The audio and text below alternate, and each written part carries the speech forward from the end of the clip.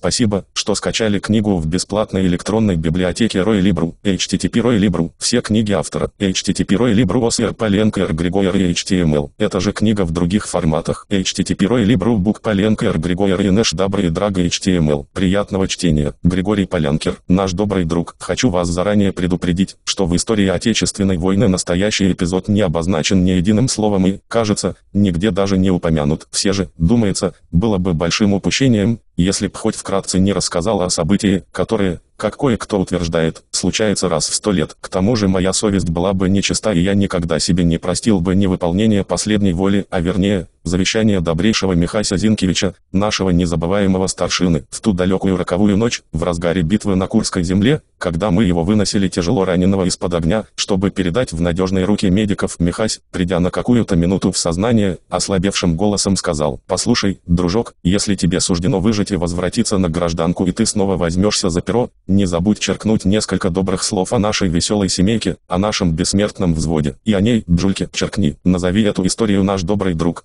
непременно, кто ж об этом лучше тебя, все на своей шкуре ведь испытал, одним словом, запомни, наш добрый друг, почему старшина просил именно так, а не иначе назвать это повествование, вы узнаете, если наберетесь терпения и выслушаете эту незатейливую историю от начала до конца. 1. Произошло это в самом начале июля 43 -го года неподалеку от знаменитого города Курска, а точнее, на Курской дуге. Наш сильно поредевший после последних боев взвод выдвинулся на передний край обороны и занял небольшой зеленый курган всего лишь в 200 метрах от вражеских позиций. От немецких оккупантов нас отделяла неглубокая балка с маленьким, едва приметным в густой траве ручейком. В короткие минуты затишья, когда орудия и неистовый рев бомбардировщиков замолкали, мы отлично слышали гортанный говор, возгласы и ругань фрицев, лязг и стук котелков, когда им приносили жратву в транши. К нам доносились и звуки губных гармошек и безумные мотивы солдафонских маршевых песен, привыкшие к своей сложной и тяжелой солдатской работе. Мы с первой минуты прихода сюда взялись за лопатки и кирки, вырыли себе отличные окопы, соорудили вдоль всего кургана траншею с ходами сообщения, ячейками, нишами по всем правилам саперного искусства и почувствовали себя увереннее. Не жалея сил рыли, как только появлялась малейшая возможность, а она появлялась, когда немцы на время переставали поливать свинцом, трудились настойчиво и напряженно, старались как можно больше углубить траншею, чтобы не попасть в трудное положение, в какое попали несколько дней тому назад, после чего долго не могли скрыть свой позор перед прославленным командующим. А получилось это так. Однажды на рассвете генерал Рокоссовский со своим адъютантом пробирался к нам, желая лично проверить, как мы закрепились. Когда они двигались по нашей траншее, их заметили немцы и открыли ураганный огонь. Бойцы заслонили генерала своими телами. Когда же прекратился бешеный обстрел, командующий приподнялся, отряхнул с себя землю, улыбнулся, окинул нас своими добрыми, светлыми глазами,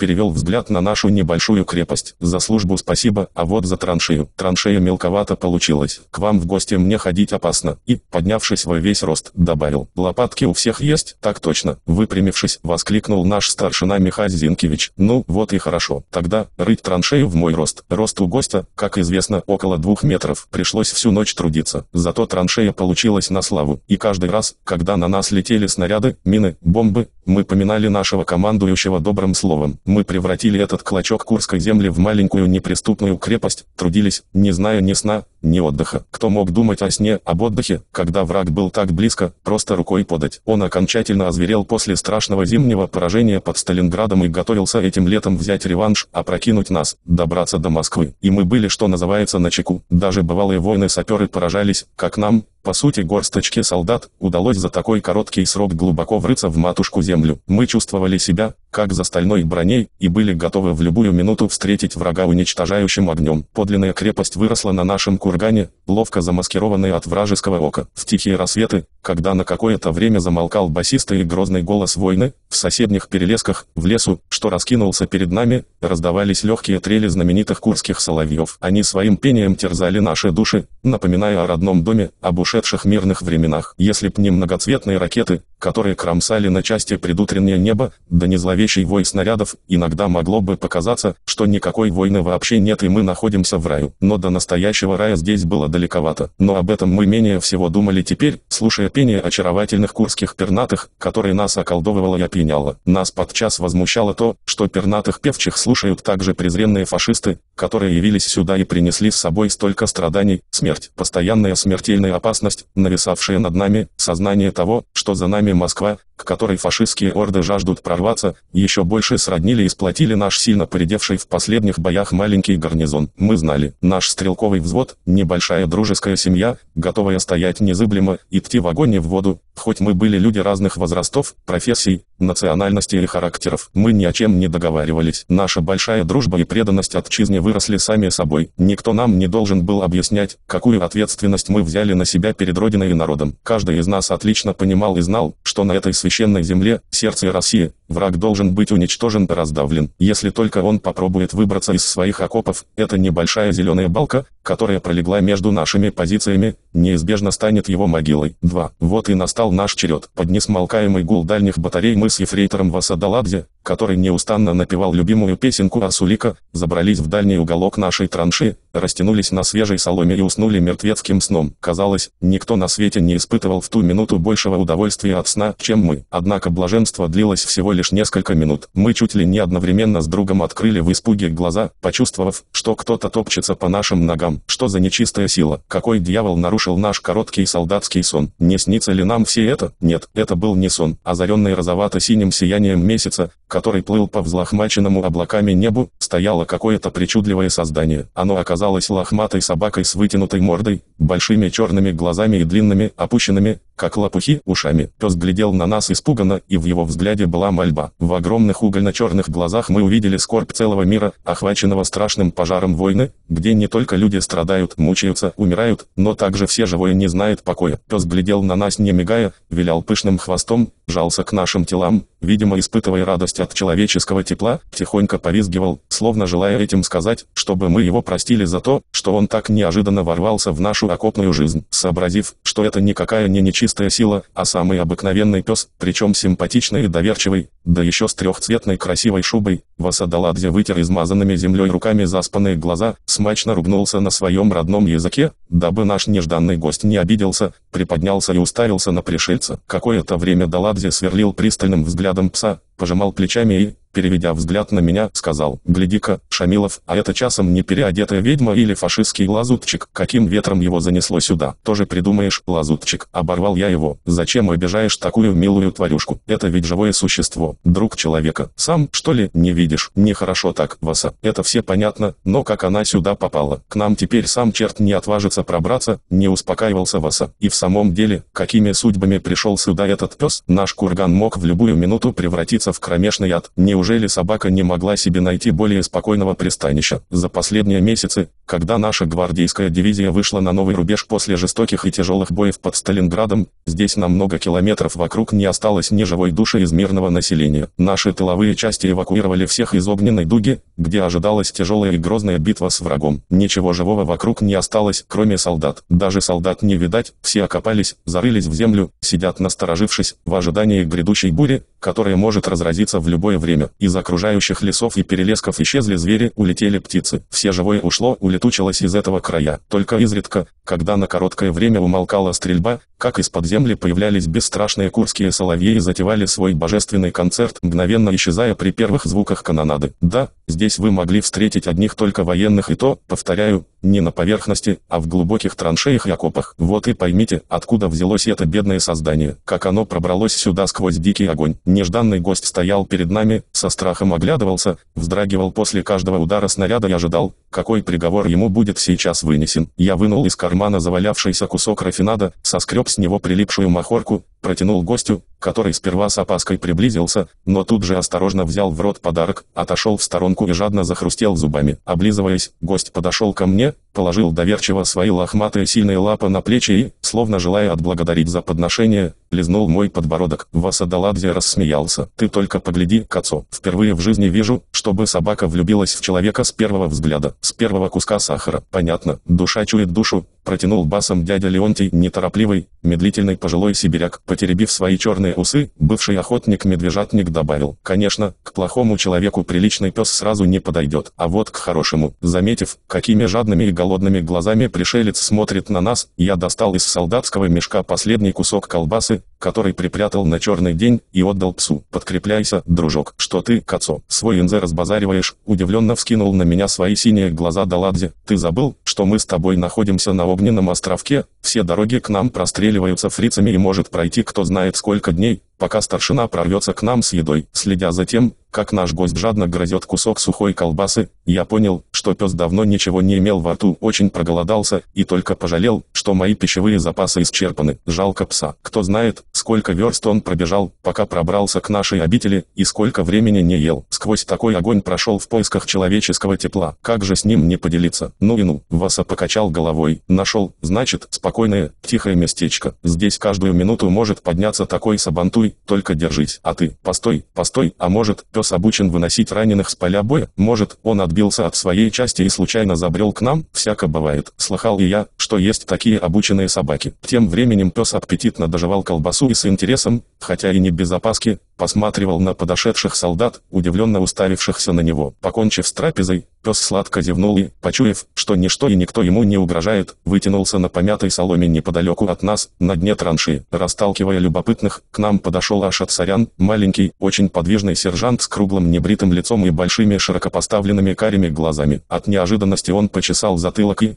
поправляя каску на голове, которая все время съезжала на глаза, улыбнулся. «Мать моя родная, кого вижу? Такого зверя я когда-то у нас в Ереване встречал на выставке животных. А где же его золотые, серебряные и бронзовые медали? Кажется, это не простая собака, породистая». И, опустившись на колени, опершись на дуло автомата, с улыбкой обратился к гостю. «Эй, миллионок, чего разлегся, как турецкий султан в своем гареме? Чего пришкандабал к нам? Не мог выбрать более спокойного уголка? И куда тебя занесла нечистая сила? Послушай моего доброго совета, драпай отсюда, дружок, пока не поздно, поищи себе лучшее местечко. Вот вспомнишь слова Ашата Саряна из Еревана. Мы-то солдаты и самим богом здесь поставлены, чтобы мерзкого фрица не пропустить. А тебе зачем здесь торчать? Окружающие тихонько смеялись, слушая, как словоохотливый, веселый сержант объясняется с пришельцем, а тот смотрел на парня полузакрытыми глазами, в которых словно было написано «Куда же мне деваться, дорогие мои? Пришел к вам издалека, еле живой пробрался сюда. Я одинок и несчастен, как никто в мире. Разрешите остаться возле вас, не гоните». Ну и житуха, затягиваясь махорочным дымом, пробормотал дядя Леонтий. «Каких золотых ребят, каких орлов потеряли мы в этих боях, как мало нас осталось, и вот какое пополнение прибилось к нашему берегу». Он в сердцах сплюнул и опустился на на корточки, привалившись к стенке транши. «Ничего, дядя Леонтий, не тужи», — вмешался Васадаладзе, погладив свои черные, короткие усики. «Если гость пришел добровольно, то пускай уж остается. Какой-никакой паек мы выделим, а обмундирование ему не требуется». «Ну, конечно», — не сдавался сибиряк, старшина Михась только и мечтает о таких иждивенцах. Каждый раз, добираясь с харчами к нам, он 20 раз рискует жизнью, так ему только не хватало четвероногого едока. Михась его увидит и сразу прогонит. Э, нет, не такой он человек, наш Михась Хась, вставил кто-то. Думаешь, старшина к нас такой жестокий? Зачем же прогонять такую псину? Жалко ведь. И куда она пойдет? Вокруг ни единой хатинки, ни жилища. И людей не увидишь. Жалко, ребята. Пускай здесь сидит. Жалко. А оставлять его здесь у нас не жалко. День и ночь жужжат пули и осколки. Погибнет не за понюшку табака. А как же гостя нашего звать? У него спроси. Разве ты с ним в ссоре? Если б умел говорить, он представился бы сразу. Кажется, документов никаких не принес. Как же может быть пес без клички? Гляньте. Мужчина он и или женщина», — отозвался Ашат Сарян. «Мы сами дадим ему кличку и звание. Видимо, не аттестован. Кажется, это дамочка. Если так, то назовем ее Джулькой», — сказал Васа, и его большие блестящие глаза засверкали веселым блеском. «Был у меня когда-то хороший пес в Кутаисе. Пошел я с ним на охоту, и напоролись мы на зловредного кабана. Джулька бросилась на зверя. Пошла страшная драка, и погибла Джулька моя. Так пусть уж наш гость называется Джулькой. А, ребята, как вы скажете, пусть будет по-твоему, Васа», — сказал дядя Леонтий. «Только уж если ты дал ей имя, стало быть, тебе придется ее и кормить. Кумом, значит, стал. Ничего, не будет она у нас голодать, как-нибудь прокормим. Пусть только появится старшина Михась с термосами. Порядок. Так как, ребята, договорились, повторил Даладзе. Значит, согласны все? Джулькой нарекли? Ладно уж, называй как хочешь. хоть горшком, только в печь не сажай. Услышим, что на это скажет старшина Михась. Он наш временный кормилец. После гибели повара возится с кухней, стряпает, тащит нам пищу. За ним, стало быть, последнее слово. Джулька. А кличка-то хорошая, сказал дядя Леонтий. Нельзя, однако, сказать, что пришелец был в большом восторге от того, что ему дали новую кличку. Он сперва никак не реагировал, когда его величали Джулькой, но постепенно стал привыкать. Что ж поделаешь, пусть будет так. И пошло, Джулька и Джулька. Давненько здесь не царило такое оживление, как теперь, и этим мы обязаны были нашему нежданному гостю. Что-то домашнее, родное прибилось к нашему берегу и на какое-то время смягчило нашу суровую, тяжкую и опасную солдатскую жизнь здесь, под самым носом у проклятого врага. Изменилось несколько и настроение ребят, и каждый, проходя мимо собаки, норовил погладить ее. Джулька, ну милашка, как ты себя чувствуешь у нас? Негромко приговаривали. Не убежишь, останешься? Идиллию вдруг нарушила ожесточенная стрельба, хлынувшая из-за леса. Над головой прожужжал дождь пуль, осколков от мин, позади грохнуло несколько снарядов. Мы прижались к стенкам транши, всматриваясь в ту сторону, где бесновался враг, старались угадать, что он задумал. Но это оказалось очередной вспышкой бешенства. Мы с Васа наблюдали за вражескими окопами, слегка высунувшись из нашей небольшой крепости. Было ясно, что фрицам притащили ужин, скоро там начнут раздачу и, то ли для очистки совести, то ли для храбрости, с той стороны постреляли, давая этим знать, что, мол, они на чеку и чтобы их не беспокоили. Правда, наша артиллерия ответила несколькими залпами, но вскоре и она затихла. Не было смысла тратить зря боеприпасы. Спустя несколько минут все вокруг снова погрузилось в тишину, и мы прижались к брустверу, наблюдая за противником. Вдруг почувствовали, что между нами, мною и Васа, стиснулось что-то мягкое, теплое. Оказывается, наша гостья тоже обратила свой пристальный взор в ту сторону, куда мы так напряженно всматривались, словно и она что-то соображала в этом деле. Мы рассмеялись, но Джулька не обратила внимания на наш смех. Она улавливала малейший шум, который доносился с той стороны. «Знаешь, Васа, кажется, у нас появился стоящий помощник. Мы сможем спокойно спать. А что ты думаешь? У Джульки такой слух, что почует за километр. Что ж тут удивительного?» Вмешался Шилов, маленький рыжеволосый автоматчик, который не мог молчать, если двое вели разговор. «Я слышал, что у японских самураев в армии стоят на вооружении маленькие собачонки, пинчеры, кажись, называются. Вот у тех нюх мировецкий. За три километра чуют, черти, что вокруг происходит. Японцы храпят в окопах, а эти самые собачки стоят на страже. Почуют опасность, сразу поднимают такой виск, такой лай, что все солдаты сразу вскакивают с места в ружье. А откуда это тебе известно, всезнайка? Как это откуда? От верблюда. Книжки надо читать. И все это ты в книжках вычитал? Ну конечно. К тому же мой батя мне когда-то рассказал. Он участвовал в русско-японской войне в четвертом году и своими глазами видал этих пинчеров. Так, может, Шилов, позовешь сюда батю, чтобы он научил нашу Джульку стоять вместо нас на посту, предложил Ашат Сарян, и все рассмеялись. Это было бы неплохо, чтобы за нас кто-то вел наблюдение, а то не спим, с ног валимся, не сдавался Шилов. Если ваша собачка не принесет здесь какой-то пользы, то на кой леший она тут сдалась? Только харчи переводить, как себе хотите, а я могу поклясться, что собака она обученная, боевая и сможет здесь пользу принести, настойчиво твердил Васа. Послышались быстрые шаги. С противоположной стороны траншеи приближался стройный, крепко сбитый, смуглый парень с озорными темными глазами, с забинтованной по локоть рукой, Шика Маргулис. Увидев собаку на бруствере, раскрыл рот от изумления, и на его лице появилась удивленная улыбка. Мать честная, а это что еще за зверь к нам забрел? Что, миленькие мои, на охоту собрались или в лес за грибами? И, подумав минутку, пожал плечами, добавил, где вы взяли такого красавца? А ну-ка, покажите мне этого звереныша. Видать, парень свой. Спокойно, ефрейтор Маргулис. Джулька может, упаси бог, тебя перепугаться и тогда заикаться станет, остановил его аж от сорян. Но Шика Маргулис на это предостережение не обратил внимания. Он подошел ближе к собаке, оглядел ее с видом знатока, что-то про себя промямлил, и широкая улыбка снова озарила его загорелое лицо. «Знаете, ребятки, что я вам скажу? Могу поклясться счастьем жены моей и детей, а они когда-нибудь у меня будут, что, если останусь жив и невредим и вернусь после войны домой,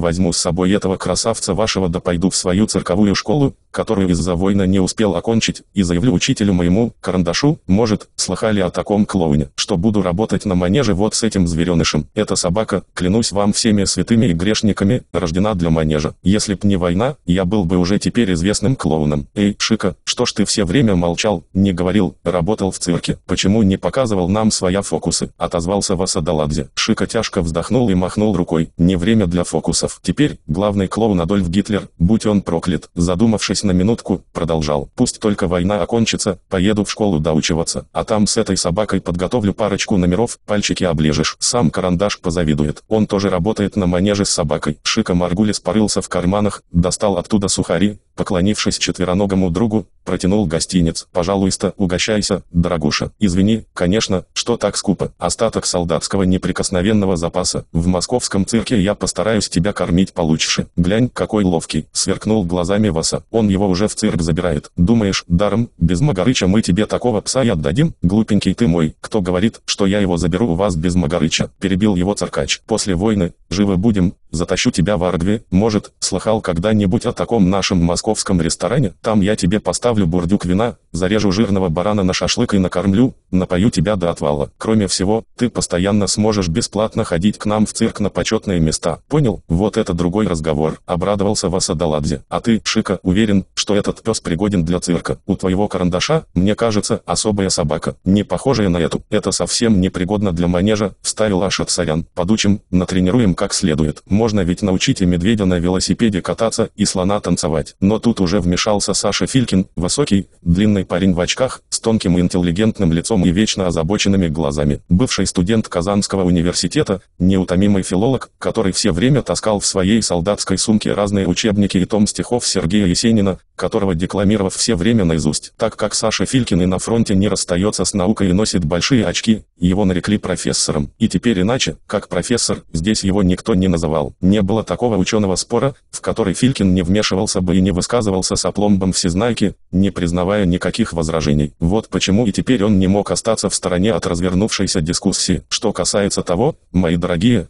мои славные сеньоры, годится эта псина для манежа или не годится, то я обязан вам сообщить. Вполне годится. Все зависит от дрессировщика. Если наука до того дошла, что можно и змею научить танцевать, то, естественно, ничего не стоит такую собаку приучить к любому цирковому выступлению. Снова смерив быстрым и всезнающим взглядом Джульку, профессор продолжал. Теперь, мои дорогие сеньоры, должен вам сообщить, что вы позабыли, в каких местах мы с вами нынче находимся. Поскольку я занимаюсь литературой, то мне известно, что здесь тургеневские места. Где-то неподалеку отсюда великий писатель жил и по этим лесам бродил с ружьем и собаками, охотился, стало быть. Если кто из вас читал записки охотника, то должен это помнить. Кто не читал, советую при первой возможности почитать, поинтересоваться, мои дорогие, мои славные сеньоры. Так вот, мне кажется, что это самая Джулька ваша необыкновенная дворняжка, а чистокровка, породистая, далекий отпрыск псарни Ивана Сергеевича, родословная Джульки, пожалуй, идет оттуда. Ну и наградил. И надо ж такое придумать. Перебил его Степан Гурченко, прославленный пулеметчик нашего взвода, который тоже,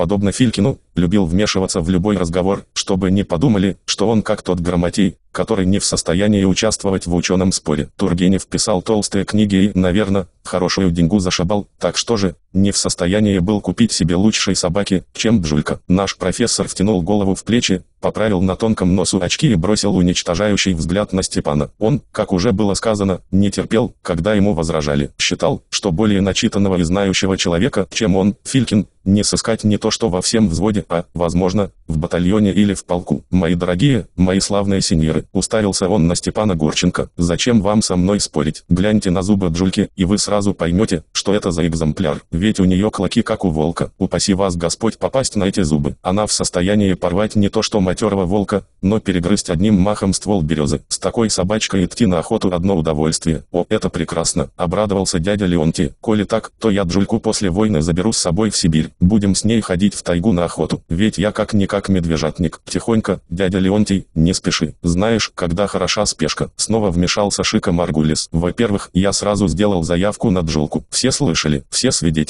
Кроме того, ты, батя, должен помнить, что если возьмешь Джульку к себе в тайгу, то увидишь ее один ты да еще какие-нибудь звери, которых ты встретишь в тайге. А вот если Джулька выйдет со мной на манеж, ее увидят тысячи зрителей, все города и поселки, где имеются манежи. Чего спорить, гвардейцы? Воскликнул Ашат Сарян. Что вы делите шкуру неубитого медведя? Пока Шика Маргулис попадет в цирк, а дядя Леонтий в Сибирь, в тайгу, как говорят украинцы, росавочий выезд. Надо раньше всего дожить, поскорее изгнать гитлеровских зверей, а там будет видно. Это точно, подтвердил профессор, но, мои дорогие, Мои славные сеньоры, вам надлежит помнить, что Иван Сергеевич Тургенев был того мнения, что мечтать, фантазировать – лучшее средство для здоровья, для психики человека. Мечтать, верить, соображать – лучше всех лекарств. Быстрой стремительной походкой вошел лейтенант Самохин, взводный командир. Увидав на бруствере непрошенного гостя, он от удивления глаза раскрыл. Что тут происходит? Что за чучело? Кто здесь дурака валяет? Все молча глядели на расстроенного комвзвода, не решаясь слова сказать, а он сердито оглядывал нас, стараясь угадать виновника этого представления. Короче говоря, чтоб я эту тварь больше тут не видел. Поняли? Игрушку, забаву себе нашли. Весьма подходящее время для забав. Где мы находимся? В детском саду или на переднем крае? Ты посмотри только, как он разлегся. Блаженствует. Прогоните его к чертовой бабушке. Товарищ лейтенант, а товарищ лейтенант, отозвался Шика Маргулис, пусть останется с нами Джулька. Гляньте, какая красотка. Жаль, куда вы ее прогоните, когда вокруг пустыня. Жаль, пропадет ни за что. Живое ведь существо. А нас не жалко? Сердито взглянул Самохин на Шику нашего старшина Михайса, который под огнем тащит сюда к нам термосы и котелки с пищей, не жалко. Жизнь его висит на волоске, а он тащит нам харч. Так что ж, прикажешь ему тащить и для вашего пса? Придет сюда Михась, он сразу прогонит его. Ему только лишнего едока не хватает. Товарищ взводный, попытался успокоить его дядя Леонтий. Вы ведь не такой грозный, как хотите казаться. Пусть остается здесь пес, он никому не мешает. Самохин укоризненно покачал головой, пронизывая взглядом солдата. И вам, батя, не стыдно такое говорить? Вы бывалый солдат, еще в ту войну, кажется, воевали. Где, скажите, в каком таком уставе сказано и где вы читали, что собака может быть на переднем крае? Мало что в уставе не сказано, вмешался профессор. Разве в уставе все можно учесть? Мне кажется, что вся эта война идет не по уставу, дорогие мои сеньоры. Ну ладно, прекратить дискуссию. В сердцах сказал Самохин. Придет старшина и решит, как он скажет, так и будет. Захочет таскать на своем горбу жратву для вашей, как ее, Джульки, тогда она останется,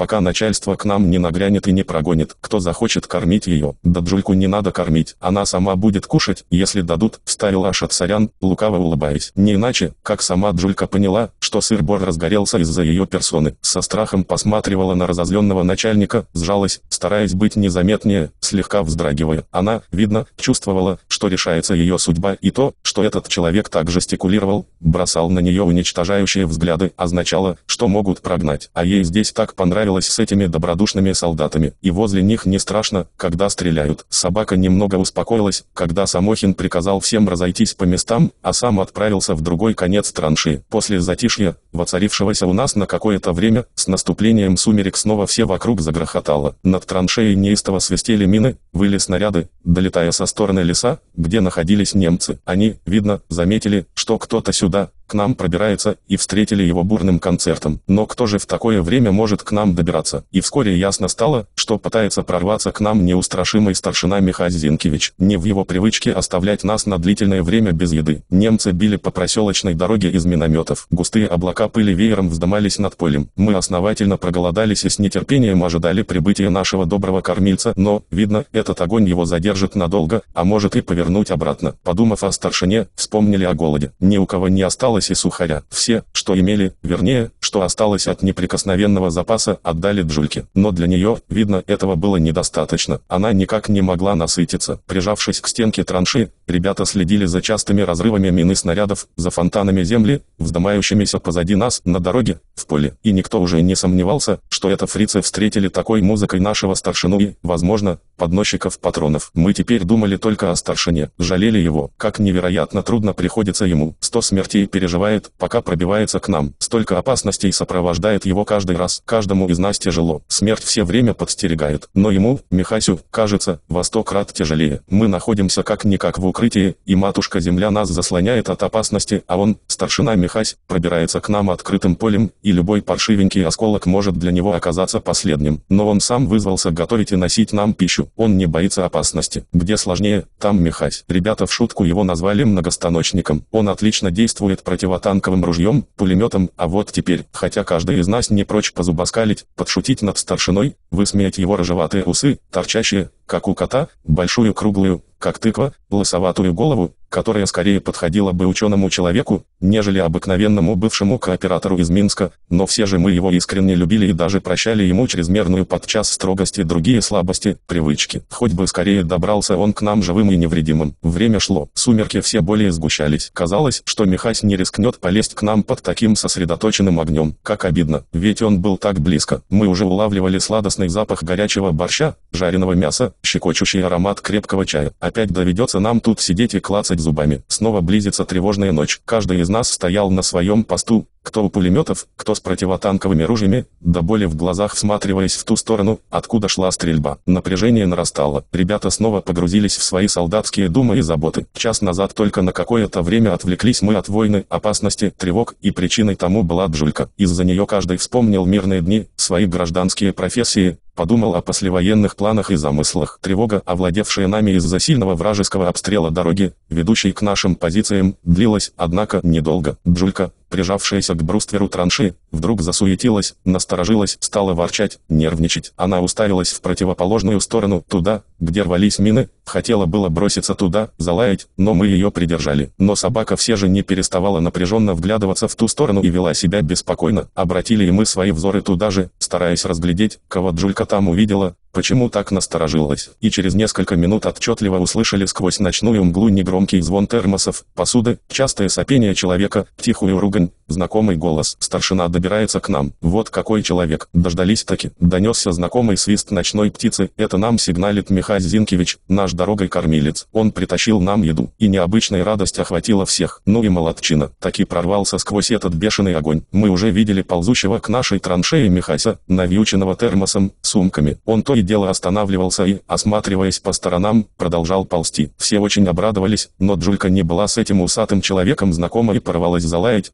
броситься на него. Но ее успокоили, уложили на место, прикрикнули «свои», мол, да, только этого нам теперь не хватало, чтобы она вдруг залаяла или еще того хуже, бросилась на такого долгожданного и желанного гостя. Человек приближался к траншее, и в глазах у нас посветлело. Вот он, долгожданный наш друг. Почти два дня без малого его нетерпеливо ждали, изголодались, измучились. И вот, наконец, в траншею ввалился невысокого роста, коренастый, запахавшийся человек, с длинными торчащими усами, насквозь промокший, в каске, сдвинутый на затылок. Он, возможно, с первой минуты мог показаться суровым, даже мрачноватым, но это только с первой минуты. Тяжело вздохнув, вытерев рукавом гимнастерки мокрую голову и обросшее рыжеватой щетиной лицо, он выругался в адрес трижды проклятых фрицев, которые сопровождали его таким страшным огнем, снял с себя термос, сумки, наполненные всяким съестным добром, автомат и воскликнул. «Что, ребятушки, заждались кормильца? Коли ваша ласка, то извиняйте, сами видели, какой сабанту и пруссаки учинили». Думал Хана, но, слава богу, выкарабкался. «А ну-ка, подавайте котелки, гостинцы вам притащил». Он искренне сожалел,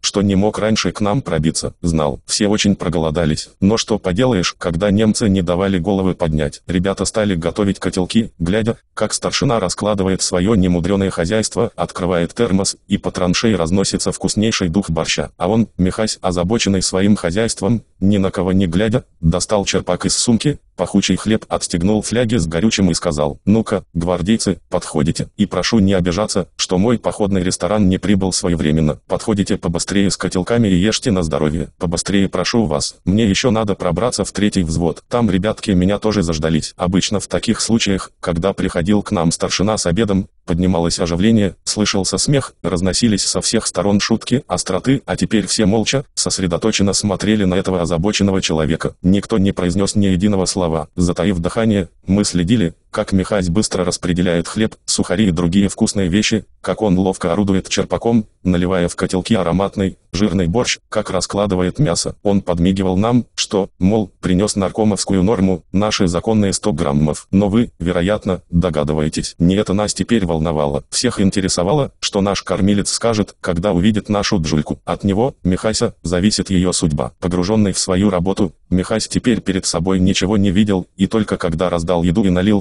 каждому в кружке положенные 100 граммов, облегченно вздохнул, вытер полотенцем руки, дожидаясь. Может, кто захочет добавки. Острый запах борща щипал за нос. В таких случаях обычно становилось у нас весело. Шутки, прибаутки, Аша Царян, Васадаладзе, Шика Маргулис и Степан Гурченко состязались в остроумии, шутили, хвалили старшину. А теперь, будто воды в рот набрали. Мы стояли со своими котелками, дожидаясь, может, кто-нибудь скажет несколько слов, неудобно есть молча. Только наш профессор, Саша Филькин, сразу погрузился в еду, что вызвало лукавые улыбки окружающих. Все мы ждали, что скажет старшина, когда увидит Бжульку. Что он ее сейчас увидит, в этом никто не сомневался. А тем временем наш четвероногий гость лежал, притаившись у бруствера, уставившись своими черными глазами на человека с длинными усами, словно понимая, что от него зависит теперь ее собачья судьба. Одновременно в этих глазах была мольба. Как бы усатый дядя не забыл ее, Бжульку, и не оставил без харчей, а запах мяса щекотал ноздри. Если еще пройдет несколько минут и старшина ничего ей не подбросит, Джулька не сможет сдержаться,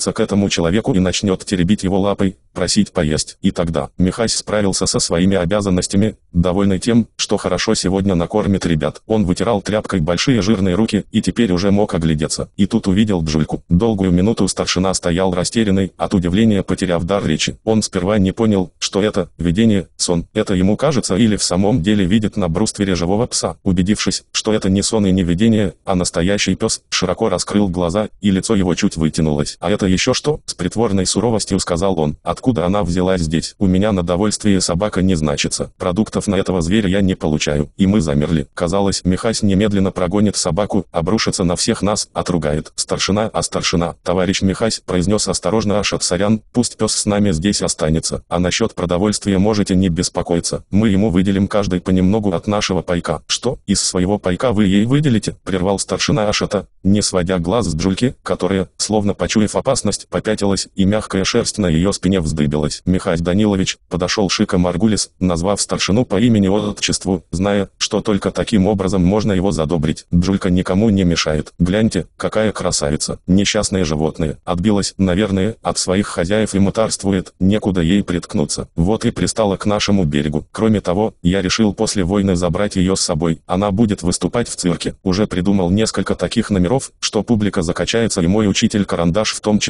Михась окинул острым взглядом Маргулиса, смерил его с ног до головы, поправил усы, скептически улыбнулся. «Ты, кажемся, не выпил, а уже чушь городишь? Придется тебя лишить наркомовской нормы, раз ты уже пьян. Что вы, старшина, где же я пьян? Разве не по сути говорю? Так при чем же здесь цирк, карандаш и прочие вещи? А вы разве не знаете, что я до войны учился в цирковой школе на клоуна у карандаша? Вернусь домой, доучусь и буду работать на манеже с этим псом». Старшина пожал плечами, подошел к собаке, протянул кости, увидев ее зубы, ахнул. «Ты глянь, какие клыки, как у льва. Как же ты такого зверя в цирк поведешь, он порвет тебя, твоего карандаша и всю вашу брашку. Пожалуй, я его повезу к себе, в Белоруссию. Там недалеко от нас находится Беловежская пуща, вот я с вашей Джулькой на охоту буду ходить. Не так ли? Окружающие весело рассмеялись. Гроза, кажется, миновала. От старшины зависела судьба Джульки. Даже строгий ком взвода Самохин сказал, будет так, как старшина решит, захочет он на своем горбу таскать для нее еду под огнем, пожалуйста. А если нет, и глаза ребят посветлели. Но тут не сдержался Самохин. Он покачал головой, взглянув на ожившего Михася. «Слушай, старшина, ты что, зачем берешь на себя такую обузу? Только собаки здесь не хватало. Очень подходящий момент с собакой забавляться. А между прочим, ты ведь солдат из бывалых, не первого года службы. Так скажи мне, милый мой, где, в каком таком уставе ты вычитал, что на переднем крае можно держать такую животину?» Михась взглянул на Самохина из-под густых рыжеватых бровей. «Ну, а в каком таком уставе сказано, что я под страшным огнем должен таскать эти термосы со жратвой, ползать под градом пули и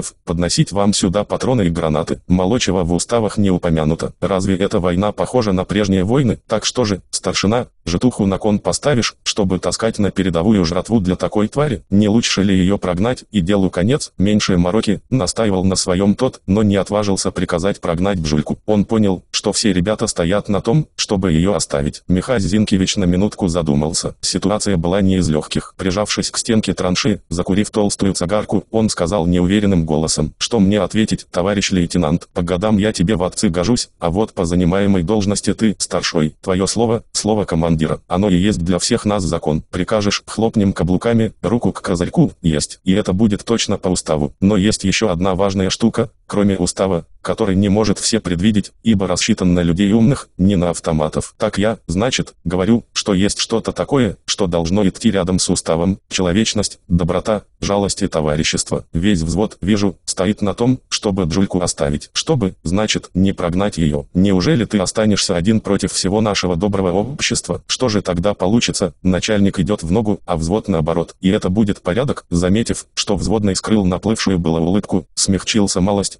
старшина налил в консервную банку борща, взял еще одну большую кость и поднес Джульке которая все время глядела на него голодными и молящими глазами. Взглянув на взводного, старшина добавил, «От меня ничего не убудет, если я принесу ей чего-нибудь. Не специально ведь для нее рискую каждый раз жизнью. Ей-богу, нехай останется с нами, товарищ взводный, не останется. Поглядим, как она себя вести будет. Прогнать завсегда успеем. Наука несложная. Она себя, как видите, отлично ведет. Привыкает к нашей окопной жизни, товарищ взводный, вмешался в Асадаладзе, и службу уже несет вместе с нами. Видите, как все время ведет наблюдение наблюдение за фрицами, и огня не боится, лежит у бруствера, как штык, пользу приносит. Старшина несколько успокоился, глядя, с каким аппетитом ребята уплетают еду, как Джулька обгладывает кость, затянулся терпким дымом цигарки и продолжал. «Понимаешь, товарищ командир, эта красавица, потеряв своих хозяев, оставшись бездомной, не подалась во второй эшелон, в медсанбат, где обитают красоточки наши, сестрички и докторши, которые встретили бы Джульку с превеликим удовольствием и радостью, кормили бы, купали, гладили, и жила бы там Джулька припеваючи и в полнейшем спокойствии и безопасности. Так что же заставило Джульку прибежать сюда, в наш ад, о чем все это говорит, а о том, что это не панька-собачка, девушка, а боевой друг и не трус какой-нибудь, и никакой мороки, кажется мне, с ней не будет, и жратвы ей хватит у нас, не пожалеем. Подумаешь, сколько ей надо. Правду говорю, ребятки-гвардейцы, правду, чистую правду, старшина, толково говоришь, Михась. Послышались отовсюду дружные голоса, а вообще-то, кажется, Джулька сможет раненых вытаскивать с поля боя, вставил Ашет. Она обучена, отбилась от своей части, все может быть, да, а тем временем Джулька догрызла кость, опорожнила посудину, облизалась и совсем преобразилась, глядя благодарными глазами глазами на усача,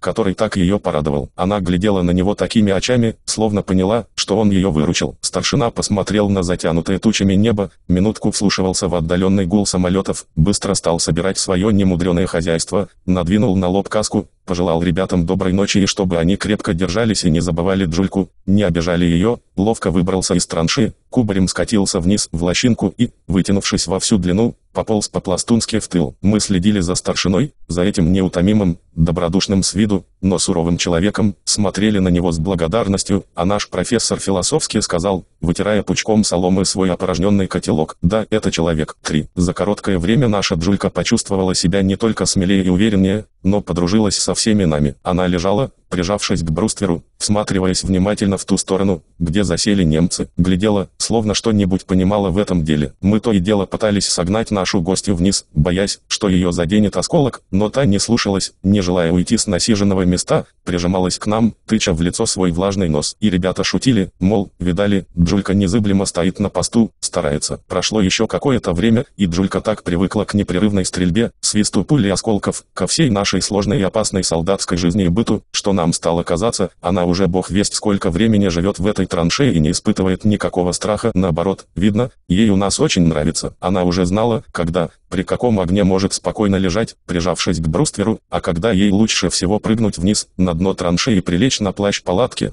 которую кто-то из наших бойцов для нее расстелил. Джулька отлично знала, кто из нас ее любит, а кто относится равнодушно, не проявляет никакой заботы. Казалось, больше всего обрадовалась, почувствовав, как нежно стал к ней относиться суровый и немногословный ком взвода Самохин. Видимо, слова старшины на него подействовали. Каждый раз, проходя мимо Джульки, на минутку задерживался возле нее, гладил, щекотал под лапами, а то и совал кусочек хлеба. Джулька приучилась не просить еды или воды, уже не смотрела просящими глазами, чтобы что-нибудь подбросили, а терпеливо ожидала прихода старшины, чтобы тот ей выдал, как и нам, Пайк, не просила у нас еды, словно понимала, что съестных запасов у солдат нет, и нужно ждать, пока заявится дяденька с длинными усами и принесет еду, и она заодно полакомится чем-нибудь. Она также привыкла к своему ложу на плащ палатки и время от времени, когда ей надоедало лежать у бруствера и глядеть на другую сторону балки, откуда доносились выстрелы, соскакивала вниз, вытягивалась на плащ палатки, подремав немного, возвращалась на свой пост. Это вызывало у каждого из нас добрые шутки, смех, и не только шутки. Вот недавно наш пулеметчик Степан Гурченко высунулся из транши, чтобы достать свою каску, которая покатилась вниз. Его заметил вражеский снайпер, открыл огонь, и эфрейтор упал в траншею раненый, обливаясь кровью. Мы ему кое-как перевязали рану, но она оказалась очень опасной, и следовало отправить его в санпункт. Дело было под вечер. Мы помогли санитару вынести раненого из транши, уложили его на плащ-палатку, на которой раньше дремала Джулька и санитар, взявшись за концы брезента, пополз с раненым. Джулька с минуту следила за санитаром и явно нервничала. Это с какой же стати человек утащил ее постель, которую она так облюбовала, и она вдруг на него сердито зарычала. Но, с другой стороны,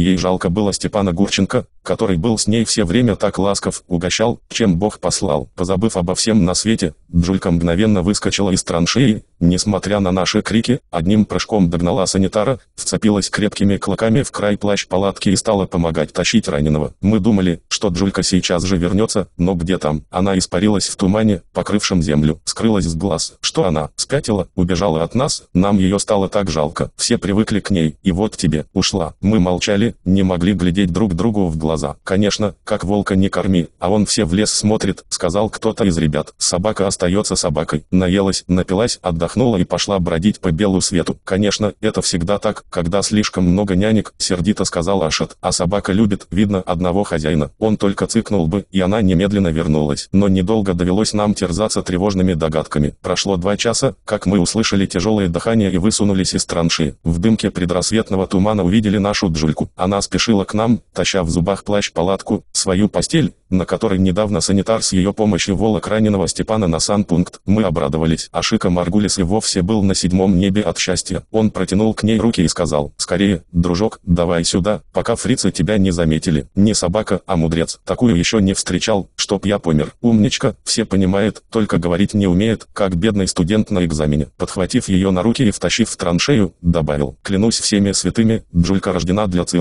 С ней только хорошенько поработать надо. Опять 25. Снова ты со своим цирком», – перебил его Даладзе. «После того, как Джулька так намучилась, ей просто необходим будет наш кавказский воздух. Заберу ее к себе, ведь как-никак я ее крестное имя дал. Я и никто иной. Это еще не факт», – вмешался Ашат Сарян. «Во-первых, имя, что ты ей дал, нигде пока мест не зарегистрировано, ни в одном ветпункте. Это раз. И, кроме того, такая собака заслуживает жить у нас в Ереване. Там красота, там как на ладони виден Арарат. Наш мудрый профессор несколько минут прислушивался к спору и сказал, болтайте, сколько вашей душе угодно, мои дорогие, мои милые сеньоры. Но главное в том, что я оказался прав. В чем? В том, мои дорогие, мои славные сеньоры, что я первый по достоинству оценил этого пса. Я вам сразу сказал, это не дворняжка, не какая-нибудь простая, обыкновенная сучка. Вы своими глазами видели, как она вцепилась зубами в плащ-палатку и помогала санитару тащить раненого, а теперь вернулась к нам с этой же плащ-палаткой. Ну и что? Так вот, теперь я уже определенно могу заявить, что это потомок тургеневских охотничьих собак. С такими Иван Сергеевич бродил по окрестным лесам на охоту. Клянусь, это знатная, породистая собака и держит ухо востро. Теперь ясно, она обученная, работала санитаркой, раненых вытаскивала с поля боя. Мы все, как один, поддержали профессора и согласились с ним. Шибко грамотный мужичок разбирается. 4. Джулька отлично соображала. Когда появляются над нашими окопами вражеские самолеты, нужно прыгнуть на дно транши, чтобы осколки бомб не задели. Поняла, что не надо излиться, когда старшина вовремя не может пробраться сюда с харчами, а терпеливо ждать. Она научилась в минуты затишья вздремнуть, а когда начинался сабантуй, следить внимательно за вражескими позициями. Во многом подражала нам, точно обезьяна, вызывая улыбки и восторг окружающих, и мы уже обращались к нашему всезнайке профессору, не может ли он сказать, не происходит ли Джулькин рот от обезьяны, а он злился. Зачем задавать такие неуместные вопросы? Собака совсем иного происхождения, нежели обезьяна, и польза людям приносит куда больше. Как-то ночью на нашем участке установилась необычная тишина, что нас очень тревожило. Эта тишина всех угнетала изводила. Что-то не похоже на нашего злобного соседа, чтоб он так тихо вел себя. Мы уже хорошо знали его коварные повадки, если он долго молчал,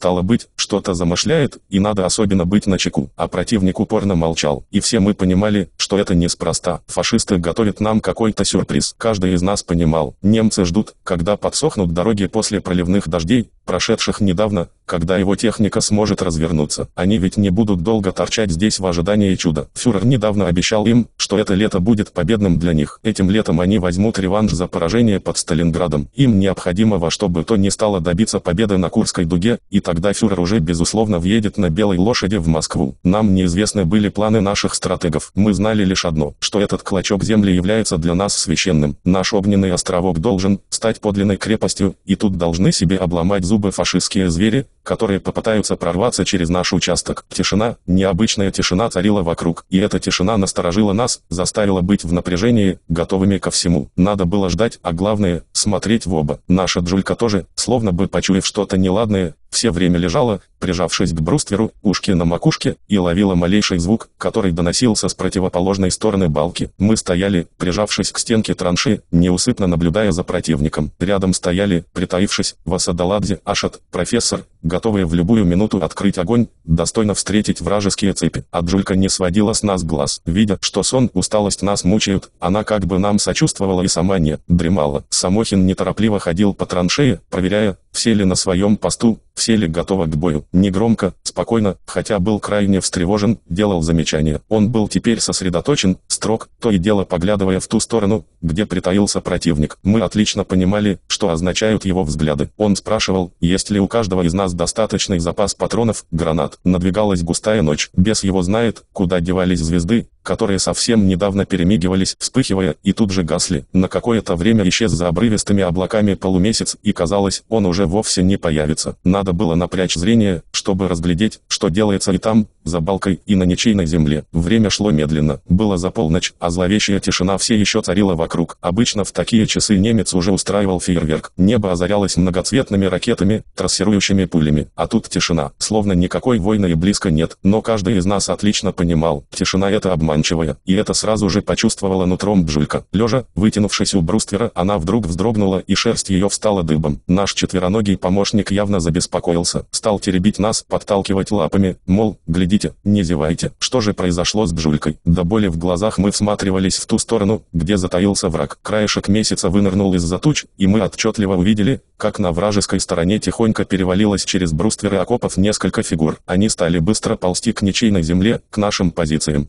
Послышался скрежет железа. Кто-то ножницами кромсал проволочные заграждения. Вражеские солдаты притаились, оглядываясь, не заметили ли мы, не услышали, и еще быстрее поползли к проходу. Сколько их было? Пятеро, шестеро, а может и больше? И кто они? Смертники, безумцы, отважились на такое безумие. Неужели не понимают, что никто из нас не спит и тишиной они нас не усыпили? Их замысел сразу был нами разгадан. Под покровом ночи и тишины они хотят подобраться к нашей траншее, обрушиться на нас, как снег на голову, и захватить языка. Что ж, пусть подползут поближе, мы с ними потолкуем. Надо только держаться, не спугнуть ночных гостей преждевременно. Вот еще несколько минут, и мы их проучим. Нас не так просто перехитрить. Пусть подползут поближе. Напряжение росло. Мы посматривали не без тревоги на взволнованного лейтенанта и понимали значение всех его жестов. Каждый из нас знал, что без его приказа никто не должен открывать стрельбу. Стоит наш нашему командиру только взмахнуть рукой, как град пуль, гранат обрушится на головы немцев, нагло ползущих к нам. Но Самохин не спешил, и мы его отлично понимали. Пусть подойдут поближе. Перебить эту горстку наглецов мы всегда успеем, нужно попытаться захватить кого-нибудь из них живым. Нам тоже не мешает взять языка. Тем более, что он самолично ползет к нам. Давайте, давайте, фашисты, поближе. Еще немного, еще чуть-чуть, и проклянете минуту, когда полезли сюда, прошептал профессор. Время тянулось томительно медленно. Тяжело дыша и задыхаясь, вражеские солдаты ползли сюда. Они уже преодолели зеленую балку, готовились к прыжку, чтобы незаметно для нас ворваться в траншею, you. Сделать свое черное дело и под прикрытием огня уйти назад. Нервы напряжены до предела, остались считанные минуты. Мы смотрим на Самохина, но тот все еще не торопится. Легкий знак рукой, мол, не нервничать, главное, выдержка. И мы ждем, затаившись, следим за каждым шагом врага. А Джулька смотрит на ползущих с явным возмущением, нервничает, тихонько скулит. Васадаладзе и Шика Маргулис, стоявшие возле нее, осторожно поглаживали собаку, просили, чтобы лежала спокойно, не волновалась. Немцев там, впереди, не так уж много, чтобы опасаться их, к тому же они на виду. Как-нибудь быстро расправимся с ними, пусть только подползут к нам. Огрызок месяца скупо освещал нашу маленькую долину, и мы видели, правда, не очень отчетливо,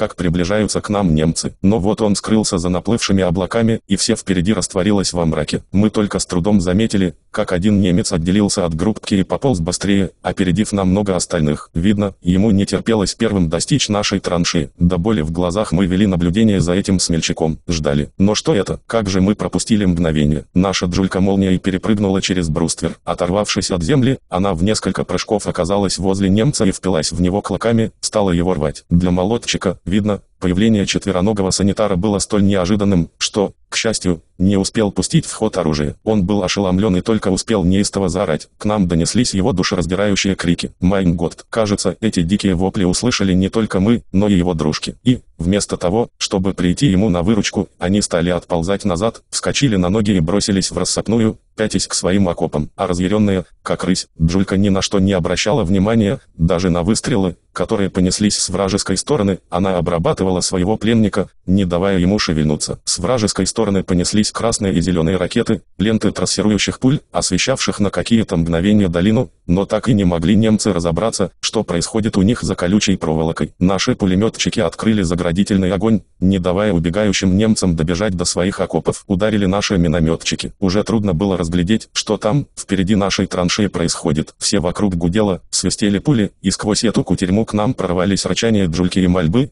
крики немца. Мы опасались, что Джулька погибнет, не вернется к нам, и мысленно себя терзали. Как же мы не удержали ее, так жалко нашего друга. Вот мы ее на минуту вовсе потеряли из виду, думали, что уже погибла, но по крикам и воплям немецкого солдата, пытавшегося уйти от нее, понимали, что она еще там свирепствует. Кто-то из наших стал свистеть, звать Джульку, но она, конечно, не слышала этого, занятая своим непонятным делом. Мы мысленно уже прощались с нашим другом. И не только прощались, а поедали себя поедом, не могли себе простить, что не уберегли ее от несчастья. Ведь с этой небольшой кучкой немцев, которая коварно подбиралась к нам, мы быстро и легко бы справились, не помешав нам Джулька этого сделать. Пропадет не за понюшку табаку наш друг, и это нарушило радость от того, что провалился замысел врага застигнуть нас врасплох, сорвали их замысел захватить у нас языка. Блеклая пелена дыма стлалась по балке, и трудно было разглядеть, что там впереди. Видно и немцам, сидевшим по ту сторону и ведущим беспорядочный огонь, неясно было, что произошло с их разведчиками,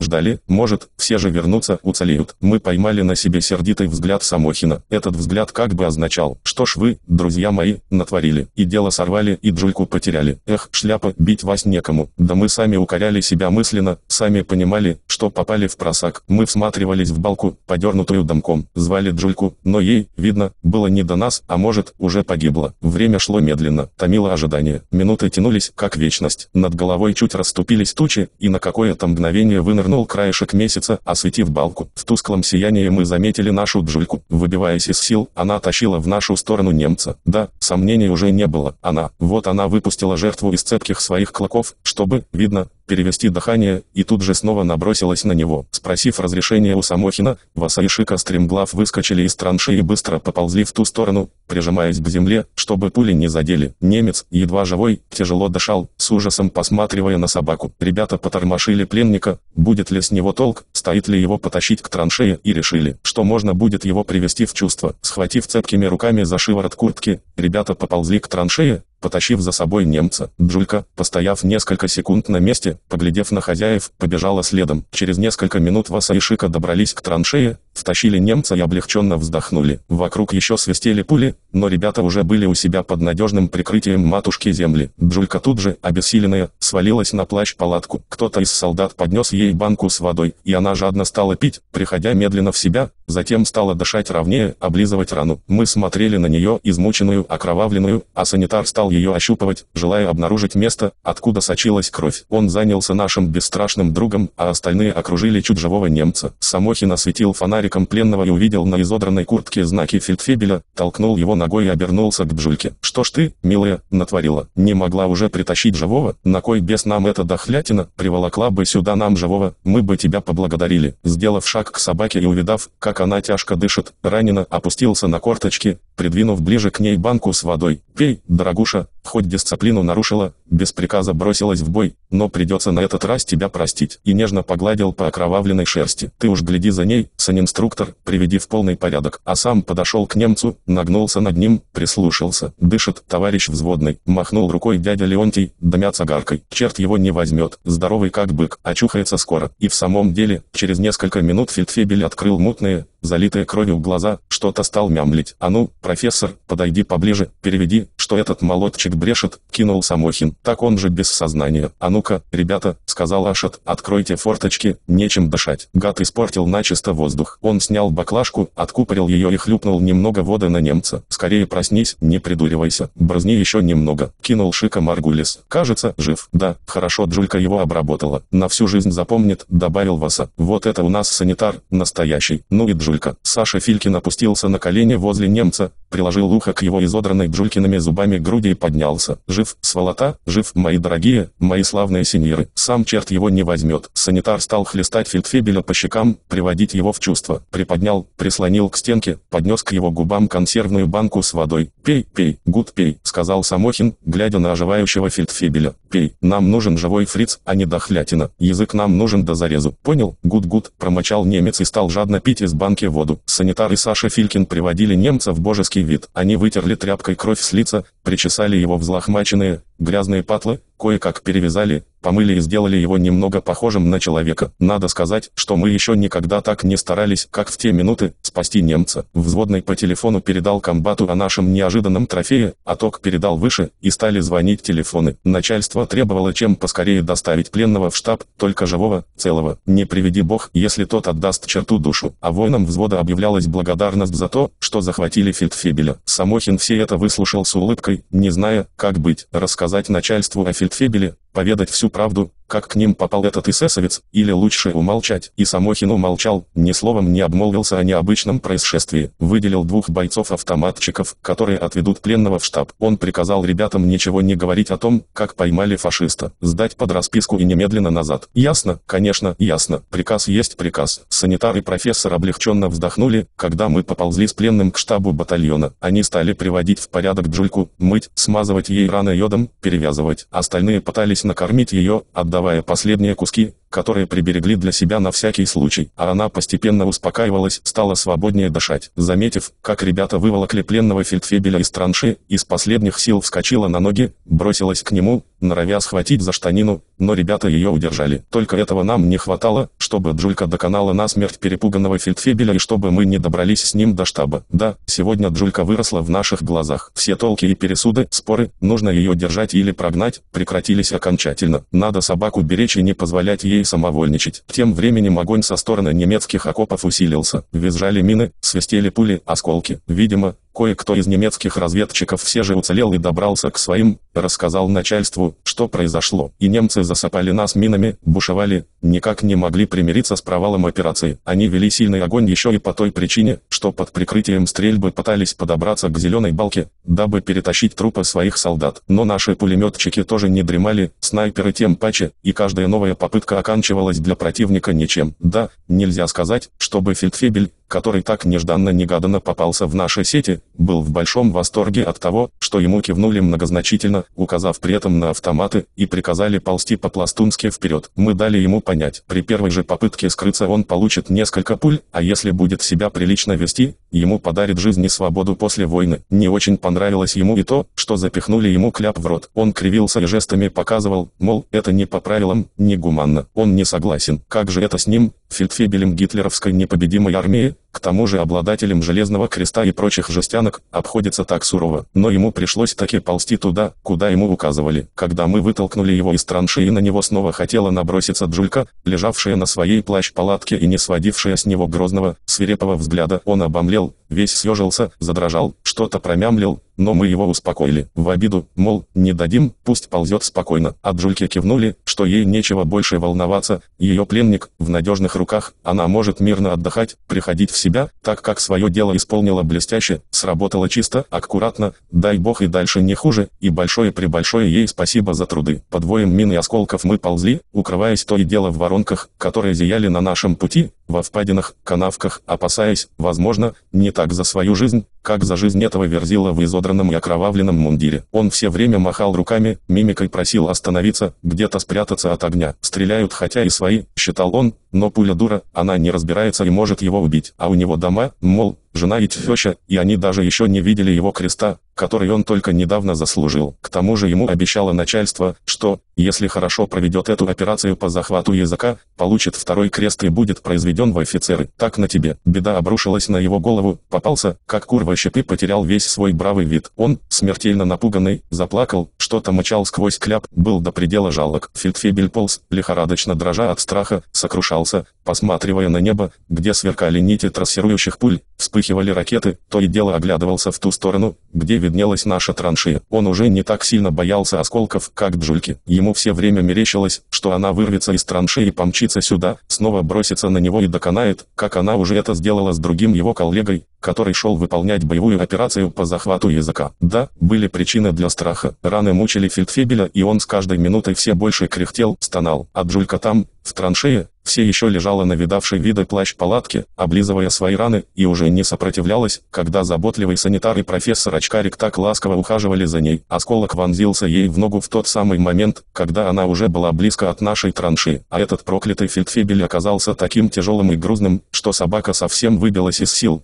пока дотащила его. Правда, некоторая заминка все же произошла, когда молодой санитар достал из сумки бинт и хотел перевязать Джульке лапу. Ей это явно не понравилось. Она с недоверием взглянула на парня и сердито зарычала, да так, что тот отскочил от нее. Профессор и Шика попытались это сделать сами, тогда она смирилась, протянула им больную лапу и терпеливо наблюдала, помахивая хвостом. «Вот так, дорогуша», — сказал Маргулис, — «теперь ты уже обстрелянная, пороха нюхнула и выдержала солдатский экзамен на 5 с плюсом. Отныне ты полноправный воин нашего гвардейского взвода. Теперь, родная, никто не посмеет тебе сказать, что ты даром переводишь солдатский хлеб. Молодчина. Дядя Леонтий тяжелой своей походкой подошел к собаке, опустился возле нее на корточки, погладил и, покачав головой, сказал, «Да, в тайге я повидал немало разных охотничьих собак, но такое, клянусь, вижу впервые. Не собака, а черт рогатый». Аш царян скорчил смешную гримасу и добавил, «Расскажешь кому-нибудь после войны, что на наших глазах творила Джулька, ей-богу никто не поверит, назовут брехуном. Мол, на войне все врут. Я ведь сразу сказал, что это не обычная собака, а необыкновенный экземпляр», отозвался профессор. «Теперь, милые, Родные мои сеньоры, я уже не сомневаюсь, что Джулька происходит от династии собак, которых Иван Сергеевич Тургенев так талантливо описывал в своих блестящих произведениях, от тех самых собак, с которыми писатель ходил здесь на охоту. Редчайший песик, подумав минутку, философски добавил. Теперь я понимаю, почему писатели, художники так много внимания в своих произведениях уделяют собакам,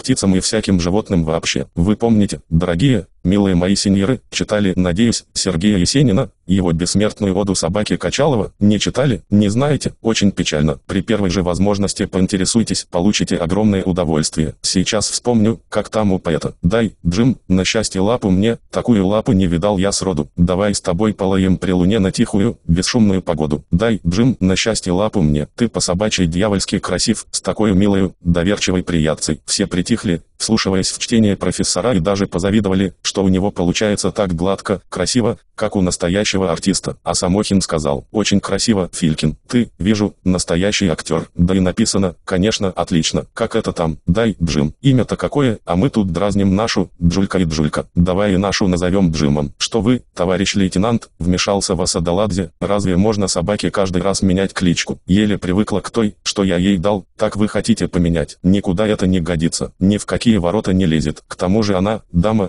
Джим. Правильно, Васа, поддержал Шика. Нельзя менять кличку. Он поднялся с места, вытер пучком соломы грязные от земли руки и продолжил. Менять имя это не так просто, как вам, братцы, кажется. С гражданки еще помню, это большая морока. Зачем же будем Джульке трепать нервы? Пусть уж останется по-старому. Все рассмеялись дружно, и взводный уже сам не рад был, что затеял этот разговор. Ну, ребята, пошутили, покалякали и хватит. Об одном я вас попрошу. В дальнейшем не позволяйте вашей Джульке Джульке действовать самостоятельно. Ей тоже надо привыкнуть к дисциплине. Без моего разрешения никуда не высовываться. Поняли? Сказал Самохин. Поняли, товарищ командир, ответил Ашат. Но победителя, кажется, не судит. Она ведь себя показала. Самохин закурил, выпустил большое облако дыма. Ну, конечно, победителя не судит. Джулька сегодня в самом деле творила чудеса, но в дальнейшем не отпускайте. Беда не оберемся из-за нее. И мне влетит от начальства, если оно узнает, что такую гостью приютили у себя. Никто нас за это не осудит, вмешался в разговор царкач. Я на месте начальства наградил бы Джульку медалью за отвагу. Надо как-то передать старшине Михасю, чтобы притащил ей сегодня двойную порцию, озабоченно добавил Ашат Сарян. Не мешало бы, он так или иначе притащит. За этим дело не станет, усмехнулся дядя Леонтий. Джулька, смертельно уставшая, измученная, глядела то на одного, то на другого, прислушивалась, крутила головой, словно что-то из нашего разговора понимала. Она вертелась на плащ палатки, то и дело облизывала раны, пыталась сорвать бинт, но тщетно. Шика Маргулис и Саша Филькин, бывалые солдаты, прошедшие огонь, воду и медные трубы, и коли что-то делали, то надежно. Джулька постепенно свыклась со своим бинтом и перестала обращать на него внимание. Наша отважная помощница долго ворочалась на своей плащ-палатке и в конце концов уснула после трудов праведных. Споры, шутки, остроты сразу прекратились. Утихла стрельба на переднем крае, Погасли разноцветные ракеты, которые кромсали на части над нами небо. Мы снова стояли на своих местах, обратив пристальный взор на противоположный край зеленой балки, где засел свирепый враг. И каждый из нас был на своем посту, надежно охраняя нашу небольшую крепость, родную пять земли. Пять. Время тянулось несказанно медленно, скучно, однообразно. Опять на переднем крае воцарилась напряженная тишина. Мы знали, что противник попытается сегодня же что-то предпринять в отместку за свой провал, за свои потери, которые ночью понес, но он молчал, проглотил горькую пилюлю и затаил на наш немногочисленный гарнизон свою злобу. Слушаясь в непривычную тишину, могло казаться, что никакой войны вообще нет на свете. Вскоре в густом кустарнике осторожно запели неустрашимые соловьи, появившиеся неведомо откуда. Они на несколько минут погрели наши истосковавшиеся по песне души, пели с такой нежностью, словно хотели нам сказать, послушайте, ребята, пока не стреляет немец, мы вас немножко позабавим. Кто знает, когда еще настанет здесь такая блаженная тишина. Мы уже, пожалуй, могли бы по очереди вытянуться на дне транши, чтобы вздремнуть полчасика, но сегодня никто из нас не решался позволить себе такую роскошь. Надо было быть готовыми к бою, не проспать, не прозевать секунды, когда немец начнет наступление, которым он нам угрожал. Он выставлял изредка из своих окопов огромный рупор и горланил на ломаном русском языке. Рус-Зольдат, недалек день, когда мы обрушат на вас наше секретное оружие, тогда заплачете горькими слезами. Рус-Зольдат, сдаваясь в плен, пойди к нам, пока есть время. Фюрер скоро пустит свой секретный бабах и Рус капут. Спасайся, Рус. Мы тебе давай зубки и хлеб. Наши ребята слушали этот идиотский бред и от души смеялись. А Ашат Сарян, сложив руки рупором, отвечал. Гей, фриц, на кой бес нам твой вонючий зубки? Мы любим борщ с пампушками. Дядя Леонтий добавлял к этому несколько крепких солдатских слов, которых не следует воспроизводить на бумаге. И на этом обычно заканчивался мимолетный диалог с фрицами. Немец после этого надолго замолкал, так как обладал довольно скудным запасом русских слов. Фашистский ночной пропагандист вместе со своим рупором исчезал, растворялся в ночной тишине, а у нас надолго воцарялись веселье, смех, шутки и остроты. Ребята смеялись и думали о том, что немец чувствует себя на нашей земле не очень уверенно, если прибегает к подобной болтовне. И жизнь в нашей небольшой крепости снова пошла своим чередом, обычно, но неспокойно. В часы затишья на нашем переднем крае прибавлялось немало забот. Приходилось не только чистить, драить оружие, но и пополнять запас боеприпасов, чинить одежду, обувь, а заодно и себя приводить в человеческий вид. Бриться, стричься, мыться хоть как-нибудь, чтоб не утратить бравый солдатский вид. Наша Джулька тоже постепенно пришла в себя после той памятной ночи. Чего греха таить, мы все были в восторге от поступка нашего четвероногого дружка и после этого случал полюбили ее еще больше. Поди знай, что она потом у всех будет на языке. В тот первый вечер лейтенант Самохин не смог добиться нашего согласия, чтобы прогнали Джульку, он размышлял так, пусть, мол, погуляет пока мест у нас придет время и ее все равно выпроводит отсюда. Начальство скоро узнает о ней и ему, Самохину, немного попадет, что за собаки под ногами путаются. Но зато он не рассорится со своими боевыми друзьями. Пусть приказ об изгнании Джульки исходит не от него, а от какого-нибудь старшего начальника. Но старшие начальники не часто приходили в этот беспокойный уголок и ничего о Джульке знать не знали. Правда, когда наши ребята приволокли тогда в штаб немецкого фельдфебеля и там увидели Верзилу в изодранном, грязном мундире, искусанного, истерзанного до крови, едва державшегося на ногах, все ужаснулись. Кто его так обработал? Странные раны на нем, ни от пуль, не от осколков. А кто разорвал на нем мундир? Откуда он взялся такой? В самом деле,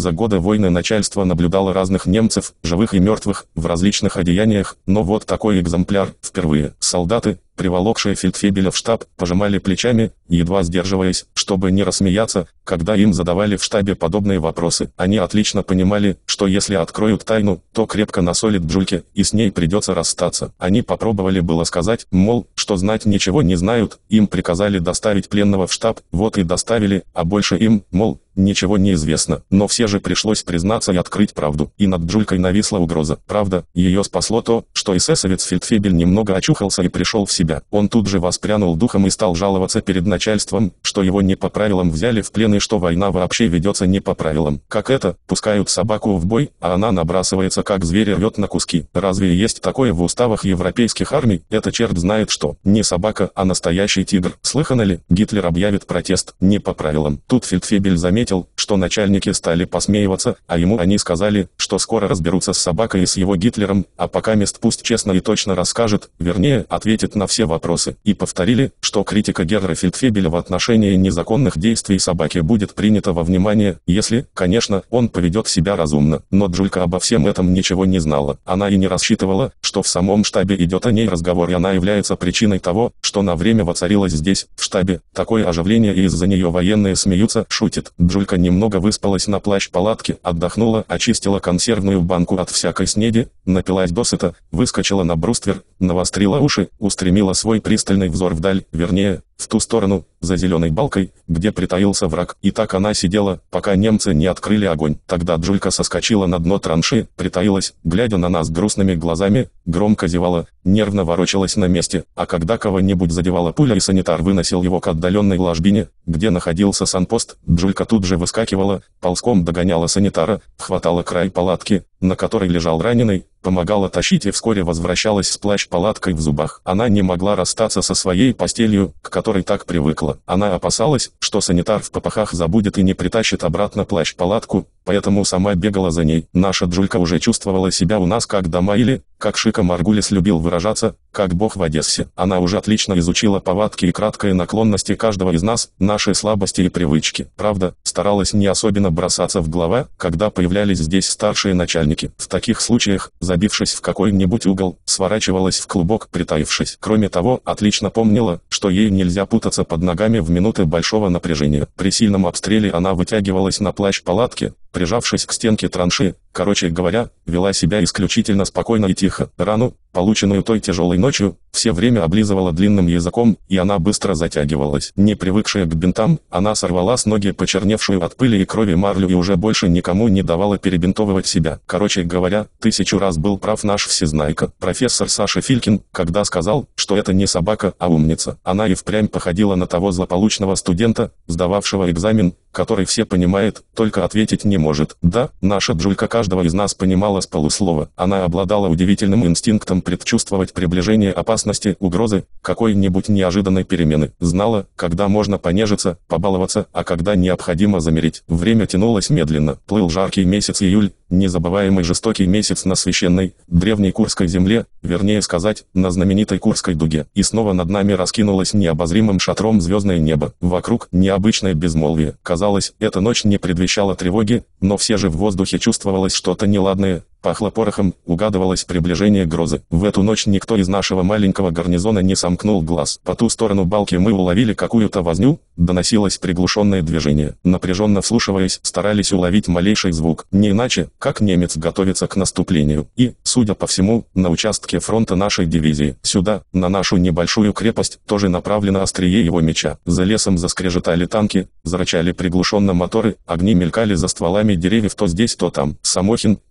всматриваясь тревожно в ту сторону, откуда доносился скрежет металла, быстро шагал по траншее, проверяя, все ли готовы к бою, на ходу расспрашивая ребят, что кто услышал, что заметил там, у врага. Он был необычно взволнован, просил наблюдателей обо всем ему немедленно докладывать. Всех охватила тревога в предчувствии надвигающейся грозовой битвы. И эта тревога тут же передалась нашей неспокойной Джульке. Она нервно ворочалась возле бруствера, длинные уши ее то и дело шевелились. Скрежет за лесом вдруг утих, и снова настала тишина. Тревожная тишина. Вдруг Джулька подхватилась, обернулась совсем в другую сторону, стала облизываться, легко повизгивать. Кто-то явно сюда добирался. Послышался условный сигнал, трель соловья. К нам спешил со своим хозяйством долгожданный старшина Михась. Весьма кстати. Нас это очень порадовало. Давно пора чего-нибудь поесть. Как видно по метушне врага, надвигается новая битва, и кто знает, когда выпадет возможность подзаправиться. Джулька мгновенно перемахнула на ту сторону траншеи и понеслась навстречу Михасю. Запах пищи заставил ее позабыть обо всех опасностях. Она настигла старшину, стала подпрыгивать, кружиться перед ним, вилять хвостом. Короче говоря, встретила Михася радушно, как положено встречать доброго, ласкового и долгожданного друга. Должно быть, не менее обрадовался и сам Михась, увидав собаку. Он быстрее пополз к траншее, ввалился в нее со своим сложным хозяйством, обнял Джульку, погладил и налил ей первой полную банку вкусно пахнущего супа с мясом. «Получай, Джулька, двойную порцию, а захочешь, дам еще», — сказал он, отдышавшись и улыбаясь. «Ты честно заслужила. Я и не предполагал, что ты такая бесстрашная». И, обратившись к нам, добавил. «Так что же, ребята, это все правда, что у вас Джулька так красиво позабавилась с фашистом. Что же, старшина, ты разве там, в штабе, не видел того фельдфебеля, не разглядел, как Джулька его обработала своими зубками. А как же, конечно, видел. Надолго фашистская сволота запомнит. А вы, ребятки мои, глядите, берегите Джульку, не пускайте ее туда, куда не надо. Подумав минутку, добавил. А вообще-то, следите, чтобы она не попадалась на глаза начальству. Разные там болтают про вашу помощницу Джульку. Старые служаки крутят носом, мол, не положено держать на передовой собаку. Не по уставу. Глядите, хлопчики, как бы Джульку у вас не увели. А во, пусть только попробуют. Отозвался Шика Маргулис. Не Небось теперь они уже убедились, что Джулька здесь нам не помеха и не зря получает свой кусок хлеба. Честно заслужила. Пока начальство к нам заглянет, война кончится, вмешался дядя Леонтий, сюда к нам идут не очень-то охотно. Вот ты, старшина, человек, под таким огнем добираешься к нам на пузе, пошли тебе бог здоровья и долгие годы. А вы как думали, что я вас оставлю без харчей? Перебил его старшина, приготавливаясь к раздаче пищи. Достаточно, что все время находитесь на передке, у дракона под зубами, так могу ли я вас оставить без пищи? Тем более, что предстоят горячие дни. Михась стал быстро разливать по котелкам борщ, роздал хлеб и сухари, посматривая, с каким удовольствием ребята уплетают свой обед, потирал руки. Ешьте, ребята, на здоровье. Кому добавочки, не стесняйтесь, будьте как дома, подставляйте котелочки. Ночь плыла над головой тихая, тревожная июльская ночь. Люди ели торопливо, опасаясь, что в любую минуту немцы могут им помешать. Ели молча, никто не шутил, не смеялся, как обычно, никому не нравилась эта коварная тишина. Каждый был погружен в свои тревожные мысли. Сердце подсказывало что-то неладное, не затишье ли это перед бурей, и в самом деле, не успели бойцы опорожнить котелки, как в белесом тумане приближающегося рассвета послышался сильный гул самолетов, идущих в тыл врага. Почернело небо от наших самолетов, загремели залпы сотен наших орудий, вздыбилась там земля от взрывов и эстани врага. Густые облака пыли, дыма, копоти поднялись к небу, отравляя предрассветный воздух. Молодцы, сияя от восторга, отозвался Самохин. Это наша артиллерия и авиация рубанули по врагу, расстроили планы фрицев. Здорово. Кажется, кончился наш курорт, ребята, сказал дядя Леонтий, начинается большой сабантуй. Теперь держись. Ребята отстранили котелки, помчались на свои места, глядя в ту сторону, где бушевал огонь. Ну и дают. Вот это удар по немчуре, парад у них не выйдет, закричал Шика Маргулис. Ребята оживились. Усталость как рукой сняло. То, что ребята видели теперь перед собой, вселяло свежая сила, уверенность, что фашисты, как бы ни бесились, здесь не пройдут. Все вдали потемнело, побагровело, покрылось едким дымом, пламенем. Куда скрылись звезды, осколок золотистого месяца, который недавно так игриво скользил между облаками. Вдруг со стороны черного леса загремела вражеская артиллерия артиллерия. Ударили минометы. Неудержимая лавина снарядов мин обрушилась на нашу сторону с отчаянным воем, визгом, свистом. Казалось, вся земля вокруг вздыбилась. Черные фонтаны земли взмывали ввысь, покрывая все вокруг сверкающими осколками. Казалось, какая-то невидимая сила молотит землю огромными цепами и она, эта бедная земля, стонала, дрожала, дышала огнем, дымом, копотью. Настоящее светопредставление. Земля вот-вот разверзнется, не выдержав этого страшного огня. За два с лишним года войны такого еще не было. Когда кончится это вынужденное землетрясение? Когда прекратится этот град осколков, свист пуль, вой снарядов и мин? Сколько может продолжаться этот страшный огонь? Сколько может бушевать это море дыма и пламени? И как человек в силах такое выдержать? Можно, нужно, необходимо. Точил мозг какой-то внутренний непонятный голос. И, оглушенный неистовым ревом, градом осколков и пуль, мы стояли насмерть, прижавшись к сыпучим стенкам нашей небольшой крепости, следили за огненным валом, бушевавшим впереди нас, зажав оружие в руках, всматривались в огонь и дым,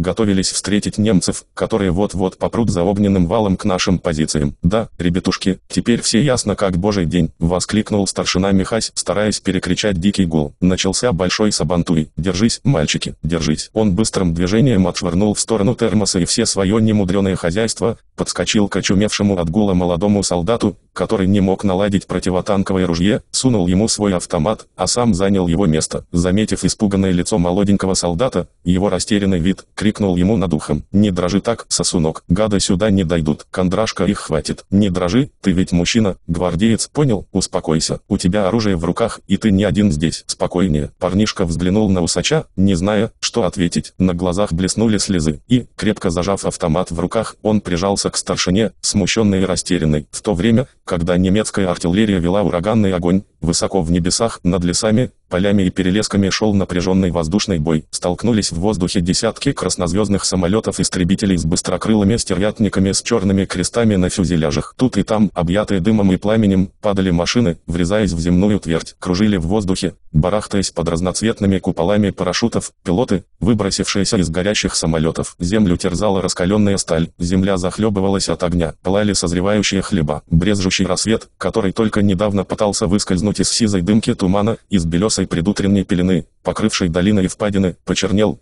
перекрасился в багровый от огня цвет. Казалось, рассвет раздумал появиться в положенное ему время. Непонятно стало, то ли наступит утро, то ли снова начнется ночь. Нам казалось, что после этого ужасного огня, грохота, воя снарядов, после этого сплошного ливня осколков, покрывших всю землю, ничего живого вокруг не останется и все превратится в смерть. Люди были оглушены и ничего уже не слышали, кроме отдаленного гула и дикого металлического воя. Все потеряли счет времени и не могли понять, сколько минут, часов бушует этот страшный огненный смерч. Должно быть, быть, скоро огонь пригаснет, угомонится, притихнет, и люди смогут минутку передохнуть, прийти в себя. Но вот послышался из-за леса новый гул моторов, и через минуту на поле боя вырвалась лавина черных металлических коробок. Это были танки с крестами на боках, холод охватил душу. Танки шли спокойно и уверенно в развернутом строю. Они неторопливо направлялись к нашим позициям. За машинами, как на фантастическом параде, двигались немецкие автоматчики за обнаженными головами, засученными рукавами, прижимая к животам черные автоматы. Немцы шли в психическую атаку. По их раскрытым ртам и искаженным злобным лицам непонятно было, то ли они поют свою победную песню, то ли орут от удовольствия, от предчувствия близкой победы. Мы, чуть высунувшись из окопов, наблюдали за этим беспримерным парадом. Что это будет? Можно ли остановить лавину, которая прет так нагло? Можно ли выстоять, когда такая буря бушует вокруг и на много километров влево и вправо от нас, где тянутся такие же траншеи и заграждения? Хватит ли у нас сил, чтобы остановить эту дикую армаду, заставить ее попятиться назад, согнувшись в три погибели, чтобы осколки и пули его не задели, спешил по траншее Самохин, как бы желая показать товарищам, что и такой огонь не страшен, что надо взять себя в руки, что любой ценой надо держаться, отбить эту атаку. Лейтенант что-то приказывал, орал, захлебываясь, но разве услышишь что-нибудь в этом громе? Мы, однако,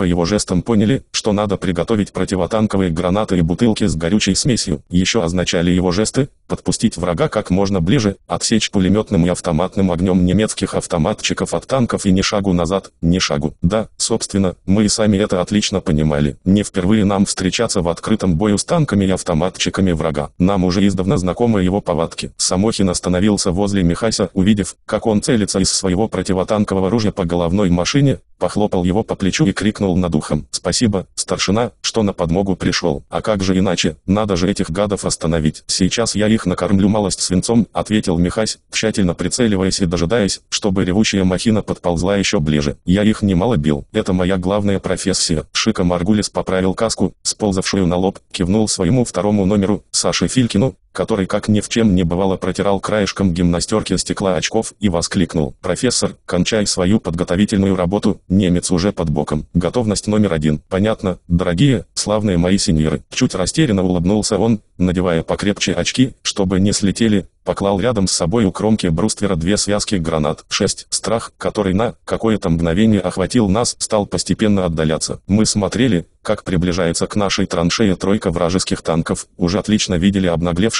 самонадеянных автоматчиков со сверкающими железяками на лацканах распахнутых курток, и каждый из нас выбирал себе точную цель, в какую орущую рожу раньше стрелять, на какой танк обрушить связку гранат, бутылку горючей жидкости. А Михась сразу наметил себе цель. Это был немецкий танк, который выдвинулся вперед и шел прямо в направлении нашей траншеи. Уже отчетливо видно было, что сквозь просветы гусениц, будто сквозь могучее сито, сыплется песок. Если эта громадина ворвется к нам, она своими гусеницами наделает беды, разворотит наше укрытие. Значит, все ясно, машина не должна пройти, она должна умереть, скажем, вон на том горбе, превратиться в костер, загородить дорогу своим же двум танкам, которые ползут вслед. Старшина поклал под бруствером несколько гранат на всякий случай, взял из ниши две бутылки горючей смеси. Может, они понадобятся, хотя не сомневался, что ружье сработает. Машины уже были близко. Можно бить. Ребята кричали, махали руками, мол, давай, Михась, лупи, но он спокойно выжидал, выбирая нужный момент, когда громадина еще чуть-чуть отклонится от курса, повернется к нему боком, чтобы не доводилось стрелять по лобовой броне. Выжидал еще и от того, что сзади ударила по вражеским танкам и автоматчикам наша артиллерия, внося разброд и смятение в ряды наступающих немцев. Да, эти мощные залпы основательно нарушили шествие вражеских цепей. Зеленая долина перед нашей траншеей покрылась трупами вражеских автоматчиков. Машины стали расползаться по сторонам, иные попятились назад. Но Михась на все это не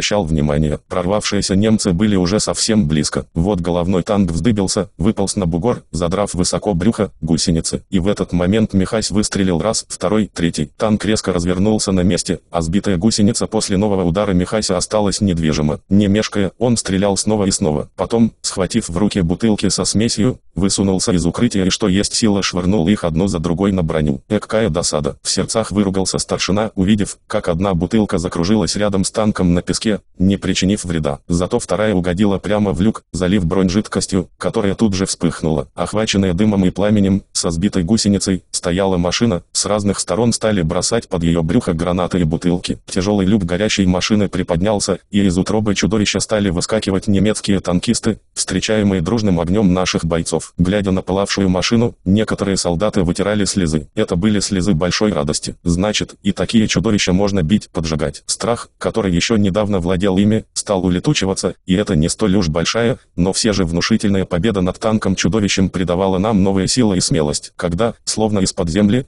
Появился еще один приземистый с крестами танк, дядя Леонтий тут же высунулся из траншеи и изо всех сил швырнул ему под гусеницы связку гранат. Вслед за ним высунулись и другие, забросав застывшую машину бутылками горючей смеси, и танк задымил, запылал, покрыв нашу высотку едким дымом. Нельзя, конечно, сказать, что этот отвратительный дым был нам по душе. Мы задыхались, громко чихали, старались отворачиваться от него. Но как зато приятно было смотреть на развороченные машины, навалявшихся неподвижных автоматчиков вокруг них, еще несколько минут тому бодро шагавших с распахнутыми воротами и засученными рукавами. Перед нашей траншеей дымили подбитые вражеские машины, с воплями пятились назад немецкие солдаты. Но далеко они не ушли. Первая вражеская волна была отбита, отогнана, и на некоторое время бой прекратился. Мы облегченно вздохнули. Быстро стали приводить себя, траншею, оружие в порядок, но знали, что это еще не конец. Фашисты на этом, конечно, не успокоятся. Они захотят взять реванш. Мы испытывали страшную усталость не только от того, что не было ни секунды передышки, а главным образом, от страшного напряжения и дрались, позабыв обо всем на свете. Подумать только, какая лавина двигалась на нашу горстку людей, какие грозные танки и чудовища ползли на нашу траншею, какие закрадывались тревожные мысли. А вот теперь, когда неподалеку от нашей траншеи горело три вражеских танка, а вокруг них в самых неожиданных позах, упокоенные навеки, лежали фашистские автоматчики, мы почувствовали какую-то несказанную гордость. Никто не дрогнул, мы не отступили ни на шаг, не отдали врагу ни пяди священной, политой кровью и потом родной земли. Ребята тяжело дышали, кто курил, кто перевязывал раны. Все были измазаны землей, но не беда. Каждого из нас подогревала мысль, что после первой вражеской волны, которая несколько минут назад могла нас захлестнуть и которую мы так успешно и мужественно отбили, теперь уже нам не страшна будет никакая атака. А тем временем Джулька лежала в углу, прижавшись к стенке транши, как пришибленная, и слегка дрожала. Этот грозный грохот взрывов, вой снарядов, скрежет гусениц, как бы подавил ее и по ее шерсти волнами проплывал страх. К постоянной стрельбе, к вою снарядов и мин она у нас кое-как привыкла. Только вот сильно на нее подействовали сирены пикирующих бомбардировщиков. Ей все чудился, видно, этот истошный рев, и она никак не могла прийти в себя, хоть понимала, что мы отогнали врага. Глядя на нашего смертельно испуганного друга, мы Джульку, как никогда, жалели и подумывали, что напрасно перед боем не отправили ее подальше, хотя бы во второй эшелон, хотя и там, как видно, было не легче. Отогнанные от наших позиций вражеские бомбардировщики с не меньшей яростью обрушились на наши тылы, стремясь всеми силами отрезать их от нас. Мы кое-как пытались успокоить Бжульку, а Шика Маргулис взял ее на руки, показал на горящие танки, на мертвых немецких автоматчиков, покрывших балку впереди траншеи своими телами, мол, убедись, милая, как мы с этими негодяями расправились, тебе, мол, теперь нечего их бояться, и если они снова сунутся на нас, их ждет такая же расправа. Эта картина Джульке, кажется, понравилась. Она пристально всматривалась в ту сторону, ее взор привлекли разбросанные трупы немецких солдат, но она не представляла себе, что они уже мертвы и ничуть не страшны нам, она попыталась рвануться к ним для расправы, вдруг осмелев, но Шика Маргулис прижал ее к себе и погрозил пальцем. «Ты что, Джулька?» А Васадаладзе, потрепав ее по взъерошенной шерсти, добавил. «Тебе уж там нечего делать. Это наши ребята постарались, чтобы отучить фрицев лезть в наш огород. Не бойся, держись молодцом. Тебе было очень страшно, когда шли танки, я это заметил, когда ты забилась в уголок и вся сжалась, но и нам, скажу тебе, было не весело, страшно было, очень страшно. Да видишь, мы не дрогнули, гады не прошли и не пройдут. Неторопливой походкой подошел сюда наш профессор, Саша Филькин. Он был измазан землей, кажется, пуще всех и казался смешнее всех в эту минуту. Он уставился внимательным взором на Джульку и сказал, «Ничего, родная, ничего, мои дорогие, мои славные сеньоры, не смейтесь над Джулькой. Когда мы увидели неподалеку от нашей крепости стальные чудовища, мы тоже испугались к этому привыкнуть нельзя. Нервы. Профессор не успел договорить, как снова послышался грохот машин. Из-за бугра выползли новые танки, а за ними бежали автоматчики. Правда, они двигались уже не так уверенно, как первые, прижимались к броне, с ужасом оглядывались. Видно было, что страх прочно овладел ими и чувствовали они себя скорее всего обреченными, смертниками. «А ну-ка, философы, по местам!» — воскликнул Самохин. «Митинговать будете потом, приготовиться к бою, подпустить поближе и отсечь автоматчиков от танков. Дружнее, хлопцы!» Из тыла ударила дивизионная и полковая артиллерия. Снаряды рвались между машинами, и вражеский строй тут же был нарушен. Танки стали маневрировать, стараясь выйти из огня. Замешательство началось в рядах автоматчиков, многие попадали на землю, землю, отстав от своих машин, другие пятились назад, и по ним хлестнули длинные очереди пулеметов. Через несколько минут нам показалось, что и вторая атака вот-вот захлебнется, но это только чудилось. Две машины стремительно приближались к нашей траншее, и под их защитой бежал с десяток автоматчиков. Мы уже отчетливо видели их раскрасневшиеся, перекошенные от ярости физиономии. Они на ходу стреляли, а когда приблизились к нам вплотную, выхватили из голенищ сапог кинжалы, готовясь к последнему прыжку, намереваясь вскочить в нашу траншею и уже здесь расправиться с нами. Но тут мы открыли огонь по бегущим солдатам, и через минуту они были прижаты к земле, кто на время, а кто навсегда. Ашат Сарян выбрался из траншеи, вытянулся под бруствером и, отложив в сторону автомат, швырнул гранату под гусеницы приблизившегося танка. Грохнул сильный взрыв, но машина, объятая дымом, продолжала двигаться. Страх овладел на какое-то мгновение смельчаком. Он как бы прирос к месту, не зная, что делать дальше, но, увидя рядом связку гранат, схватил ее. Когда вражеский танк был уже совсем рядом, парень, собравшись с последними силами, оглушенный взрывом, насквозь промокший от пота, швырнул ее под танк, но в это мгновение почувствовал страшную боль во всем теле. В глазах потемнело, сознание оставляло его, но он успел заметить, как грозная машина остановилась, легла на бок и пламя начало лизать тяжелое стальное тело. Обливаясь кровью, Ашат Сарян скатился в траншею. Кто-то из нас успел подхватить его и крикнуть «Санитара! Ашат ранен! Санитара!». В одну секунду к раненому приник санитар, ефрейтор Дрозд, который пришел к нам с пополнением накануне боя. Он быстро и ловко остановил кровотечение, перевязал рану, поднес к пересохшим губам раненого горлышка баклажки, и тот жадно глотнул, открыл помутневшие глаза, посмотрел с благодарностью. Тот приподнял его отяжелевшее тело, выполз с ним в лощину, за траншеей, достал плащ-палатку, уложил на нее раненого Ашата и с ним пополз на медпост. Заметив, как санитар потащил Ашата, Джулька тут же оживилась. Позабыв о страхе, выскочила из траншеи, головокружительными прыжками догнала его, схватив край брезента, помогала тащить раненого. Дядя Леонтий стал кричать, звать Бжульку, но это на нее не подействовало. Она заметила, как трудно санитару тащить раненого и пришла ему на помощь. Только спустя полчаса, когда новая вражеская атака была отбита,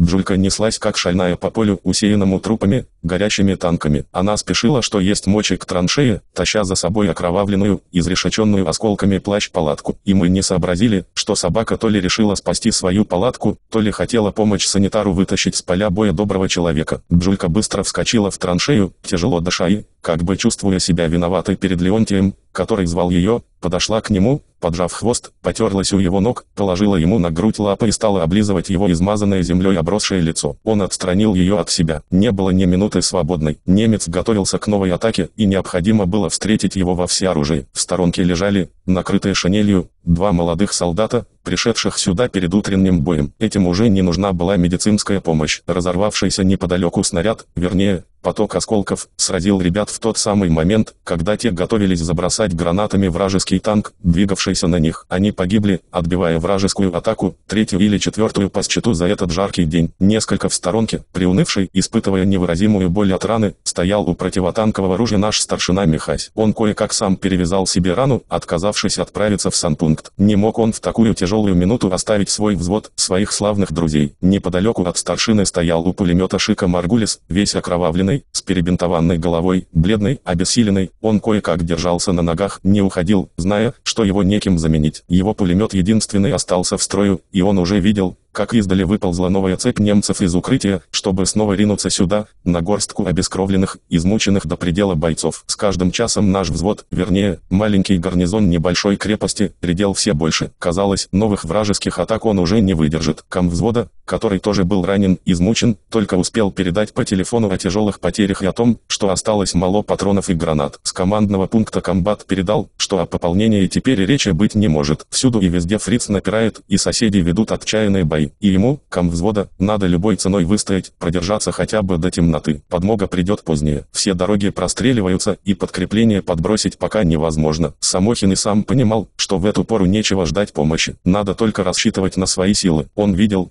как его соседи, истекая кровью, отбивают бешеный натиск врага, который не останавливается перед потерями и прет как саранча. О какой помощи, в самом деле, может теперь идти? Самохин подошел к Маргулису, стал рядом с ним у пулемета, заметив, как осколком ранило молодого помощника. Чуть поодаль стоял, зажав в руках противотанковое ружье, Саша Филькин. Он сменил вышедшего из строя молодого бронебойщика. Кажется, уже не осталось ни одного нераненого солдата. Но никто из живых не собирался ни отступать, ни хотя бы выбраться из траншеи, до половины заваленной, засыпанной песком, землей. Ребята уже не ждали помощи от санитара, измученного и обессиленного. Кое-как сами перевязывали свои раны, останавливали ремнями кровотечение, стараясь не показать, как им трудно стоять здесь под ураганным огнем. С командного пункта передавали одно и то же, во что бы то ни стало стоять на месте, держаться до темноты. Враг выдыхается. Скоро наступит долгожданный перелом. И ребята стояли, собравшись с последними силами. Прошла еще одна темная июльская ночь. 7. Подул прохладный ветерок, и легче стало стало дышать в этом страшном мире, отравленном пороховым дымом, смрадом, едким запахом пожарищ. Пришла долгожданная пора короткого затишья, и к нам прорвалось несколько человек, которые должны были пополнить наш сильно поредевший взвод. Притащили ящики с гранатами, патронами, воду и кое-какую еду. Приполз фельдшер с сумкой, набитой марлей, ватой, и наспех стал нас перебинтовывать. Мы на ходу подкрепились, вдоволь напились прохладной водой и почувствовали себя немного лучше. Шика Маргулис и Васадаладзе,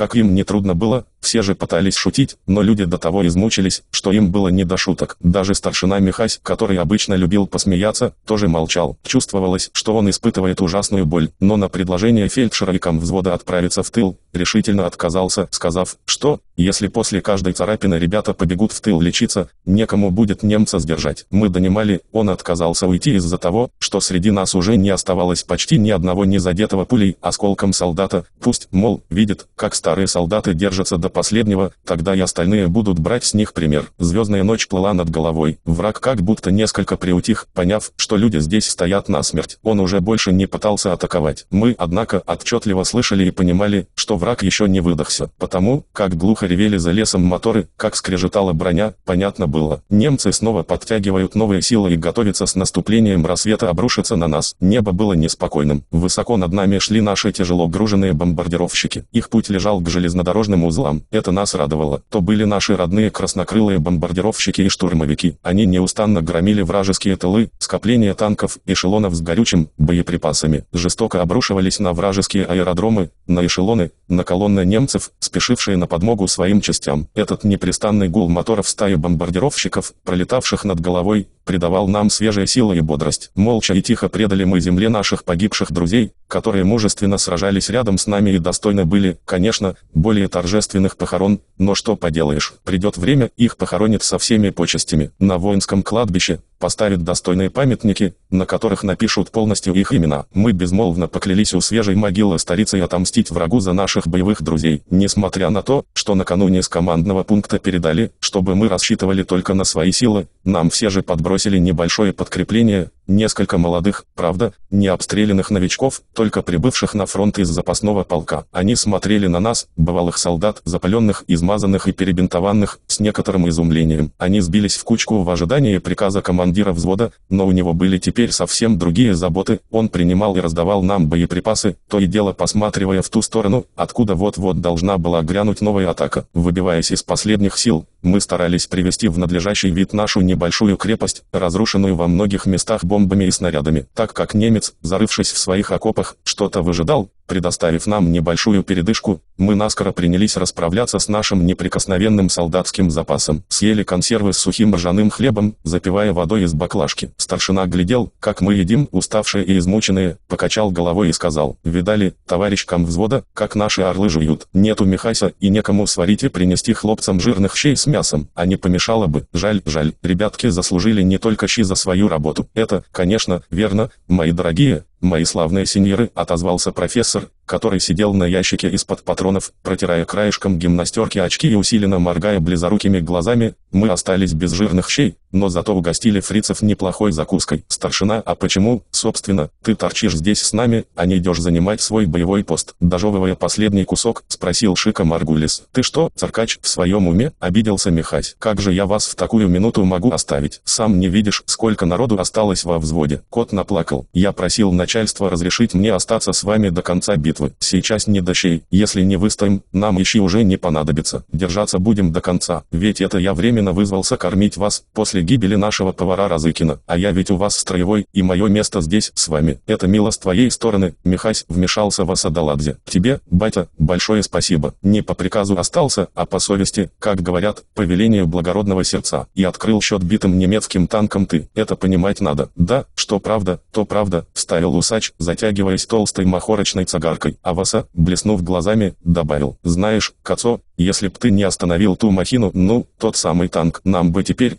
наверняка не нужны были ни твои щи, ни сухари, ни даже харчо с шашлыком. Ничего, Васа устало улыбнулся старшина, вытирая рукой влажное лицо, так долго продолжаться не будет. Бог даст, выдохнется фриц, прогоним проклятого гада, я тогда, клянусь, приготовлю настоящее харчо, как у тебя в Грузии готовят, и шашлычок с луком приготовлю, пальчики оближете. Вот за это большое тебе спасибо. И весь взвод скажет спасибо, обрадовался Васа Даладзе, и его обросшее, сильно помятое лицо озарилось добродушной, усталой улыбкой. Джулька тем временем сидела в центре нашего тесного круга, заглядывала каждому в глаза и прислушивалась к разговору, словно понимала, о чем мы теперь говорим. Но внимательнее всего, с какой-то непередаваемой жалостью она всматривалась в озабоченного старшину, который возился со своим ружьем. Она, пожалуй, больше, чем все мы, ощущала, что этот человек занят боевыми делами, а не одной кухней. В сторонке валялись в беспорядке остывший термос и кастрюли. Собаки, правда, как и всем нам, дали мясные консервы с хлебом, но она отвернулась от них. Ей они почему-то не понравились. Проглотила только кусок сахару, кем-то брошенный, и неохотно погрызла краюху хлеба. Безусловно, Михась накормил бы ее вкуснее и сытнее, будь он при деле. Но ничего не попишешь, начались тяжелые бои. Не до термосов теперь, не до кухни. Впереди транши, насколько хватал глаз, широкое поле, изрытое снарядами и бомбами. Оно почернело от пыли и дыма. На каждом шагу торчали черные, закопченные неподвижные танки и бронетранспортеры. Некоторые из них еще пылали, низвергая огромные фонтаны копоти искр. Все вокруг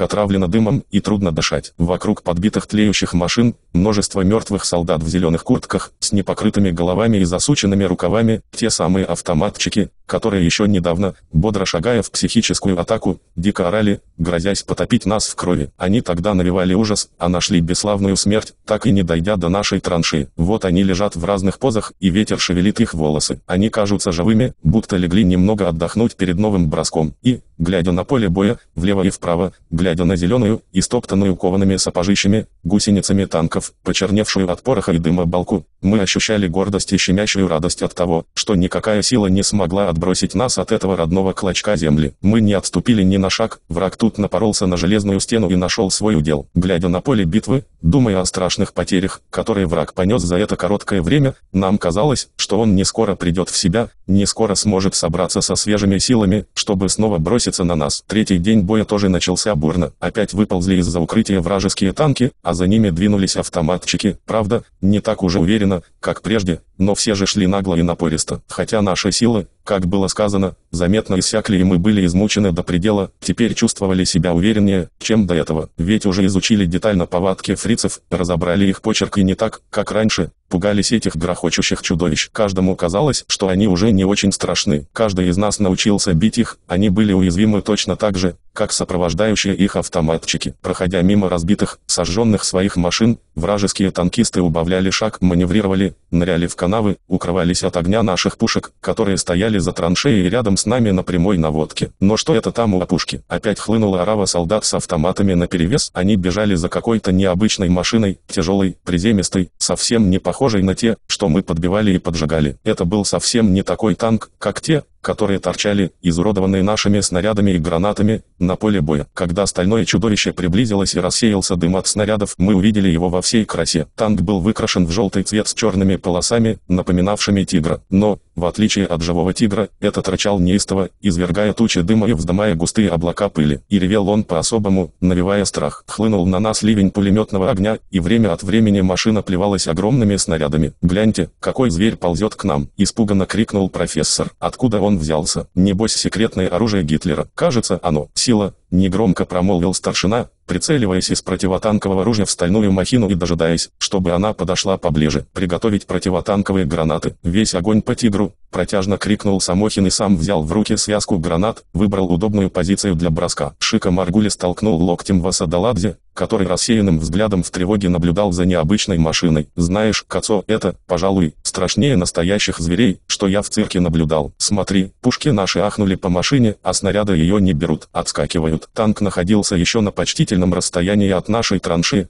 когда ударили поддерживающие нас полка, вы пушки. Снаряды ложились перед машиной, вздымая облака пыли, разрывая землю, а полосатое чудище продолжало приближаться к нам. Несколько снарядов угодили в лоб башни, но отскочили, как горох от стены. Холод пробрал нас, когда мы увидели, что тигр движется прямо на траншею, а снаряды его не берут. С каждой минутой мы все отчетливее видели это стальное чудовище, его необычно крепкие и широкие гусеницы, толстый панцирь, могучую силу и невольно посматривали на прижавшегося к брустверу Самохина, ожидая, что он скажет, какой даст приказ. Но какой же мог быть приказ? Все тот же, стоять на месте, готовиться встретить танк, подбить, уничтожить любой ценой. Волнение все больше овладевало нами, следя за тем, как беспомощно перед этим страшилищем наши пушки, снаряды. Что это за махина движется прямо на нас? Почему его не берут снаряды? Наш старшина уже трижды выстрелил по машине из противотанкового ружья, а результат тот же. Лицо Михайса покрылось холодным потом. Что же это будет? Неужели придется отступить, оставить нашу траншею? Но этого никто не сделает. Это же верная смерть. Мы попадем под страшные гусеницы, они раздавят нас. Как-никак, наша маленькая крепость не раз нас выручала, оберегала от многих напастей, от страшного огня, от снарядов и бомб. Глаза наши встретились с тревожно возбужденным взглядом Самохина. Он ничего не сказал. Гул тигра нарастал с угрожающей силой и все заглушал вокруг. За машиной, пригибаясь низко к земле, бежали автоматчики. Они понимали, что этого стального зверя никакая сила не сможет остановить и их победа близка, в нескольких десятках прыжков. Вдруг прорвался сквозь гул моторов голос Самохина. «Чего приуныли, ребятки? Срезать проклятых гадов!» Кивнул он в сторону автоматчиков, бегущих к траншее и стрелявших на ходу. Шика Маргулис и профессор прильнули к пулемету, минуту, стали ожесточенно строчить. Вслед за ними открыли огонь и другие пулеметчики, автоматчики. Сразу куда-то исчезли в дыму, были немцы, которые только что, как угорелые, неслись сюда. Только некоторым удалось избежать смерти. Теперь уже «Тигр-1» полз к нам, изрыгая огонь из своих пулеметов. Один-одинешенек он шел, ускоряя ход, прямо на нашу траншею. Мы притаились, держа в руках гранаты, ожидая, чтобы чудовище подползло поближе. Самохин крикнул бронебойщикам, чтобы опять попробовали ударить из бронебоек. Но пули все также отскакивали от брони. Мы приготовились гуртом швырнуть гранаты под гусеницы «Тигра», но не успели оглянуться, как он достиг траншеи. Из-под его могучих гусениц посыпался на нас песок, затрещали подпорки, стали отскакивать дубовые доски стенок. В глазах потемнело. «Ложись!» Успел крикнуть Самохин, вытянувшись на дне транши, и мы все пригнулись, оказались полузасыпанными в нашей маленькой крепости, которая не выдержала тяжести этой громадины. С ужасающим грохотом тигр перемахнул через нас, и мы очутились внизу, присыпанные песком, землей, разбитыми досками, бревнами и казалось, отсюда никто из нас уже никогда не выберется. Танк, пройдя несколько метров вперед, стал разворачиваться, чтобы проутюжить нашу траншею, но в это время расправил плечи старшина Михась, схватил связку гранаты изловчившись, изо всей силы швырнул ее под гусеницы. Раздался громовой взрыв, и танк скрыла непроницаемая туча пыли и дыма. Он остановился, но в это время Михась высвободил из-под завала свое противотанковое ружье и стал стрелять по машине, отряхивая землю, вытирая кулаком ослепшие от пыли глаза, выполз из-под развалин Шика Маргулис, достал гранаты, начал бросать в пыльное облако. В эту минуту вырвались из земляного плена Васадаладзе, Филькин и другие уцелевшие наши товарищи, невзирая на смертельную опасность, витавшую рядом, стали швырять в машину гранаты, бутылки одну за другой. А несколько секунд назад, оказавшись живьем в могиле, мы уже мысленно прощались с белым светом. Дикая досада донимала нас. Как это мы пропустили это чудовище? Почему сразу не забросали гуртом его гранатами, не остановили? Правда, снаряды отскакивали от его брони, рассыпались, не причиняя ему вреда, но, может быть, если бы мы все вместе пустили в ход нашу карманную артиллерию, все же остановили бы этого проклятого тигра. Боли досада угнетали нас. Какая дикость. Ведь у нас чудное оружие, есть чем драться с врагом, ребята все полны решимости не пропустить врага. И вот пропустили. Столько страшных атак выстояли, отбили, столько танков подожгли. А вот этот тигр прошел над нами, разворотил нашу крепость. Самохин воспрянул духом, каска свалилась у него с головы, и ветер раздувал его волосы. Весь в пыли, измазанный с ног до головы, он поднялся во весь рост, держа в руках две тяжелые гранаты, махнул нам, чтобы все пошли за ним, сделал несколько шагов в сторону остановившегося в пыли и дыму тигра. Точно по команде мы швырнули в эту черную смерть гранаты, упав в ту же секунду на теплую землю и прижавшись к ней, как к единой нашей спасительнице. В это время послышался невероятной силы взрыв. Тигр запылал, извергая тучи черного дыма. Что это, сон или действительность? Когда появилось перед нами это секретное оружие, которое никакая сила не могла остановить, нас охватил невыразимый ужас, и мы почувствовали, быть может, впервые за эти страшные дни беспрерывных боев, какое-то бессилие. Никто не представлял себе, как можно остановить эту стальную, грохочущую глыбу. Мурашки ползли по спине, и мы уже мысленно прощались было с жизнью. Чувствовал ли старшина Михась, который первым выполз из развалины и швырнул связку гранат под гусеницы машины, как мы ему благодарны. Знал бы Самохин, когда он, весь в крови, измазанный, как черт, поднялся во весь рост с двумя гранатами в руках и повел нас в бой с тигром, как мы ожили. И вот оно горит, пылает, дымит секретное оружие фюрера. Ничего не помогло, не выручило, не спасло его от разгрома. Стало быть, и в таком, казалось бы, безвыходном положении, действителен старый солдатский закон, драться до последнего дыхания, презрение к смерти, воля и боевой дух, вот что, собственно, и решило исход невиданной схватки с тигром. Мы еще не совсем пришли в себя, стали быстро отползать к нашей полуразрушенной траншее, опасаясь, что сейчас раздастся оглушительный взрыв и стальной тигр разлетится во все стороны. Но тут мы, вопреки пережитому ужасу, вспомнили о Джульке. Где же она? Вскочив в траншею, мы чем попало быстро стали раскапывать, разбрасывать завал, пока не услышали приглушенный визг. Спустя несколько минут мы освободили нашего верного друга из земляного плена, и она стала яростно отряхиваться, фыркать. Обрадованные тем, что спасли, выручили из беды нашу Джульку, все же не переставали следить за тигром, объятым пламенем, не сводили глаз с люка, по которому ползло пламя, ожидали, что вот-вот он раскроется и начнут выскакивать из него немецкие танкисты. Время тянулось томительно медленно, все напряженно замерли. Старшина еще несколько раз выстрелил из ружья по задней части машины, стараясь добить ее до конца. Хоть тигр уже для нас не был страшен, но все же в его утробе еще, должно быть, сидели палачи, которые попытаются спасти свои шкуры любой ценой. И в самом деле, вскоре тяжелый люк приоткрылся и, озираясь по сторонам, выбрался оттуда танкист, спрыгнул на землю, а за ним еще двое. На них уже дымились комбинезоны. Качаясь по земле, они старались сбить с себя пламя, подползти к впадине, чтобы оттуда пробраться в балку, к своим. Мы тут же пустили в ход пулеметы и автоматы. Увлекшись уничтожением этой группки фашистов, не заметили, как, словно из-под земли,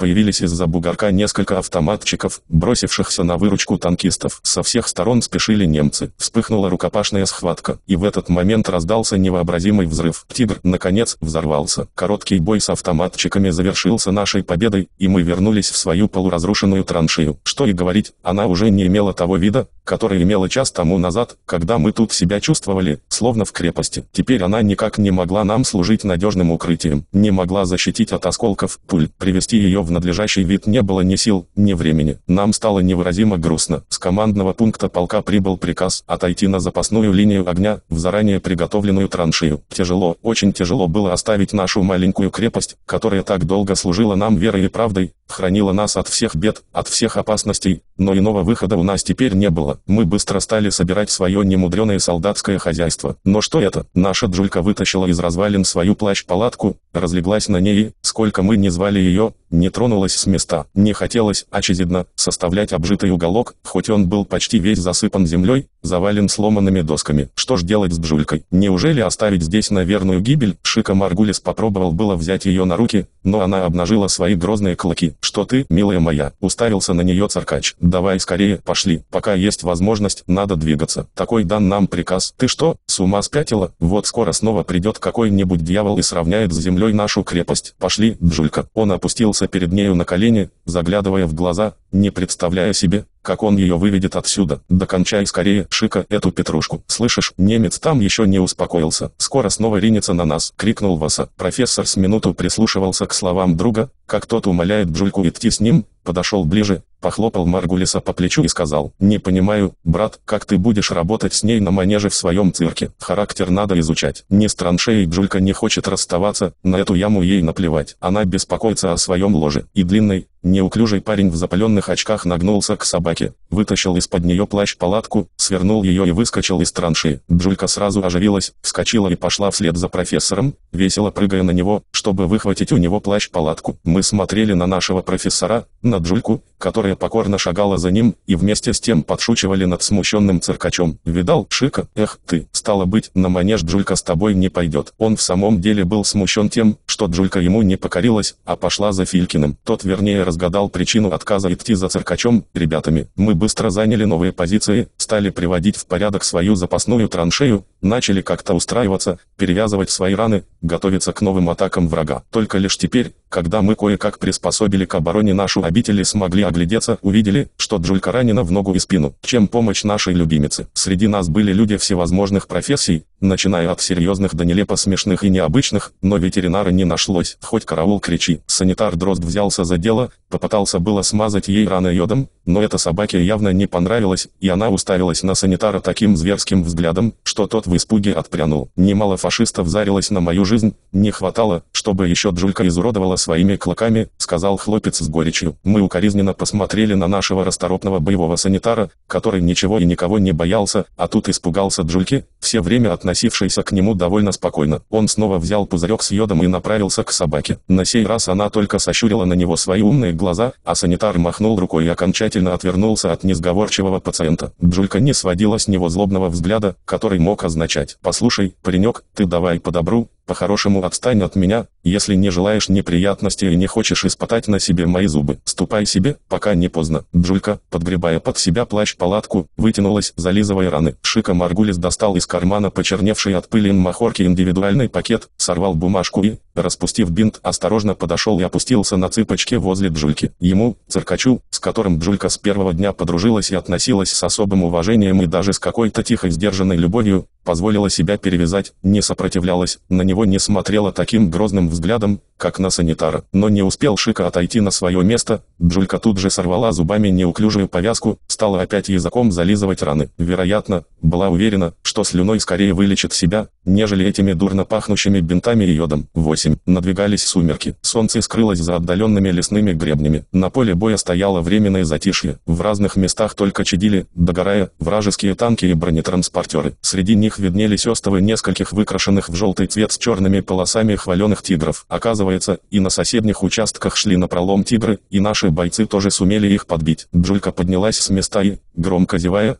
подошла к Михасю, уставилась на своего бывшего кормильца. Конечно, не грех бы ей чего-нибудь подкинуть, она была основательно голодна. Но что поделаешь, пожалуй, все ее друзья страдают от голода. Присев напротив усача, Джулька грустно смотрела на его скорчившееся лицо, искаженное от боли. Ей жалко было глядеть на этого усатого пожилого человека, который был перебинтован в нескольких местах и совершенно не похож на прежнего бравого человека, разговорчивого и веселого, к которому ребята относились с особым почтением и который каждую ночь волок им вкусную вкусную еду. Сейчас он, видимо, сам был голоден и измучен до предела. Джулька, заметив, что усач не обращает на нее внимания, не гладит ее и даже не смотрит в ее сторону, как прежде, поднялась и отправилась туда, где стоял добрый профессор, который тоже утратил свой боевой вид, был весь перебинтован и чем-то явно озабочен, только его очки по-прежнему блестели. Джулька попыталась притулиться к его ногам, но безрезультатно. Она подошла к Самохину, с которым давно уже помирилась и жила в дружбе и согласии. Лейтенант нагнулся, погладил Джульку, взглянул на ее открытые раны и пожалел, что не настоял на своем и перед боем не отправил в тыл, оставив здесь, в этом аду, а теперь некому ей помочь. Надо, пожалуй, хотя бы теперь отправить во второй эшелон. Жалко собаку, пропадет не за понюшку табаку. Кто-кто, но Самохин хорошо понимал, что опасность еще далеко не миновала и еще предстоит немало перенести. Он посматривал в ту сторону, откуда должны были притащить ящики с патронами и гранатами и хоть какую-нибудь провизию, чтобы накормить людей после такого страшного боя с немецким тигром. Когда когда кто-либо доберется сюда из тыла, он, Самохин, тут же отправит туда Джульку, чтобы не путалась под ногами, чтобы там кто-нибудь толком перевязал ее. Но, по всему видно, не так скоро можно ожидать кого-то. Дальнобойные немецкие орудия ведут все время беспорядочный огонь. Высоко в небе бродят фашистские бомбардировщики, бомбя многострадальную землю, а рамы, эти мерзкие разведчики, то и дело кружат в облаках, фотографируя наши позиции, готовя цели для бомбовозов. И кто же не, знает на переднем крае, что,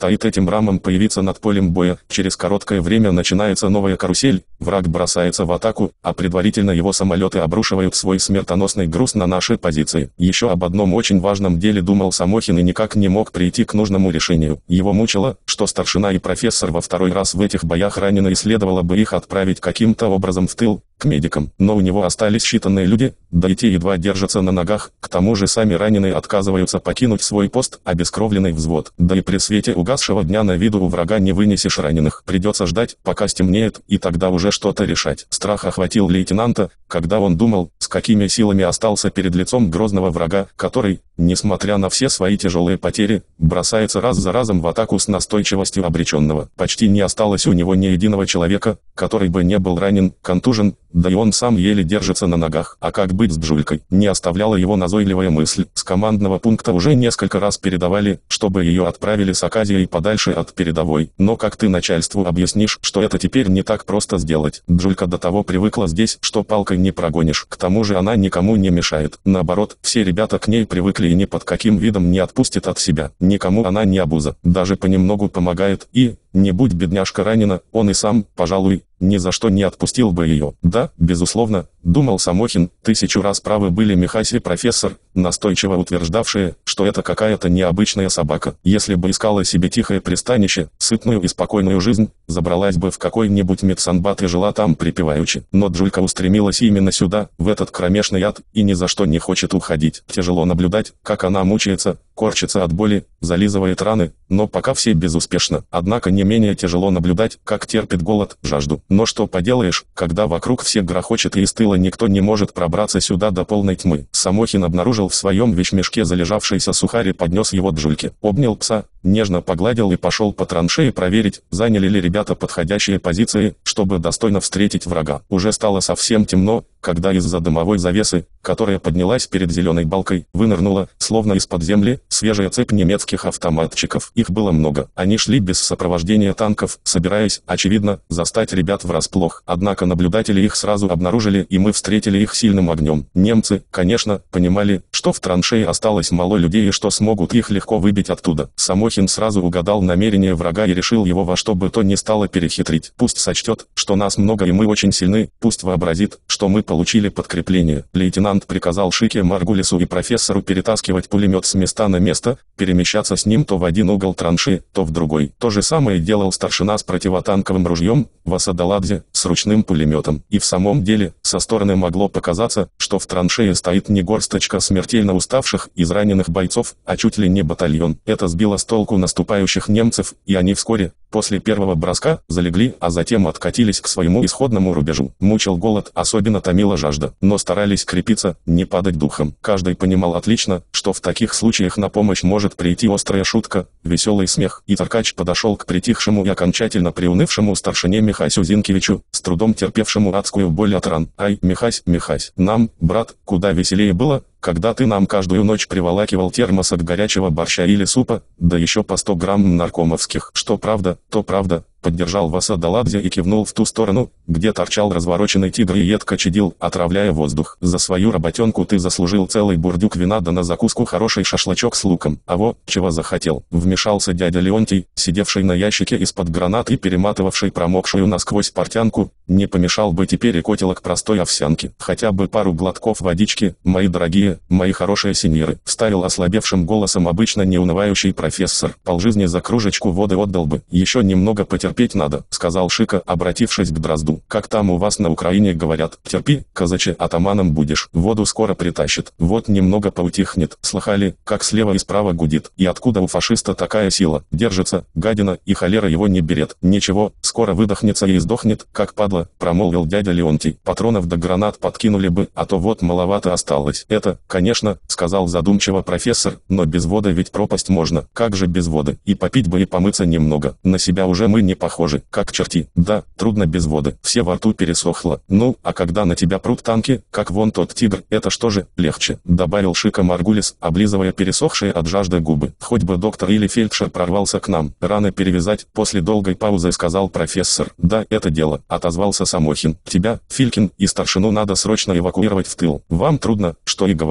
а с кем ты останешься? Сердито возразил старшина. Пока не прибудет подкрепление, я никуда не уйду, а Филькин и другие пусть сами решают. Думаешь, не понимаю, Михась, как ты мучаешься. А я прошу не оплакивать меня, кое-как смогу еще подержаться, негромко произнес Михась. Прошу меня не оплакивать и не списывать преждевременно с корабля. Никуда, сказано, не уйду теперь. Что ж ты думаешь, Фриц меня окончательно выбил из седла. Не уйду, пока сполна не отомщу гадом. Ты не знаешь, фашисты в Минске расстреляли мою семью. И стариков не пощадили, и малышей, и вообще полгорода уничтожили дотла, сожгли, взорвали. Забыл уже, на той неделе я читал тебе письмо из дому, партизаны случайно передали. В душе все кипит. Не умру, пока не отомщу гадом. Это все понятно, товарищ старшина, вмешался Шика Маргулис, а у меня, думаешь, сердце не разрывается от горя и боли? Моя маманя и две сестренки не успели выбраться из горящего Киева, и фашисты их и тысячи таких, как они, расстреляли в Бабьем Яре. У каждого из нас свой особый счет с палачами. Но что поделаешь, брат, прав Самохин. Тебя и профессора давно надо бы отправить в тыл, в медсанбат на ремонт. А тебя, Шика, а дядю Леонтия и самого Самохина, скривился от боли старшина. Вам легко, все вы ранены. Но что поделаешь, пока подмога не подойдет, пока не будет приказа,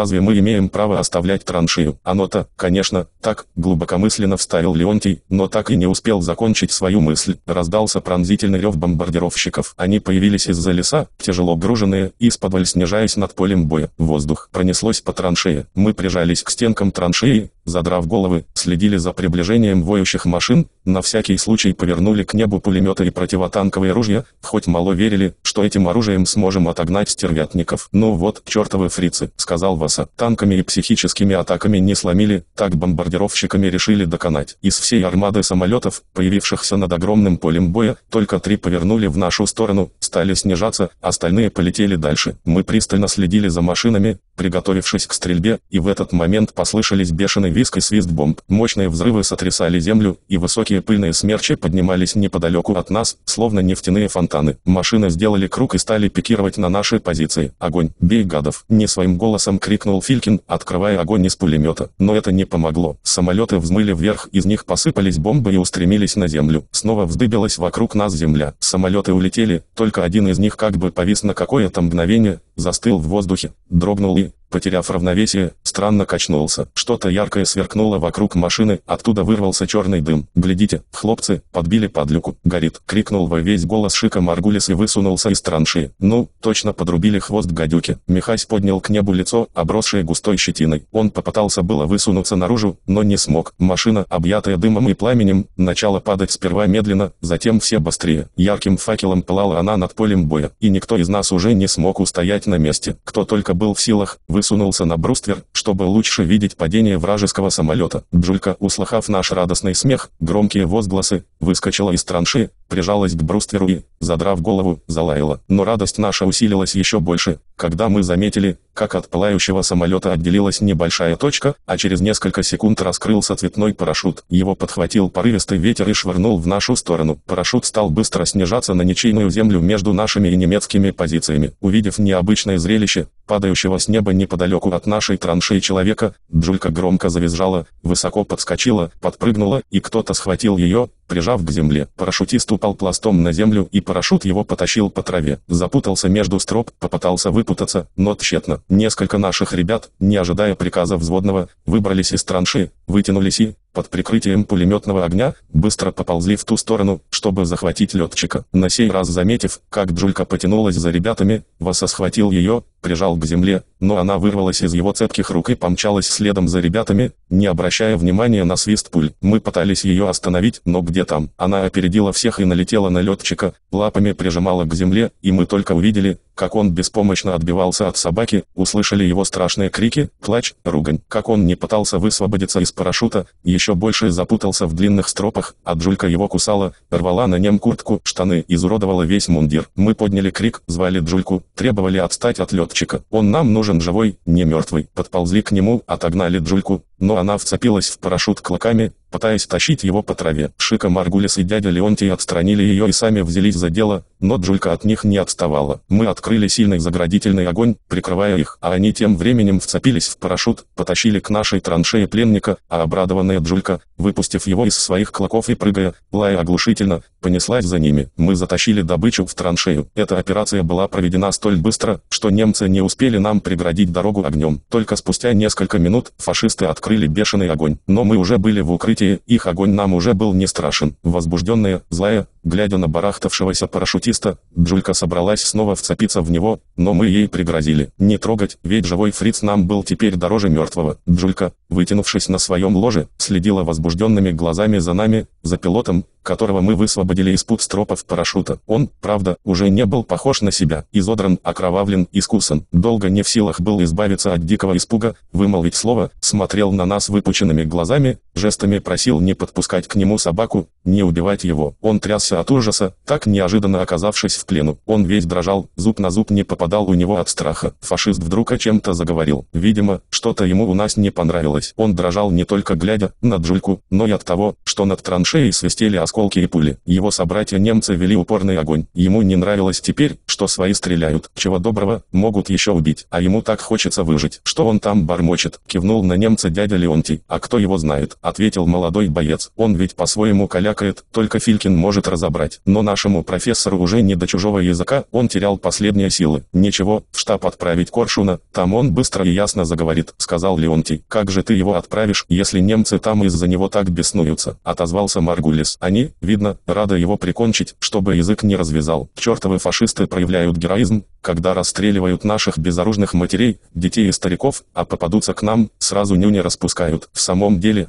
надо было немного немца привести в божеский вид, чтоб на человека стал похож, да как ты это сделаешь, когда его собратья засыпают нашу позицию минами и пулями, мстят за сбитый бомбардировщик и за это чучело. Слева и справа на колоссальном поле то затихали, то вспыхивали с новой силой бои. Сражение шло за каждый клочок Курской земли. Любой знал, что здесь он защищает сердце России, Москву и от исхода этого сражения зависит судьба нашей Родины. Наш сильно поредевший взвод занимал свой небольшой участок, и никто из нас не расставался с мыслью, что отступать некуда, за нами Москва, а значит, жизнь. И мы из последних сил стояли, дрались, несмотря на свои ноющие раны, на то, что все меньше патронов и гранат остается, а самое главное, заметно тает количество людей. Мы ждали ночи, как манна небесной. Только под прикрытием темноты можно надеяться на помощь. Мы сможем отправить раненых, которые уже едва держались на ногах. А время, как назло, тянулось медленно и казалось, темень никогда не спустится к нам. Все поле боя озарялось осветительными ракетами, зорницами, огнем догорающих танков. Стонали раненые, и мы, чем могли, помогали, успокаивали их, сулили скорую подмогу. Одновременно ухаживали и за этим проклятым немецким пилотом. Он, не переставая, умолял спасти его грешную душу, отправить в безопасное место. Да и нам самим хотелось поскорее избавиться от этой обузы, передать в штаб для допроса. Видимо, сей слюнтяй кое-что сможет там рассказать. Мы ведь теперь в ответе за жизнь, за его шкуру. Поближе к раненым держалась и Джулька. Бедняжка тоже страдала от ран, стонала, ворочалась на плащ палатки, от боли не находила себе места. Она скорбно смотрела на нас, но никто толком не мог ей помочь. Немец то и дело махал руками, чего-то требуя. Видно, возмущался, на каком таком основании его, пленника, держат в этой яме, где он может погибнуть от осколков и пуль, они отправляют в тыл, в безопасное место, и не обращаются с ним, как положено обращаться с пленным. Ведь он ко всему еще не простой солдат или какой-нибудь ефрейтор, а, бери выше, обер-лейтенант немецких люфтваффе. С ним должны обходиться вежливо, гуманно и человечно. Но для Джульки все эти мысли немца были пустым делом. Стоило ему поднять руку, как она принималась злобно рычать. Только к полуночи огонь ослабел, бой утих, доносились сюда лишь редкие выстрелы. И к нам пришла помощь. Несколько солдат и санитаров с носилками притащили боеприпасы и продовольствие. Поспешно стали укладывать раненых на носилки, чтобы вынести в тыл. Со слезами на глазах Михась Зинкевич и профессор прощались с нами. Когда Михася, полуживого, измученного и бледного, вынесли из транши, он ослабевшим голосом сказал, «Прощайте, ребята, не поминайте лихом, если что было не так, может, Бог даст, еще увидимся. Держитесь, гвардейцы, до конца, отомстите фашистам за все злодейства ихние и за нас». И, посмотрев на меня, приглушенным голосом добавил, «Если, дружище, тебе суждено будет выжить в этой битве и возвратишься живым домой, домой, возьми перо в руки и напиши несколько добрых слов о нашем взводе и о нашей дружной семье, как жили и дрались с врагом, и от Джульки непременно, и назовешь эту историю наш добрый друг. Я смотрел на ослабевшего друга и думал о том, какое доброе сердце бьется в груди у этого человека, если в тяжкую минуту жизни он обратился ко мне с такими словами и на уме у него такие добрые мысли. И я тогда подумал, придет желанный час, мы окончательно раздавим врага и вернемся к мирному труду, я постараюсь выполнить, возможно,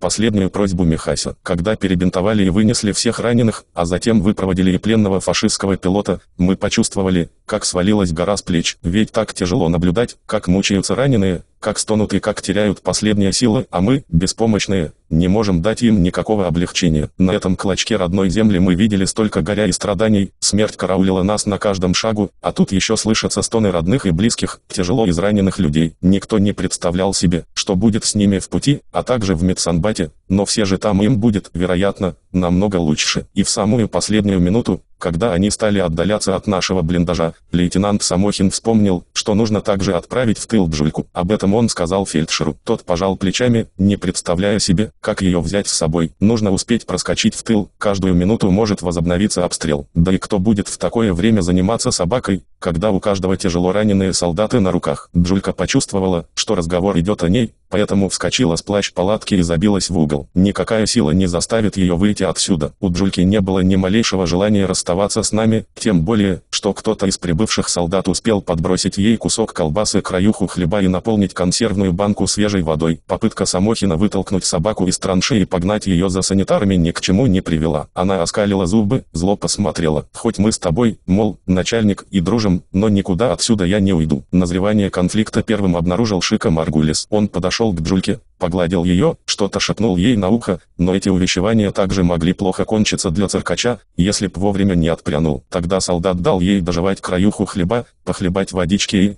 когда она стала облизываться, смастерил из ремня и веревки поводок, накинул на шею и осторожно, что-то нашептывая на ухо, вывел ее из траншеи и передал санитару. Собака еще немного артачилась, попыталась было вырваться из ошейника, вскочить обратно в траншею, но санитар пригрозил ей, крикнул, и она повиновалась. Высунувшись из траншеи, мы следили с грустью и болью, как необычный караван отдаляется от нас. Жаль было Михася, профессора и других раненых. Мы себе не представляли, как они нас найдут после того, когда в госпитале их поставят на ноги. Очень жаль было и Джульку. Медсанбат, куда ее поведут, находится далеко отсюда, и кто знает, в какие руки она теперь попадет и кто в такое время захочет возиться с нею раненой, измученной, ведь с переднего края беспрерывно везут и везут искалеченных людей. Да, пожалуй, навсегда мы простились с Джулькой, и никто не узнает, куда она, бедняга, девалась и какова ее дальнейшая судьба. Глубокая жалость охватила наши сердца. Высунувшись из транши, мы еще долго следили за тем, как отдаляется от нас эта необычная колонна, как Джулька пытается вырваться из рук санитара, как старается перегрызть ремень, лает, упирается, как она каждый раз останавливается, повернув в нашу сторону голову. Вскоре мы ее потеряли из виду, и каждый почувствовал, что он потерял что-то очень дорогое и близкое. Молчаливые, мы опустились на дно транши, чтобы утолить голод. Быстро съели то, что нам принесли. Мы спешили, не зная,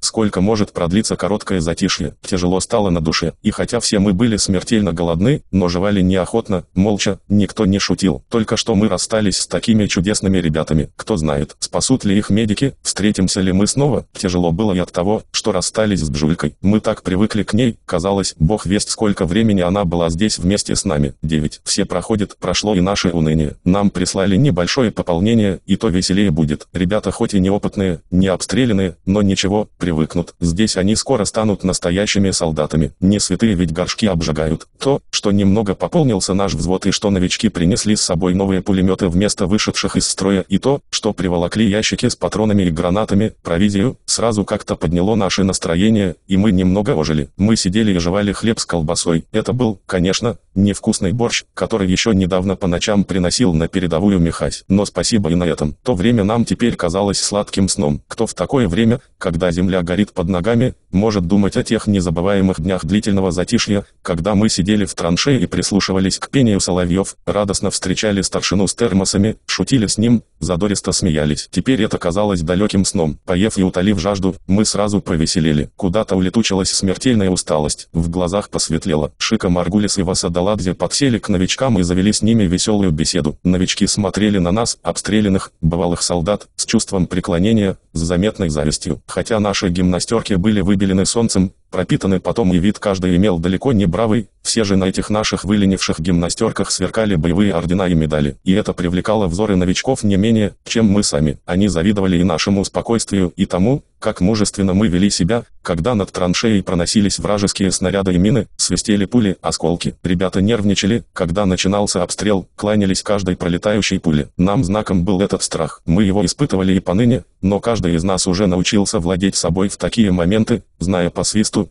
какой снаряд перелетит, а какой не долетит. Самохин с грустью смотрел на пополнение. На его глазах погибли, вышли из строя такие орлы. Он отправлял их в медсанбат, прощался со слезами на глазах, то были богатыри, герои, с которыми не страшно было идти в огонь и в воду. А тут ему прислали юнцов, которые еще пороха не нюхали, не измазали землей свои новенькие, только что из склада, гимнастерки и которые кланяются каждой паршивой пуле, валится на дно транши, услышав издали свист снаряда. Да, с такими навоюешь. Но что поделаешь, мы когда-то были такими же зелеными юнцами. Солдатами в самом деле не рождаются, притрутся, понюхают пороха, побывают в переплетах, и все пойдет своим чередом. Волей-неволей они станут хорошими воинами. Лейтенант Самохин тяжело вздохнул и опустился на ящик рядышком с новичками. То одного, то у другого узнавал, откуда он родом да как величать, давно ли призван, бывал ли в боях. Новички робко отвечали этому загорелому, обветренному человеку с густой проседью в волосах. Он поинтересовался, знают ли ребята, в какую часть они попали и какой путь она прошла, как должны себя вести под огнем и при встречах с танками, чтобы заслужить высокое звание гвардейцев. Вскоре в беседу вступили Шика Маргулис и Васадаладзе, но не успели они обменяться мнениями, как послышались быстрые шаги. Кто-то прибыл сюда со второго эшелона, и через минуту в блиндаж вскочили двое молодых солдат с пулеметом. «Принимайте еще подкрепление», — отозвался статный парень с карими глазами и маленькими черными усиками. Самохин поздоровался с ними и довольно улыбнулся, а улыбка ясно означала «Спасибо, прислали хоть двух бывалых». «Ну что ж, добро пожаловать», — сказал Самохин и объяснил, какая задача стоит перед ними. Шика Маргулис Маргулис смерил с головы до ног пулеметчика с черными усиками и залихватски надетой каской и спросил, что, впервые, браток, на передовой или уже нюхал порох? Парень вынул кисет из кармана, оторвал клочок газетной бумаги, угостил окружающих, закурил сам и после недолгой паузы кинул. Третий раз после капитального ремонта. А ты пороха нюхнул? Значит, оттуда, кивнул Шика в сторону лесочка, где стоял второй эшелон. А откуда же? Так задумчиво проговорил царкач. Ну, а не встречал ли там наших ребят? Один такой пожилой, лысоватый, с длинными рыжеватыми усами, а второй худющий, в очках, на профессора похожий. Оба раненые. Много там, браток, раненых. Разве в такой сутолоке разберешь? Процедил тот. Знаешь, Шика отстранил его Васа и сам приблизился к новичку. Понятно, что там много раненых. Но наши были такие, что среди сотен отличишь. Один старшина Михась с пушистыми, как у кота, рыжими усами, а второй в очках, длиннющий, хороший парень. Солдат пожал плечами, отстань, мол, со своими расспросами. Кто его знает, о ком вы спрашиваете? Ну, понимаешь, Кацо, если ты понятливый, то не мог их не заметить, не унимался Васа. С ними, понимаешь, была собака. Джулька ее звали. Самохин,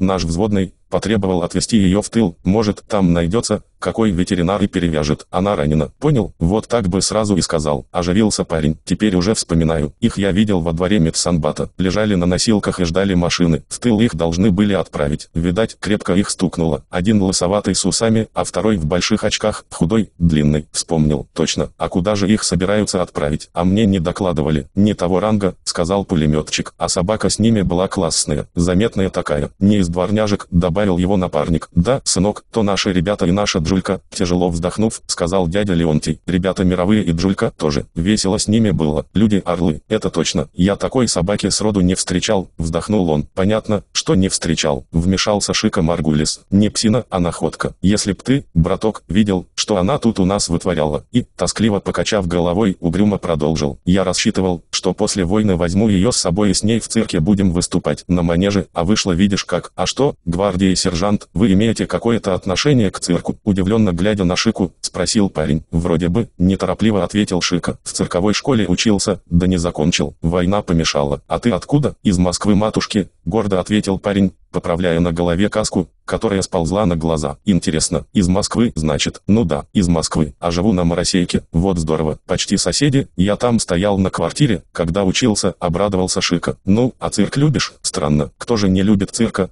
когда мы с детства там бываем? И ты, может, карандаша видел на манеже с собакой? А как же, кто же карандаша не видал в цирке? Улыбнулся парень. Это все равно, что быть в Риме и не видеть Папы Римского. Карандаша видел раз двадцать. А какое вы к нему имеете отношение, если не военная тайна? В цирковой школе на клоуна учился, а карандаш был моим учителем. Понял? Думал, кончится война, поеду доучиваться на клоуна и хотел Джульку захватить с собой, выступать с ней на манеже. Так видишь, какая беда, не суждено. Ранили бедняжку и увели ее кто знает куда. Такой редкий экземпляр. Не собака, а чудо. Да ладно, Шика, скулить, перебил его Васа. Больше ей нечего делать, как с тобой на манеж переться. Я планировал взять ее с собой в горы. Это горная собака. Глупости. Вставил медлительный дядя Леонтий. Такие в горах не водятся. Джулька рождена для тайги, для Сибири. Это чисто охотничья собака. На любого медведя и волка бросится без страха. Вот я бы ее и взял к себе. Мечтатели, философы, а ну-ка кончай трепаться. Делать нечего, вмешался Самохин. Опять завели старую шарманку. Делите шкуру неубитого медведя. Все по местам. Лучше бы поделились с новичками, как гвардейцы должны держаться, когда фрицы пойдут в психическую. Чего тут, взводный, особенно делиться? Тут наука простая, отозвался дядя Леонтий. Лезет немец, а ты ему по мордам, по мордам, чтобы подох скорее. В бою требуется полное спокойствие. Не показывать фрицу пяток. И танки, и тигры ихние не страшны. Вот какая карусель. И, обернувшись к новичкам, тяжело поднял руку, показал на поле боя. Вон гляньте, сколько их нарубили, сколько ихней техники искалечили, пожгли. А там возле лощинки какое чудовище торчит, выкрашенное по всем правилам под тигра, новое оружие Гитлера. И оно здесь не прошло, и не пройдет. Над этим тигром ребята, потрудились хорошо Михась и наш дядя Леонтий со своим противотанковым ружьем, дай им бог здоровья, вмешался в Асадаладзе, это их работа. Подбили гада. Знаете, если б дядя Леонтий такого тигра встретил у себя в тайге, драпанул бы на край света, а этой бронированной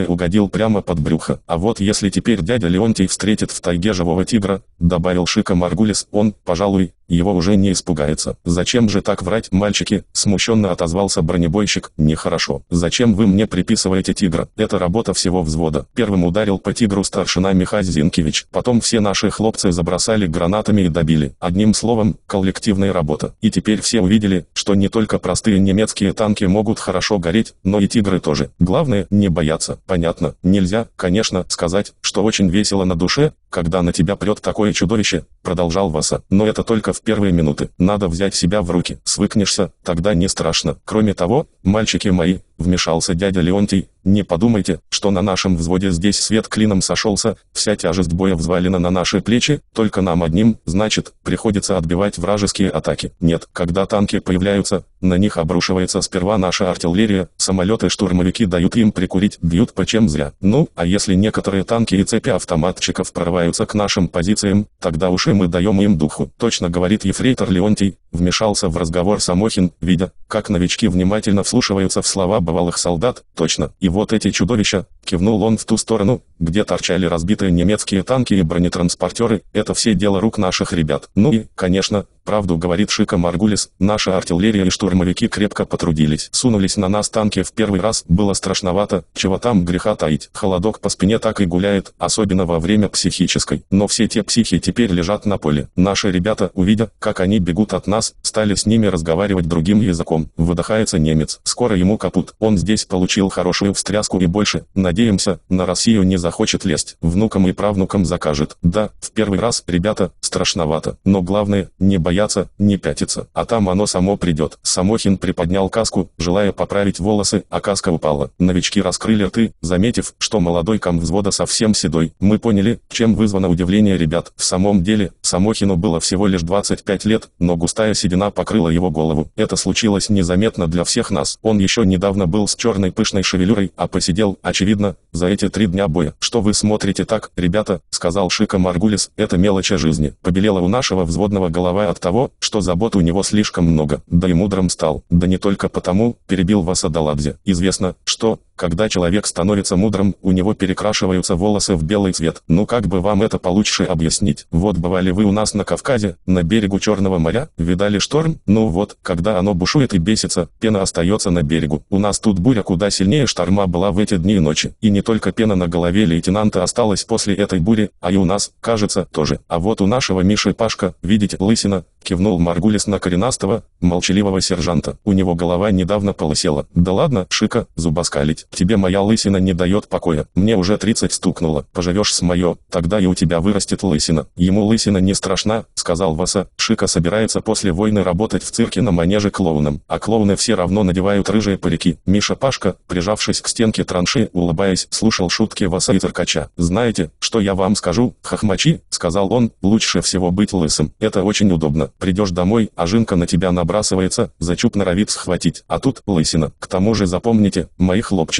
умная голова не терпит лишнего груза. Зачем волосы? Меньше забот парикмахерам, и тебе легче. Окружающие смеялись, на время позабыв, где находится. Самохин приподнялся, посмотрел вдаль. Небосклон густо окутан дымом. Где-то далеко-далеко гремели пушки. Земля стонала. Ну, по местам, отозвался Самохин, пошутили и будет. И повел новичков по траншее, указывая каждому его место. Известие, которые принесли нам новички о том, что видели Михася, профессора и Джульку возле медсанбата и что они ждали санитарной машины, которая их отправит далеко в тыл, огорчило нас. Это значит, оба они в тяжелом состоянии, раны серьезные, и кто знает, возвратятся ли они скоро к нам вообще, выживут ли. После того, как их вынесли из транши и отправили в тыл, мы сразу же почувствовали, как в нашей маленькой, но веселой и дружной семье образовалась какая-то пустота, большая брешь. Вы разве можете себе представить, как теперь беседовал бы с новоприбывшими ребятами старшина Михай Зинкевич? Какие философские тирады развернул бы перед ними в вопросах, касающихся бережного отношения к казенному имуществу или умения заворачивать портянки, чтоб в походах не натирались ноги? Ну, а, скажем, наш добродушный профессор побеседовал бы с ними о местах, которые мы защищаем,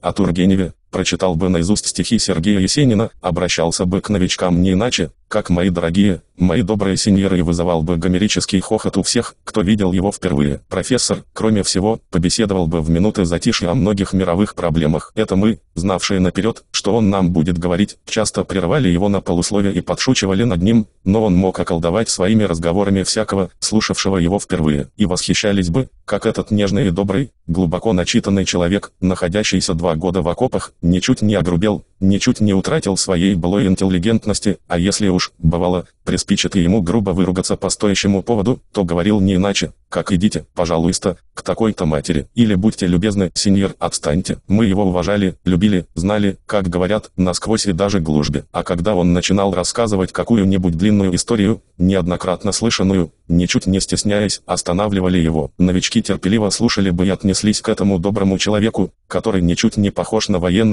с искренним почтением. Да, с профессором и со старшиной Михасим было здесь легко и весело даже в самые тяжелые минуты жизни. И не мудрено, что все горько сожалели. Их нет с нами теперь, когда, по всей видимости, фашистские бандиты уже выдыхаются, предпринимая последние попытки опрокинуть нас, и скоро настанет долгожданный отдых. Мы болезненно переживали за наших добрых друзей и не допускали мысли, что они не вернутся к нам. Тоска по ним одолевала нас, да и трудно было без них. До чего греха таить, сожалели мы от Жульки. Она наверняка где-то затеряется, пропадет. И кому придет в голову в такое время, когда на кон поставлено все, подобрать Джульку, ухаживать за ней, кто ее пригреет, кто присмотрит за ней, когда вокруг жестокость, смерть, пожарище, гибель. Ведь на бескрайнем Курском поле развернулась такая ожесточенная битва и все заняты одним, победой и полным разгромом врага. Бедная Джулька, только мы могли бы тебя сберечь, приласкать, отдать последний кусок хлеба, только мы смогли бы оценить по достоинству твое бесстрашие, верность, преданность. А теперь куда ты денешься, куда тебя забросит судьба, наш добрый, славный, дорогой друг, передать ли словами о том, как ты бросалась на врага и как ты нам служила благородно, как голодала вместе с нами, терпела жару, жажду, голод, но никуда не уходила. Эти мысли не оставляли нас и бередили души, и я до сих пор не перестаю удивляться, какие сердца были под солдатскими гимнастерками, если люди в таком состоянии могли думать о таких, казалось бы, незначительных вещах. 10. Ночь прошла сравнительно тихо на нашем неспокойном участке, но ни отдыха, ни сна не было. После теплого, задушевного разговора, подчас серьезного, подчас шутливого, с новичками все взялись укреплять траншею, готовиться к новым боям. На рассвете, безусловно, немец снова бросится на безумный штурм наших позиций. Так и случилось. Едва забрезжил рассвет и первые лучи солнца озарили верхушки деревьев старого леса, началось. Правда, теперь танки и редкие цепи автоматчиков не двигались так уверенно и нагло, как в первые дни битвы. Походка была явно уже не та. Они то ныряли в лощинки, то маневрировали, уходя из-под удара артиллерии. Некоторые машины сразу попятились назад, попав под орудийный огонь. Автоматчики уже не шагали, засучив рукава, как раньше,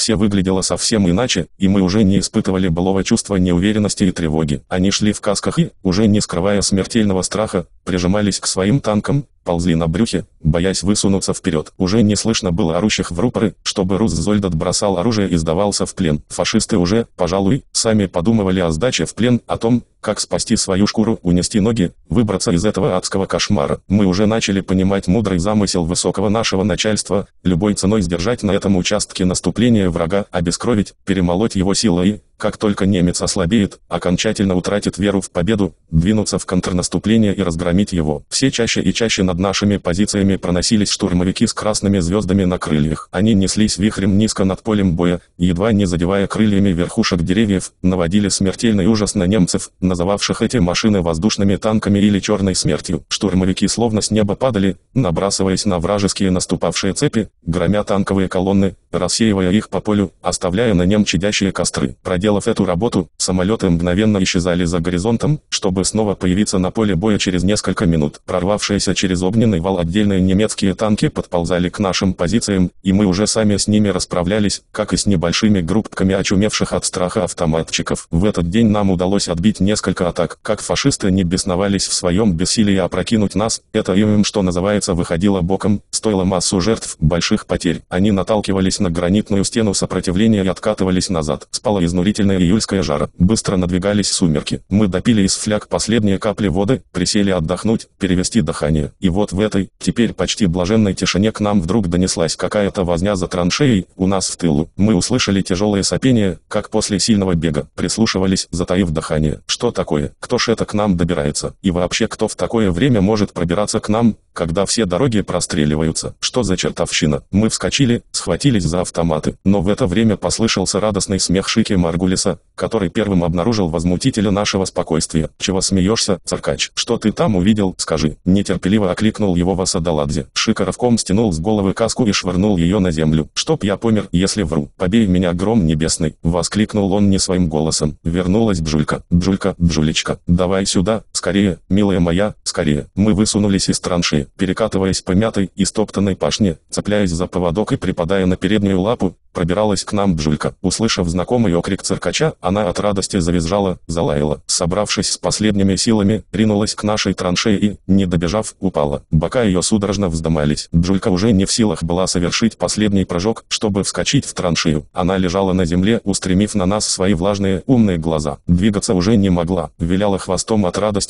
лаяла, явно ожидая помощи. Прорвалась. Умница. Васадаладзе что-то крикнул ей на своем языке, непонятное, но, чувствовалось, очень ласково ласковое. Он мигом выскочил из траншеи. «Джулечка, родненькая, ползя навстречу нашему другу, сказал Васа, где же ты была? Откуда прибежала такая несчастная и измученная?» Он обнял ее, прижал к себе, хоть она была грязная, насквозь промокшая. Он взял Джульку на руки и, пригибаясь, побежал с ней к нам в траншею, где она тут же вытянулась во всю длину у наших ног. Бинты на ее ноге и спине почернели, сползли. Джулька совсем не походила на ту, которую мы знали прежде. Давно мы так не радовались, как в ту минуту. Пристально, участливо смотрели на это доброе создание, на ее почерневшие от пыли бинты, на смертельно измученный вид и пытались представить себе, как Джулька умудрилась найти нас в этом сложном лабиринте фронтовых дорог и троп, как прошла все запасные линии обороны, не заблудилась. Все мы об этом думали и восхищались беспредельно. Значит, мы не ошибаемся, иначе, как случилось какое-то чудо, что она нашла нас, возвратилась в наш небольшой ад. Прямо уму непостижимо, как попала сюда. Эй, ребята, подошел к Джульке дядя Леонтий, восхищаться будете завтра, а пока ей не мешало бы дать напиться. У кого еще глоток воды остался, тащите скорее. И, отстегнув от ремня свою неизменную трофейную баклажку, он вылил в консервную баночку содержимое и придвинул ее Джульке. «Попей водички, легче станет. Возьми-ка», обратился он к собаке с какой-то непередаваемой нежностью. «Маловато, понимаю, но потерпи, ты ведь привыкшая к солдатской нашей житухе». Джулька с благодарностью уставилась на старого солдата, потом перевела измученный взгляд на баночку с водой. По всему видно было, ей ужасно хотелось пить, но не было сил подтянуться к банке. Только через несколько минут, отдышавшись и придя немного в себя, Джулька неторопливо приподнялась и жадно стала пить невкусную, теплую воду, вилять хвостом, поглядывая на Леонтия, словно желая отблагодарить этого славного человека за его доброе сердце. Опорожнив банку и облизавшись, Джулька осторожно поднялась с места, оглянулась по сторонам, начала тереться у наших ног и с недоверием поглядывать и тихонько рычать на новичков, которые смотрели на нее с нескрываемым страхом и удивлением. Мы ей подбрасывали в банку все, что у нас осталось от скромного ужина, и она, обнюхав банку, стала с жадностью вылизывать ее,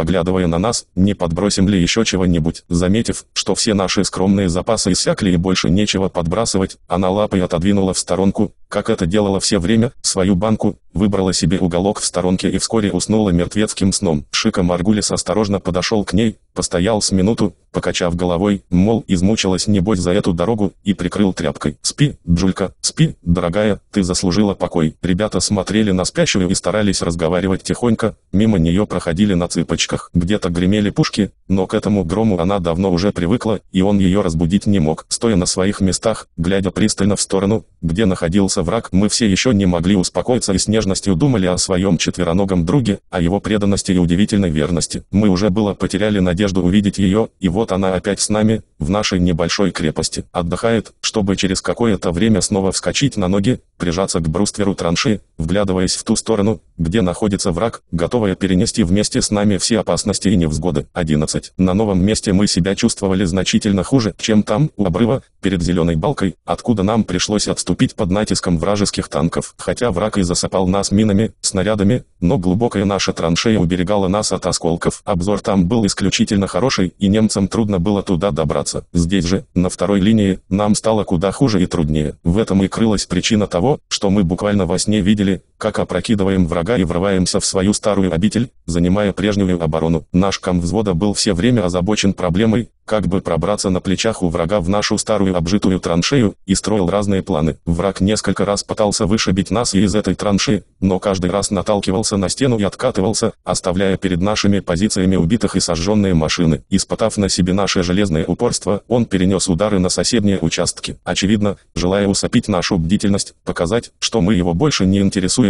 он не проявлял активности, и мы оказались на время неудел. Бои шли по соседству. Всю ночь и полдня мы приводили нашу полуразбитую траншею в порядок, готовились к новому бою, ждали, но фашисты к нам не лезли, и мы блаженствовали в неожиданной передышке. Вот и жаркое солнце и зашло, озарив полнеба багровыми полотнищами. Спала жара и улеглась полища. Казалось, никакая опасность пока нам не грозит. Мы хорошенько за эти часы отдохнули, и отдохнула Джулька, стала опять резвой, веселой и забавной. Вдруг небо загремело, появилось несколько бомбардировщиков, земля вздыбилась вокруг от грохота и разрывающихся бомб. Один вражеский самолет, пикируя с диким ревом, свистом, сменил другой, и мы оказались в подлинном аду, оглушенные взрывами, засыпанные землей, густой пылью. Началось светопреставление, и, заглушая гром с воздуха, раздался лязг гусениц. Пошли в нашу сторону вражеские танки, автоматчики. Они двигались неторопливо, уверенные в том, что их самолеты уже все совершили, очистили им путь и что ничего живого после этого страшного воздушного налета не осталось. Действительно, трудно было разобраться, кто из наших остался жив, не оглушенный, способный отразить новую атаку врага, кто ранен. Но удивительно, несмотря на то, что десятки вражеских бомб было обрушено на нас и все поле покрыто осколками, чадом, пылью, дымом, только двое из наших, Шика Мэтт Гулис и дядя Леонтий, были ранены, и мы это сочли каким-то чудом. Стало быть, и на этот раз пронесло. Сможем дальше сражаться. С ног до головы в пыли показался Самохин. Вытирая рукавом грязное лицо, он промчался по траншее, оглядывая нас, крикнул. «Держаться, гвардейцы! Приготовиться ударить по танкам!» Он взял из рук новичка солдата противотанковое ружье и приготовился стрелять по головной машине, которая приближалась к траншее. Гранаты к бою. У кого бутылки зажигалки, ко мне. Не успели оглянуться, как над нами пронеслись низко-низко свои штурмовики. Они, как обычно, неслись вихрем низко, расстреливая с воздуха вражеские танки, рассеивая пехоту. В течение считанных секунд они навели порядок на поле боя, нанесли тяжелый удар по наступающим. Только несколько уцелевших немецких танков и автоматчиков прорвались к траншее. Мы встретили их сильным огнем из пулеметов, противотанковых ружей. Когда в десятках шагов от нас вспыхнули первые танки и автоматчики попятились назад, Самохин выскочил из траншеи, держа в руках гранаты, крикнул «Гвардия, за мной, вперед!» и понесся, перескакивая через трупы фашистов, через черневшие тут и там воронки от бомб и снарядов. Мы бросились вслед за своим командиром, на ходу расстреливая замешкавшихся или не успевших бежать немецких автоматчиков. Вдруг до нас донесся отчаянный лай. Это подала голос неугомонная Джулька. Дикими прыжками она догоняла и набрасывалась то на одного фашиста, то на другого, на ходу обрабатывая их так, что клочья одежды летели в разные стороны. Она нас опередила и нам казалось, теперь уж наверняка погибнет. Отстреливаясь, немцы целились именно в нее, но как Каким-то чудом она уцелела. На плечах бегущих фашистов мы ворвались в недавно оставленную нами траншею. Пришлось пустить в ход приклады, солдатские лопатки, финки, а то и просто кулаки. После короткого боя в самой траншее и вокруг нее мы захватили, наконец, оставленные накануне позиции, закрепились снова в нашей прежней траншее, что явилось большой победой. Джулька вскочила туда первой и, чуть живая, притаилась. То, что нам удалось так быстро отбить нашу траншею и тут же закрепиться в ней, разгромив врага, всех нас очень радовало. Однако радость была омрачена, мы понесли потери.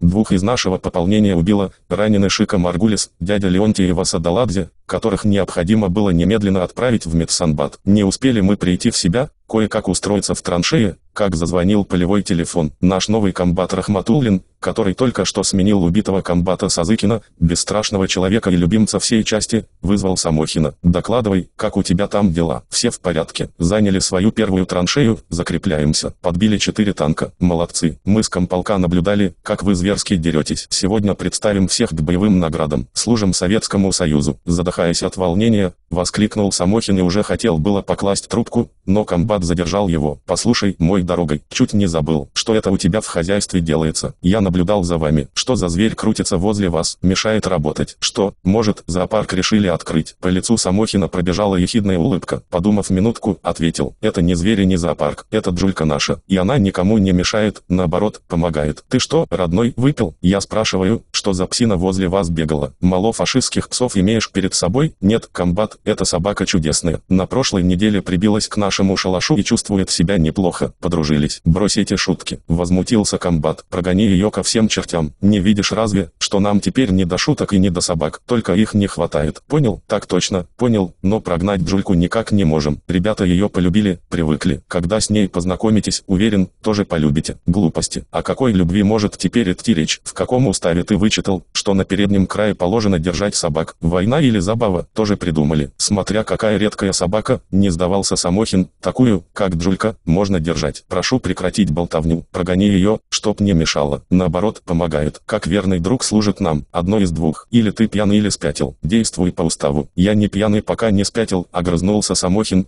Может быть, это не по уставу, но Джулька только что так обработала двух немцев. Любо было смотреть, что ты там мелешь. Я позже приду к вам. Разговор оборвался на полуслове. Взвод занимал боевые места, готовясь встретить новую вражескую атаку. Самохин нервничал, посмотрев на раненых, которых не успел отправить в тыл. Он увидел, как все они, превозмогая боль, прижались с оружием к стенке транши, готовясь к бою. Джулька тоже оживилась, вскочила на край транши, прижалась к брустверу, вытянувшись во всю длину. Она хотела было броситься навстречу атакующим немцам, но Самохин цыкнул на нее, пригрозил. «Лежать и не с места!» — крикнул. «Не слыхала, каналья, как мне только что влетело из-за тебя. Лежать!» Гаркнул и кивнул на дно транши. Джулька, повеляв хвостом, спрыгнула вниз и забилась в уголок. Она с каким-то удивлением смотрела на Самохина, не понимая, чем его прогневило. Кажется, сегодня не ничем не заслужила такого нагоняя. Мы все смертельно устали. Казалось, новой атаки нам не отбить. Раненые, хоть и стояли на своих местах, но еле держались на ногах. Шика Маргулис был смертельно бледен, из-под бинтов просачивалась кровь, глаза были затуманены. Он весь как-то съежился. Чернее земли стал Даладзе. Его лицо совсем изменилось от боли, его нельзя было узнать. Тяжело дыша, с перевязанной головой стоял дядя Леонтий, опираясь на свое противотанковое ружье. Сердце Самохина замерло от горечи. Лучшие его ребята вышли из строя. С кем теперь теперь держаться. Артиллеристы наши, стоявшие за перелеском, дружно ударили по надвигавшейся вражеской цепи и двум машинам, заградили им путь и заставили отползти назад. Самохин облегченно вздохнул, видя как враг отходит, а значит, в конец обескровленному взводу не придется снова встретиться с ним лицом к лицу. Ночь наступила незаметно. На обширном поле боя домились подбитые вражеские танки, блестели под звездным небом осколки, густо покрывшие землю. Казалось, Орда разожгла тут и там огромные костры, истоптанные солдатскими сапогами, щедро политые кровью поле, исхлестанные гусеницами танков, израненные бомбами, снарядами и минами, Покрытая трупами земля выглядела фантастически неправдоподобно и навевала страх. Предельно уставшие, измученные, насквозь мокрые, мы стояли и смотрели на это чудовищно пылающее и чадящее поле и, казалось, видели кошмарный сон, забыть который никогда не сможем. Армада фашистских зверей напирала, стремясь задавить нас, уничтожить, испепелить, горы металла обрушив на нас. А мы насмерть стояли на этом поле, зарывшись глубоко в землю, и из последних сил отбивали яростные атаки. Они не прошли, и это нам придало сил, помогло не отступить ни на шаг. В этой самой траншеи наша маленькая боевая и дружная семья встретила первую вражью волну, и хотя немало крови тут пролилось, немало пало прекрасных воинов, сердечных, славных, веселых и бесстрашных, но зато мы отомстили за каждого. И здесь, в этой траншее встретили последнюю вражескую волну. 12. В эту же ночь комбат пришел к нам, привел свежий взвод и сменил нас. Вместе с ними прибыли врачи и несколько санитаров. На носилках вынесли Шику Маргулиса, Васадаладзе и дядю Леонтия. Легкораненые тянулись сами за ними. С болью смотрели на Самохина. Он еще больше посидел, постарел, осунулся, но его глаза светились гордостью, что его ребята выстояли. Пройдя немного, оглянулись, посмотрели на обогренный нашей кровью и потом клочок родной земли, где несколько дней и ночей мы отстаивали его от проклятого врага, низко земле поклонились. Никто бы не поверил, если бы не знал, что мы сумели несколько дней и ночей выстоять под таким адским огнем, что человек вообще способен на такое. Но мы все перенесли, правда, дорогой ценой. И теперь,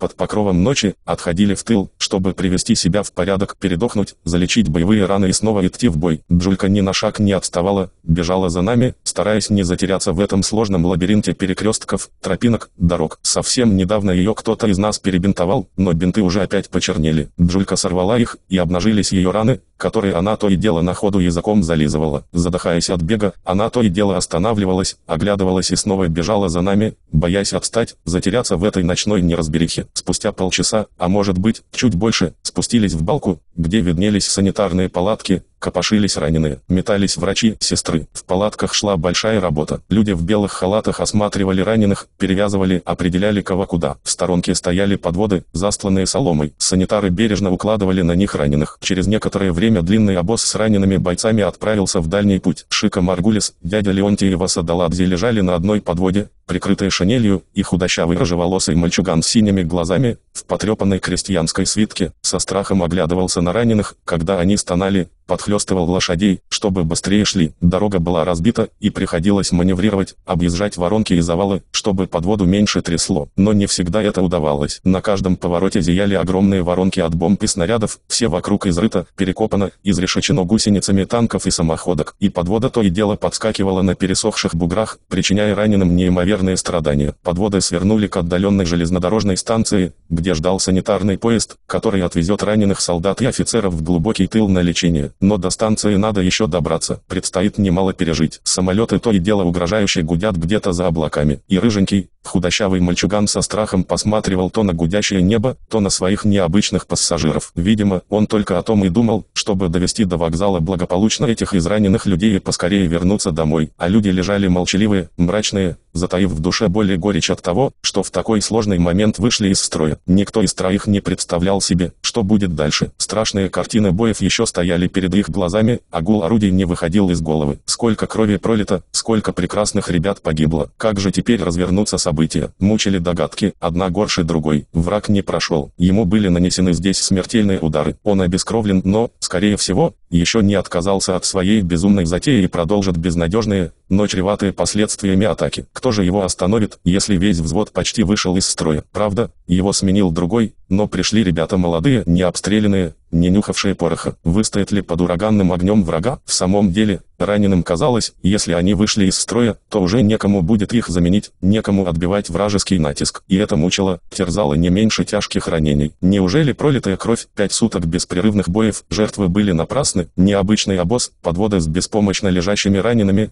втянулся в старинный лес, что в двух десятках километров от переднего края. Колеса мерно скрипели по глубоким песчаным колеям, лошади шли тяжело, выбиваясь из сил. Тишина царила вокруг, только слышен мерный и однотонный шум густой листвы. Казалось, дорога извивается по зеленому тоннелю, только изредка пробивается серебряный свет месяца и мерцают затуманенные дымкой звезды. Но что там впереди? По сторонам дороги виднелись толпы солдат, силуэты танков, транспортеров, огромных пушек, накрытых брезентом «Катюш», оживленные воины в новеньких мундирах и касках. Сколько их, казалось, весь лес заполнен ими и техникой. Какая же сила находится у нас в тылу? Должно быть, скоро будут введены все эти свежие части в бой и начнется контрнаступление. Не выдержать тогда поредевшему, полуразгромленному гитлеровскому воинству, которое так отчаянно рвалось к Москве. Чем дальше двигался необычный обоз, тем теснее становилось в лесу от воинских частей, а они все шли и шли навстречу обозу, втягиваясь в лес, маскируясь в балках, ярах, ложбинах. И, глядя на все это, на душе становилось легче. Безусловно, здесь, в окружающих лесах, готовится мощный кулак, который в ближайшие дни обрушит смертельный удар по врагу и сомнет его. Как бы хотелось участвовать в этой последней битве. Вместо этого приходится лежать на подводе и тащиться куда-то в неизвестность. Шика, видал, брат что тут делается? Здорово. А, оживился дядя Леонтий, который молчал всю дорогу. Вот какая могучая сила готовится сменить наши поредевшие части. Хитро придумали, а, научились наконец-то воевать, бить врага. Сперва, значит, обескровить, измотать, а потом ввести свежие армии и разгромить. Понял, понял, дядя Леонтий, ослабевшим голосом произнес Маргулис, а ведь мне казалось, что, кроме нас, и близко никаких войск нет. Стратегия, Кацо, стратегия, вставил Васадаладзе, подтягиваясь на локтях, чтобы лучше увидеть боевую технику, стоявшую под вековыми деревьями. Все это хорошо, жаль только, что в такое время, когда дело идет к концу, нас везут совсем в другую сторону, отозвался после долгой паузы царкач. Отвоевались. Вы что, дядюшка? Вмешался рыжий мальчуган, который внимательно прислушивался к словам раненых. Что вы, дяденька, как это отвоевались? В госпиталь вас привезут, а там доктора, там лекарства. Вас обязательно вылечат, и вы вернетесь в строй. А как же, я сам слыхал, что вас только на время отправляют лечиться. Да, отправляют, тяжело вздохнул дядя Леонтий, посмотрел на помрачневшие лица своих друзей и добавил, сильно закашлившись, что поделаешь, повоюют без нас, а пройдем ремонт, непременно вернемся в строй. Известно ведь, что за битого трех небитых дают. Что вы, дяденька, какие же вы биты? Возмутился маленький ездовой. Да вы так давали фашистам по зубам, что пыль с них летела. В газетах писали, провалилось их наступление. И сколько техники перебили, тоже писали. Они, проклятые, битые, а не вы. Вы все герои, настоящие герои. Молодец, сынок, правду говоришь, улыбнулся парни парнишке дядя Леонтий. Мы, конечно, еще повоюем. У нас свои счеты с гитлериками. И все же душа болит, заметил Шика Маргулис, что нас везут в обратную сторону от фронта. Эта сила, которая собирается в лесах, скоро вступит в бой и погонит фашистов, да так, что костей не успеют собрать, и кончится война,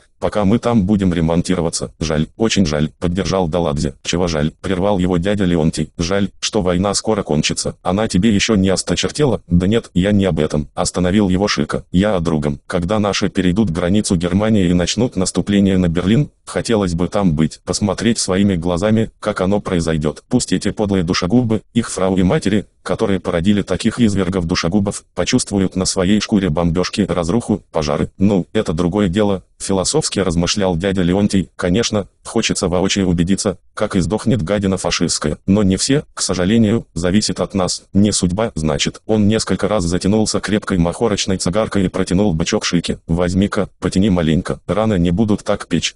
Отпустит. Зачем тебе курить, Шика? Взглянул на него с завистью Васадаладзе. Это мешает здоровью. Циркачи, слыхал я, не курит. Им там, на манеже, и так дают прикурить. Дай-ка лучше я потяну. Успеешь? Сделав пару затяжек, Шика передал бычок другу. А ты, сынок, что, разве не курящий? Уставился на паренька дядя Леонтий. Оно, как сказать, помялся тот, иногда покуриваю, а нынче махоркой-то, табачком где разживешься, сказал нам начальник, ежели благополучно доставим на станцию раненых, то табачок выдадут. Возьми, коли своего нету, а то пока там начальник даст, уши опухнут. И дядя Леонтий протянул парнишке кисет. Спасибо, дядя. Извините, товарищ сержант, не разбираюсь в ваших чинах. Ладно, ладно, закури. Только смотри мне, кончится война, и курение кончай, а то такие усы, как у меня, у тебя отрастут. Мальчишка рассмеялся и, заметив, как уставшие лошадки убавили шаг, подхлестнул их батагом. А ну-ка, веселей, тоже мне, только слово скажешь, а у них ушки на макушке, глядь, и остановились. Незаметно кончился лес, и подводы выбрались на широкую, ярко освещенную луной поляну. Дядя Леонтий приподнялся на локтях, чтобы посмотреть на изъезженную грейдерную дорогу, и не поверил глазам своим. Что это? Видение? Рядом с подводой бежала, запахавшись,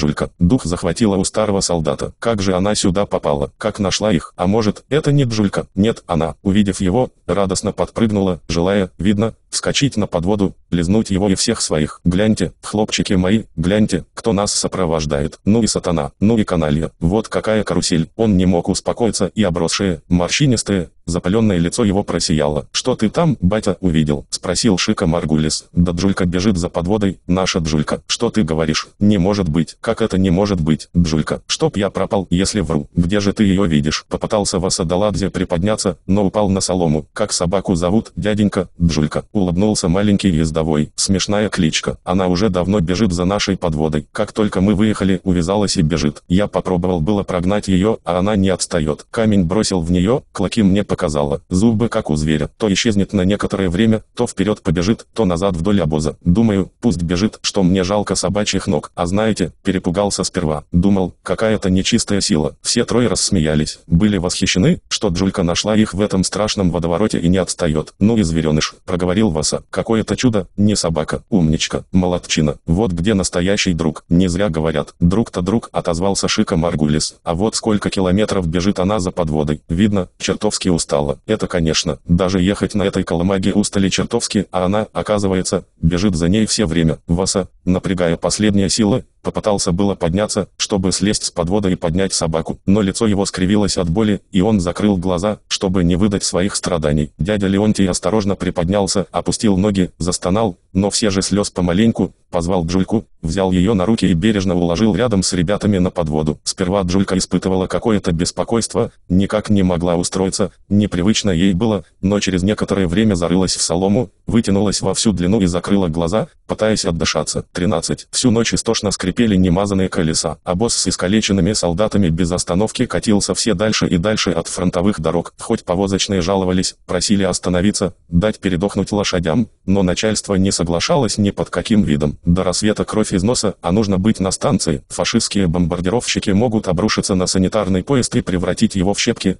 как уже бывало не раз. Надо спешить. Вдоль длинного обоза то и дело проносился всадник и подгонял повозочных, чтобы не отставали, гнали быстрее. Кони и люди выбились из сил, но двигались без передышки. Ночную тишину, царившую вокруг, время от времени прерывали стоны раненых и возгласы повозочных, обрушившихся на своих усталых лошадок, чтобы не отставали. И лишь тогда, когда на горизонте едва забрезжил рассвет, босс остановился неподалеку от разбитой, растерзанной бомбами и снарядами железнодорожной станции, где не оставалось и следа от пристанционных построек. Только тут и там беспорядочно громоздились горы щебня, кирпича, изуродованные рельсы, остовы сожженных вагонов. В отдаленном тупике, возле жалкого остатка бывшего леса, исковерканного войной, притаился длинный санитарный поезд с красными крестами, которые можно было увидеть за километр. Возле вагонов хлопотали люди в белых халатах, что-то торопливо грузили, разговаривая в полголоса. Два паровоза в голове эшелона тяжело пахтели, извергая из своих закопченных труб облака черного дыма. Машинисты поторапливали медиков, с тревогой посматривая на светлеющее небо. «Скорее, скорее, сестрички! Слышите? Кажись, гудит!» Подводы подъезжали впритык к вагонам, и санитары, сестры и врачи суетились с носилками вокруг подвод, поднимали раненых в вагоны, устраивая их поудобнее на застланных одеялами полках. Джулька тоскливым взглядом, стоя в сторонке, чтобы не мешать санитарам с носилками, тревожно следила за своими ранеными, глядя, как их бережно вносит в вагон. Дядя Леонтий попробовал было самостоятельно взобраться на высокую ступеньку, но не смог, и к нему подбежали две сестры и помогли подняться. «Потерпи маленько, батя, поможем тебе». Джулька бросилась вслед за ним, намереваясь забраться в вагон, но пожилая грузноватая врачиха в белом халате и высоком колпаке, увидев собаку,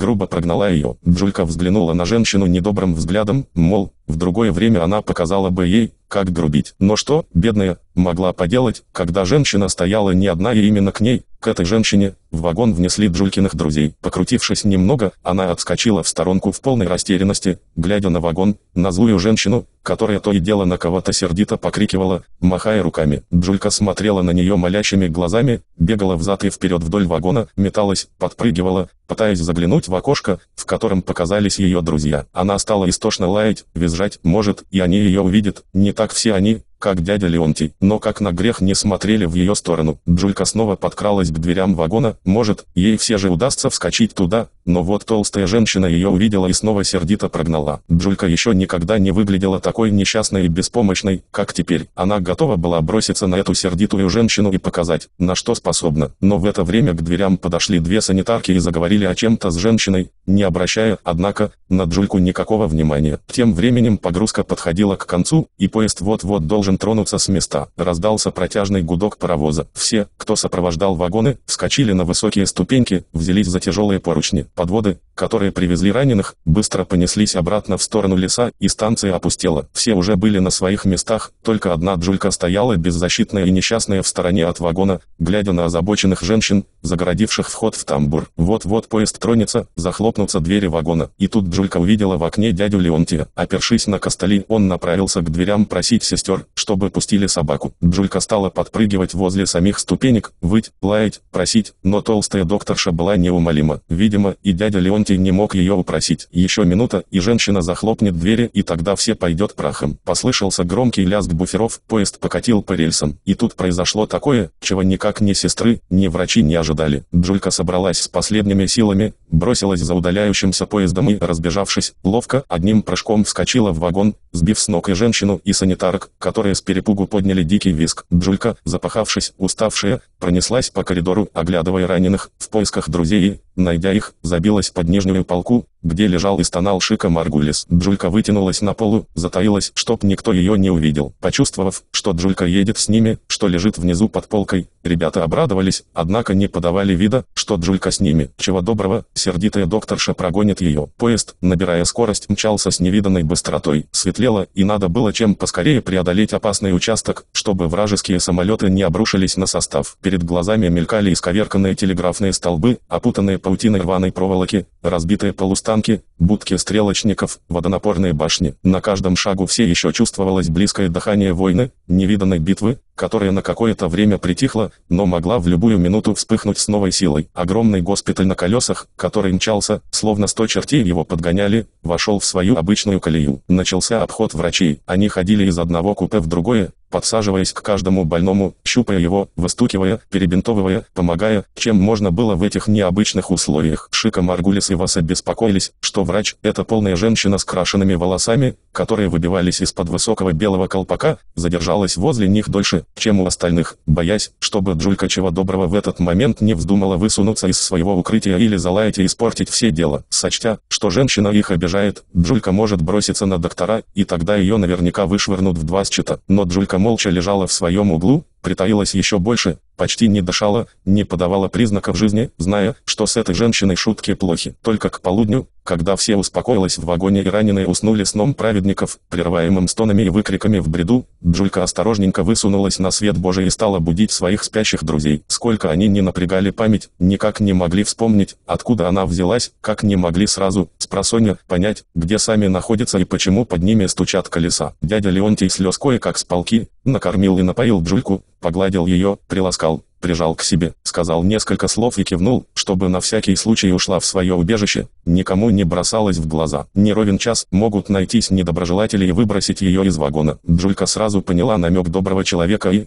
когда поела и утолила жажду, повиляла хвостом, облизала руки сибиряка и снова забилась на свое место. Там она пролежала до утра. Тихонько, чтоб никто не заметил, выползла, съела оставленную ей в мисочке еду, выпила воду и, незаметно сделав в дальнем углу свое дело, снова ушла на покой, а время шло быстро. Долго оставаться незамеченной становилось невозможно. Крашеная женщина-доктор довольно часто приходила к своим пациентам, присаживалась на край полки, беседовала тихонько, давала лекарства и уходила к соседям. В один из таких осмотров, когда она негромко разговаривала с дядей Леонтием, Джульке ни с того ни с сего захотелось лизнуть ей ногу, и доктор с перепугу вскрикнула, подскочив до потолка. «Боже мой, что это еще за нечистая сила? Убрать ее!» – закричала женщина, увидав под полкой Джульку. «Я же просила!» «Доктор, извините, конечно, капитан медслужбы», – отозвался дядя Леонтий, «но это не собака, а чудо. Умница, наша любимица». Джулька выползла, поднялась на задние лапы и подпрыгнула к солдату, тихо залаяла, закружилась и положила передние лапы на плечи Леонтия. Доктор развела руками. Страх, который охватил ее,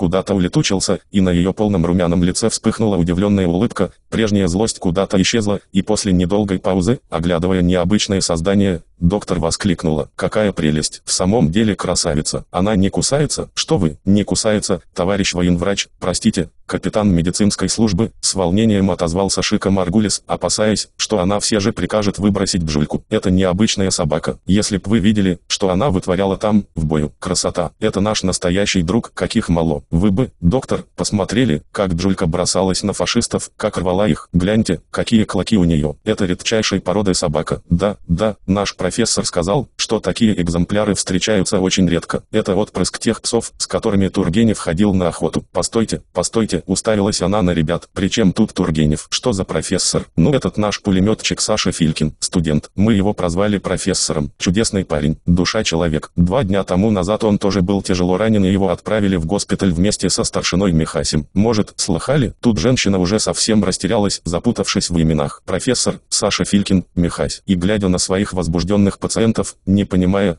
к чему они все это ей объясняют, сказала. Рокоссовский, Жуков, Конев, Горбатов, Василевский, о них я слышала, а вот уж извините, дорогие, Михась, Саша Филькин и кто-то там еще, не слыхала по своей отсталости, съязвила она. Но честное слово, доктор, вмешался в Асадаладзе, редкая собака. Мы не шутим, Шика ее на манеж собирается потащить, в цирк с клоуном. Все это хорошо и мило, но скажите мне, как можно вести в санитарном поезде, где столько раненых, где такая теснота, собаку, Пусть она даже будет из своры самого Льва Николаевича Толстого. Наше начальство увидит здесь эту, как ее, Джульку, и мне будет большая неприятность. Придется с ней распрощаться, хотя жаль. Товарищ докторша, вмешался дядя Леонтий, не обижайте. Пусть Джулька едет с нами. Это наша общая просьба. Прибудем на место и что-то придумаем. Уважьте, пусть остается с нами. Увидев молящие глаза старого солдата, доктор пожала плечами, не представляя себе, как быть? Все-таки жаль было выбросить посреди поля это славное животное, но с другой стороны, она растерялась. Не хотелось причинять еще большей горечи и боли этим измученным людям, но также понимала, что, если начальство обнаружит собаку в вагоне, без неприятностей не обойтись. В купе вошли две сестры, принесли в ведрах суп, кашу, хлеб, чтобы накормить людей. Девчонки, увидев Джульку, завизжали от страха и чуть было не уронили свою тяжелую ношу, ведра с супом, замерли, боясь двинуться с места, но, увидав, как доктор гладит собаку по красивой длинной шерсти, немного успокоились и занялись своим делом. Наполнив полные миски раненым, они достали помятую алюминиевую миску и налили также супу с мясом четвероногому пассажиру. Джулька обрадовалась и, не заставляя себя долго просить, принялась за еду. Она ела быстро, аппетитно, все еще с опаской посматривая на пухлую докторшу, словно понимала, что от этой женщины, которая, правда, несколько подобрела к ней, зависит ее судьба. Джулька чувствовала, что опасность миновала, ее не вышвырнут из вагона, и уже не возражала, когда санитарки стали ее гладить. А тем временем в купе набилось народу из ходячих раненых сестер. Все смотрели с восхищением и интересом на эту красавицу, громко расхваливая ее на все лады. Постепенно стали привыкать к четвероногому пассажиру и уже не шарахались от нее, как раньше, гладили и ласкали, щедро угощали. И она с благодарностью принимала еду из рук окружающих. Когда поезд останавливался на большой станции, сестры и ходячие раненые выводили Джульку на прогулку, но она не отходила далеко от своего вагона, не задерживалась на свежем воздухе, опасаясь, что поезд может уйти, она отстанет от него и снова очутится между небом и землей. Джулька почти на каждой остановке соскакивала с поезда. Побегав немного, отряхнувшись, подышав свежим воздухом и проделав свои немудреные дела, тут же вскакивала обратно, подбегала к своим друзьям, терлась у их ног, лизала длинным языком их руки, щеки, ластилась к ним, а то и вовсе подбиралась под их одеяло и притворялась спящей. Вскоре Джулька в вагоне обрела много друзей, к ней быстро привыкли, щедро кормили и поили, делились с ней своими скромными пайками. Она веселила и забавляла сестер, врачей, раненых, и это доставляло людям немало радости, а радость, как известно, помогает лечению. Она стала неотъемлемой частью этого длинного движущегося санитарного поезда, который быстро двигался на восток страны. Понятно было отныне одно. Для Джульки, кажется, опасность миновала. Теперь ее уже никто не прогонит. Это безмерно радовало Шику Маргулиса, Васадаладзе и дядю семьи Антия, которые больше всего беспокоились о своей спутнице. Намного легче стало от того, что им уже нечего было беспокоиться и волноваться за ее судьбу. 14. Время шло быстро, но, опережая время, мчался этот разрисованный огромными красными крестами, запаленный в степях и опаленный тревожными фронтовыми дорогами поезд. С каждым часом Джулька себя здесь чувствовала вольготнее, свободнее. Она обрела новых друзей не только среди раненых, но и среди сестер, врачей, санитаров и уже никого не боялась, не сторонилась. Наоборот, стала себя чувствовать подлинной хозяйкой. Правда, одного человека она все же боялась не на шутку, начальника поезда. Это был рослый, полный человек с солидным животом, очень сердитый и крикливый. На его мясистом курносом носу сидели черные очки, под которыми бегали чертики, и к тому же у него свисали черные усы, которые делали его еще суровее, чем он был на самом деле. То, что этот грозный с виду человек Джульке с первого знакомства не понравился, было еще полбеды. Даже то, что он к месту и не к месту обрушивался на сестер и врачей, тоже можно было бы с горем пополам пережить. Большая у человека ответственность. Но беда в том, что у начальника была противная привычка. Когда он на кого-то кричал, то не только строил страшные рожи, кривился и гримасничал, но еще ко всему этому махал ручищами. Джульке это совершенно не нравилось. И, как-то заметив, что начальник набросился на двух сестер, тех самых, которые каждый день так щедро кормили и поили ее, а также на толстую врачиху в высоком колпаке, с которой Джулька после некоторых неприятных встреч все же подружилась, так зарычала на начальника, показав ему свои клыки, что тот от страха весь сжался. Счастье, что одна из сестер успела поднести начальнику порошок, иначе, кто знает, смог ли бы он довести поезд до места назначения. Начался переполох. Шутка ли сказать, набрасываться на самого главного в поезде человека, которого все боялись, старались меньше попадаться ему на глаза. Джулька сразу почуяла, что допустила непоправимую оплошность и отныне ее судьба ломаного гроша не стоит. Поэтому виновато прижалась к полу, опасливо забралась под полку, дрожа всем телом, уставив на начальника умоляющие черные как смоль глаза. А начальник, успокоившись малость после такого перепуга, раскричался пуще прежнего, прав правда, руками больше не размахивал. «Что это у вас в вагоне здесь происходит?» — кричал он. «Что здесь у вас?» — спрашиваю. «Санитарный вагон или псарня?» Забаву себе нашли в такое время. Делать вам нечего, немедленно вышвырнуть собаку из вагона, чтобы духу ее больше не было. Слышите, в каком таком военном уставе или медицинских циркулярах читали вы, что в санитарных поездах надлежит возить собак? Да еще вот таких злых. Что у вас происходит? На что это похоже? Все молчали, со страхом смотрели на разъяренного начальника, не представляя себе, как к нему подступиться. Но, когда тот немного успокоился, выпустил весь свой словесный заряд, осторожно стали просить его, чтобы сменил гнев на милость. Это, мол, Джулька его просто не узнала, поэтому так опрометчиво поступила. Раненые и сестры наперебой просили неумолимого начальника простить Джульку, она, мол, больше не будет. Они за нее ручаются. Как можно такую красавицу прогнать? Ведь она сопровождает своих хозяев и друзей в госпиталь. Она с ними была на переднем крае. Это не обычная собака. Это потомок псов, с которыми еще Тургенев ходил на охоту. Вот доберутся до места назначения, определят раненых в госпиталь, тогда разберутся также с Джулькой. Она здесь никому не мешает и ничье место не занимает. Наоборот, ребятам и персоналу с ней веселее в пути. Но сердитый начальник был непоколебим, он и слышать не хотел всего этого. Его приказ был окончательным, не терпящим никаких возражений. Выгнать из вагона Джульку и прекратить разговоры о ней. Больше всех были огорчены Шика, Васа и дядя Леонтий. Столько пройдено пути, вот еще день, еще два, и они будут у цели. И вдруг такой злой приказ. Где же правда, где справедливость? Не иначе, как Джулька поняла, что из-за нее идет спор, и надолго забралась под полку, в свое укрытие, спряталась, притаилась и уже старалась меньше бегать по коридору, меньше бросаться в глаза, а когда чувствовала, что приближается к купе сердитый начальник, замирала в своем укрытии и не дышала. На следующий день начальник неожиданно отменил свой строгий приказ, выполняя просьбы сестер и раненых. Больше того, Джулька ему тоже начало нравиться. С опаской, правда, гладил ее, даже намекнул, что имеет большое желание вообще оставить собаку при себе. Джулька все время будет ездить в поезде на фронт, а оттуда в далекий тыл, сопровождая раненых, а когда война кончится, заберет ее к себе домой, в Тамбов. Это заявление безмерно радовало всех обитателей вагона. Все поняли, что туча, нависшая над Джулькой, рассеялась, и она мгновенно учуяла. Ей больше нечего прятаться от начальника. Она отныне является полноправным членом общества, и ни одна душа больше не отважится обидеть ее или прогнать. Нужно добавить ко всему сказанному, что только лишь первые двое суток Джулька пряталась, боялась, ожидая каждый раз какой-то напасти, ее ведь могли в любую минуту вышвырнуть из вагона. Потом, Почувствовав себя увереннее, она уже перестала прятаться, начала помогать раненым. Когда что-то падало с полок, она тут же подбегала, подбирала вещь зубами и относила неподвижно лежащему хозяину. Сопровождала сестер, когда они разносили раненым пищу, часто хватая в зубы кошелку или ведро и помогая нести по вагону. Она также охраняла ведра с едой и продуктами, дабы никто не хватал без разрешения сестер то, что не положено. И, наблюдая, как Джулька старается всем помочь, как она суетится, окружающие весело смеялись, а этот смех лечил раненых, пожалуй, лучше, нежели все лекарства и уколы. Некоторые стали чувствовать себя намного лучше, глядя на это действительно необычное существо. Когда Джулька ходила по длинному коридору вагона, она почему-то у всех вызывала добрую улыбку, добродушные шутки, остроты. Все к ней за эти дни так привыкли, что, казалось, они едут вместе уже давно и никогда не смогут расстаться. Джулька, видя, что все сопровождающие раненых сильно озабочены, трудятся, что-то делают, и сама старалась не сидеть без дела, чем-нибудь быть полезной людям, не есть даром свой кусок хлеба с супом, что ей три раза в день,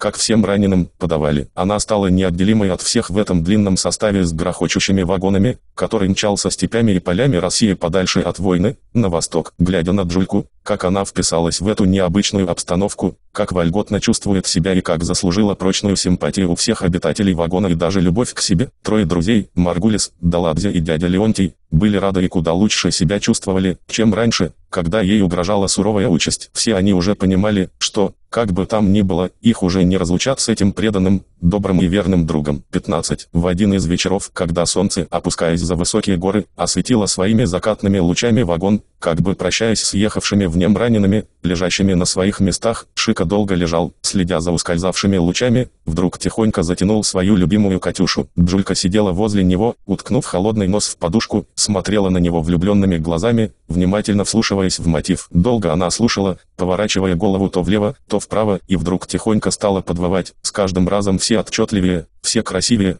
такт. Циркач обалдел от восторга. Он подумал, что это она случайно стала подтягивать знакомый мотив и утих. Утихла и Джулька. Подождав немного, Шика снова стал тихонько напевать, а Джулька тут же подхватила мотив, но теперь это у нее получилось еще лучше, точнее. И так повторялось несколько раз. Шика Маргулис обрадовался и размечтался. Джулька, видно, уже предчувствует конец войны, скоро отправится с ним в школу доучиваться. И он представил себе, как будет выступать с нею на манеже. Свободной рукой он обнял Джульку, прижал к своей перебинтованной груди и стал ее ласкать. Снова запел Катюшу, а она тут же вторила ему. Услышав этот необычный концерт, сошлись в купе сестры, ходячие раненые, Пришла толстая докторша, они уселись где попало и с восторгом слушали, как Джулька подпевает Маргулису. «Ты что, Шика?» – спросил с верхней полки дядя Леонтий. «Уже начинаешь репетировать с Джулькой, хитрун. Научишь ее петь, и нам придется тебе уступить собаку. Что ж, батя, пора готовиться к мирной жизни, к мирному труду. Скоро уже войне конец», – сказал Шика. «Только бы врачи нас поставили на ноги». Он продолжал тихо петь, а Джулька на свой лад подпевала ему. Слух о том, что собака, которая едет в этом поезде, поет Катюшу, прошел по соседним вагонам, и все, кто мог ходить, пришли, чтобы послушать импровизированный концерт. Сердитый начальник поезда тоже поспешил туда, опустился на краешек полки, где лежал Шика Маргулис, внимательно вслушивался в знакомую мелодию. Он покачал головой, и крупное, чисто выбритое лицо его расплылось в добродушной улыбке. Вот это номер. Такие правы ребята, необычная собака. Впервые вижу и слышу, чтобы собака пела песню, да так верно. Что ж вы хотите, товарищ начальник, отозвался дядя Леонтий. Кто-то из нашинских, говорят, даже когда-то блоху подковал всему миру на удивление. А вот Шика Маргулис, если вы его хорошо отремонтируете и поставите на ноги, когда-нибудь с этой Джулькой на манеже вам покажет, что такое толковый пес, что ты. Правда? Кто же он, циркач? Дрессировщик? Акробат? Удивленно уставился на солдата начальник. А вы как думали? Важно ответил дядя Леонтий. Это не простой парень, наш Шика. Можно сказать, знаменитость. Вернее, собирается после войны стать знаменитостью. До войны не успел доучиться на клоуна. Не прошел, значит, до конца весь курс. Вот какая карусель. Собирается, если жив будет, продолжать учебу. Подумав с минуту, продолжил. А пока что там, на переднем крае, Наш Шика Маргулис был не клоуном, а временно дрессировщиком. Как это, дрессировщиком? Да так, усмехаясь, вставил Васадаладзе, из своего пулемета дрессировал он фрицев. Так дрессировал, что перья с них сыпались. Он им хороший урок преподал. И не только им, а также их клятым танкам. Джулька уже не отходила ни на шаг от полки Шики Маргулиса и, когда он перестал петь, тормошила его лапой, требовала продолжать. И он, превозмогая боль, тихонько пел, а Джулька вторила, вызывая восхищение у окружающих. Со второй полки свесился пожилой бородатый сержант, который за всю дорогу и слова не промолвил, а теперь вдруг отозвался. «Это хорошо, землячек», обратился он к Маргулису, «хорошо, что научил собаку петь. Если тебя в цирк и не допустит, ты с такой собакой все равно не пропадешь. Сможете давать концерты по всем дворам, на всех перекрестках, деньгу зашибешь на пропитание. Что ты мелешь? Отозвался кто-то из соседнего купе. Тоже придумал. По дворам они будут ходить. С таким певцом-помощником Шики откроют не только двери наших цирков, но и всех домов культуры, театров. Мировой номер у них будет. Шутишь, солдаты Джулька будут петь Катюшу. Да это настоящая сенсация. Чтоб я помер, если вру. Молодчина, Шика, вставил кто-то из сестер. Если долго нам еще ехать, не то что петь научишь Джульку, но и плясать, говорить. Окружающие еще долго зубоскалили, шутили, перебрасывались репликами, но ясно было одно. Отныне Джулька всем стало еще милее и приятнее. И когда начальник повторил, что такую умную собаку он готов оставить при себе, окончится война, забрать ее в Тамбов, не выдержала толстая докторша. Если уж на то пошло, то я первая увидела Джульку,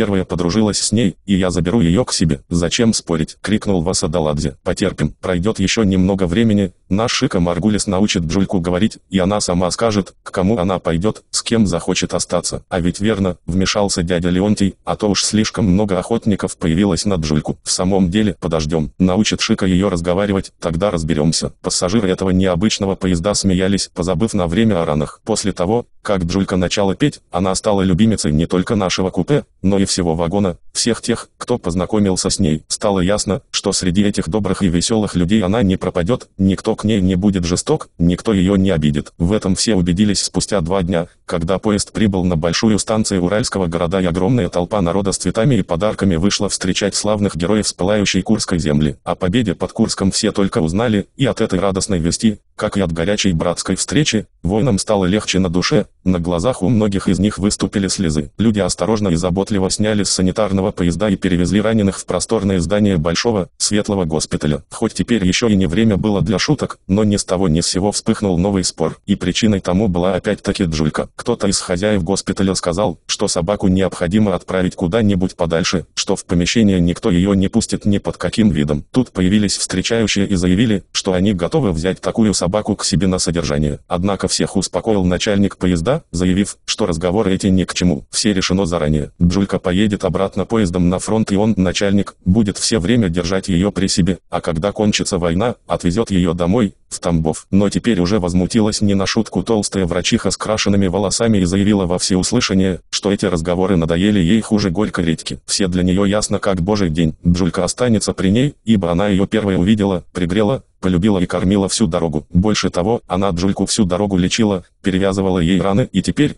когда Джулька почти уже в полном здравии, находятся люди, собирающиеся ее присвоить. Так не пойдет. Появилось еще несколько желающих взять к себе Джульку, но ее подлинные хозяева прислушивались к спорщикам и только улыбались. Мол, кричите себе, сколько вашей душе угодно. Джулька давно уже знает, с кем ей остаться. И в самом деле, Джулька сама разрешила этот спор. Когда прибыла санитарная машина и подняли туда дружную троицу на носилках, Шику Маргулиса, Васадаладзе и дядю Леонтия, Джулька, не дожидаясь особого приглашения, сразу же выбрала выбралась из тесного кольца любопытных и зевак, которые ее окружили со всех сторон, и одним махом влетела в машину, устроилась довольно-таки удобно рядом со своими друзьями, словно сказав этим, «Знаете что, мои дорогие люди, не приставайте ко мне и не морочьте головы, сама знаю, с кем должна остаться, вас я вижу впервые, а вот этих, моих добрых друзей, отлично знаю, с ними была в самые тяжкие дни жизни, и отстаньте от меня». Санитарная машина мчалась на всех парах через огромный мирный город к госпиталю, и снова бедной Джульке довелось хлебнуть горя. Друзей внесли в просторную палату, а ее, Джульку, дежурная сестра и на порог не пустила. В самом деле, где это видано, чтобы в таком заведении водились собаки? Не помогли ни просьбы, ни мольбы раненых. Несколько часов Джулька бегала вокруг здания и истошно выла, и этот вой ложился тяжким камнем на сердца ее друзей. Ее гнали, швыряли в нее чем попало, а она все не убегала, продолжала выглядывать, искать дядю Леонтия. Только под утро произошла их встреча. Он вынес ей за ворота госпиталя миску супа, накормил и познакомился со старичком-сторожем, который у самых ворот занимал просторную будку с продавленным диваном. По просьбе дяди Леонтия, Джулька здесь недурно устроилась, а немного погодя, когда ее узнали, привыкли и полюбили, стала каждый день украдкой бегать в палату к своим друзьям. Таким образом, и, здесь появилось у нее немало поклонников и поклонниц. Люди ей были рады, подбрасывали поесть, и вскоре ее трудно было узнать. Окрепла, поправилась и вся как-то преобразилась, почувствовав себя в глубоком тылу вне опасности. Потянулись долгие-долгие бессонные ночи борьбы врачей и сестер за жизнь и здоровье воинов, привезенных сюда на лечение. Ребятам по ночам чудилось, что скоро залечатся раны и они смогут вернуться в строй. Здесь, в светлой и просторной палате, в далеком от фронта городе, хватало времени для дум и размышлений и каждый строил свои планы. Но планы планами, а мечты оставались мечтами. Мешало то, что зависело не от них. Странное дело, за годы войны они не знали, что значит крыша, теплая, мягкая подушка, тишина и уют. Доводилось обманывать сон на часок-другой где-то в мокром лесу, на холодной хвое, перебираться по грудь в воде через реки и болота. Они сидели или лежали в глубоких снегах, на свирепом морозе, окутанные вьюгой, лежали под палящим знойным солнцем и мокли под проливными дождями и, странное дело, никто из них не болел, все легко преодолевали любую боль, привыкли к старым ноющим ранам, некогда было там обращать внимание на них, а вот здесь, в этой чистой просторной палате, вдруг отозвались все прежние боли и болезни, давали себя знать все полученные в боях увечья, и никто не мог в точности сказать, сколько времени придется лежать в плену у врачей, под ножом у хирургов. Видимо, надолго довелось им поселиться здесь, в отдаленном от войны Уральском госпитале. Они все меньше бредили по ночам во сне, меньше мысленно ходили в контратаке, реже выползали из траншеи с гранатами в руках навстречу вражеским танкам. О последних схватках с коварным врагом там, далеко под Курском, в небольшой траншее, им напоминала каждый раз Джулька, которая то и дело прибегала к ним в палату, глядела на них скорбными глазами, в ожидании, когда они уже выберутся из этой палаты и вместе с ней отправятся туда, где они с ней были недавно и где, несмотря на все опасности и невзгоды, было как-то легче, чем здесь, среди стонов, плача и острого запаха хлороформа. Там осталось много друзей, остались прекрасные леса, и простор небес, и пение соловьев в предрассветный час, а когда наступала тишина, можно было захлебнуться от воздуха. Да, хотя тут было не опасно, хоть пушки не стреляли, не гремели танки и самолеты, жизнь все равно была там и только там, и тянула туда, как магнитом. А они, прошедшие сквозь огонь и смерть, чудом оставшиеся в живых солдаты, в минуты, когда боли ослабевали и возвращалось ясное сознание, лежали прикованные к своим койкам и мечтали, каждый о своем. А Джулька не переставала бегать к ним, высматривать, внюхивать, не собираются ли в обратную дорогу. Она привыкла к своему родному краю, а здесь ей все было чуждо. Правда, этот добрый старичок-сторож ухаживал за ней, кормил и поил, уступал иногда свой продавленный диван, но все же какая-то неведомая сила влекла ее туда и только туда. Весь этот мирный уют и сытую жизнь она отдала бы за то, чтобы снова вернуться в свой любимый, хотя и истерзанный, опаленный войной, родимый край. Эпилог. Да, немногим из нашей небольшой дружной и веселой семьи суждено было дожить до радостных мирных дней, до конца войны. Некоторые из нас еще долгие месяцы мучились в отдаленных от фронтовых дорог госпиталях. У кого раны зажили, те возвратились в свою часть, с боями дошли до Берлина и были участниками и свидетелями разгрома фашистских орд на их земле. Другие полегли в боях уже перед самым окончанием войны, так и не дожив до Дня Победы. Многие остались на всю жизнь инвалидами, и им пришлось прибегнуть к помощи костылей и мотоколясок. А кому суждено было, пройдя весь тяжкий путь войны, возвратиться живыми и почти невредимыми домой. У каждого была своя судьба, от которой, как говорится, не уйти. А те,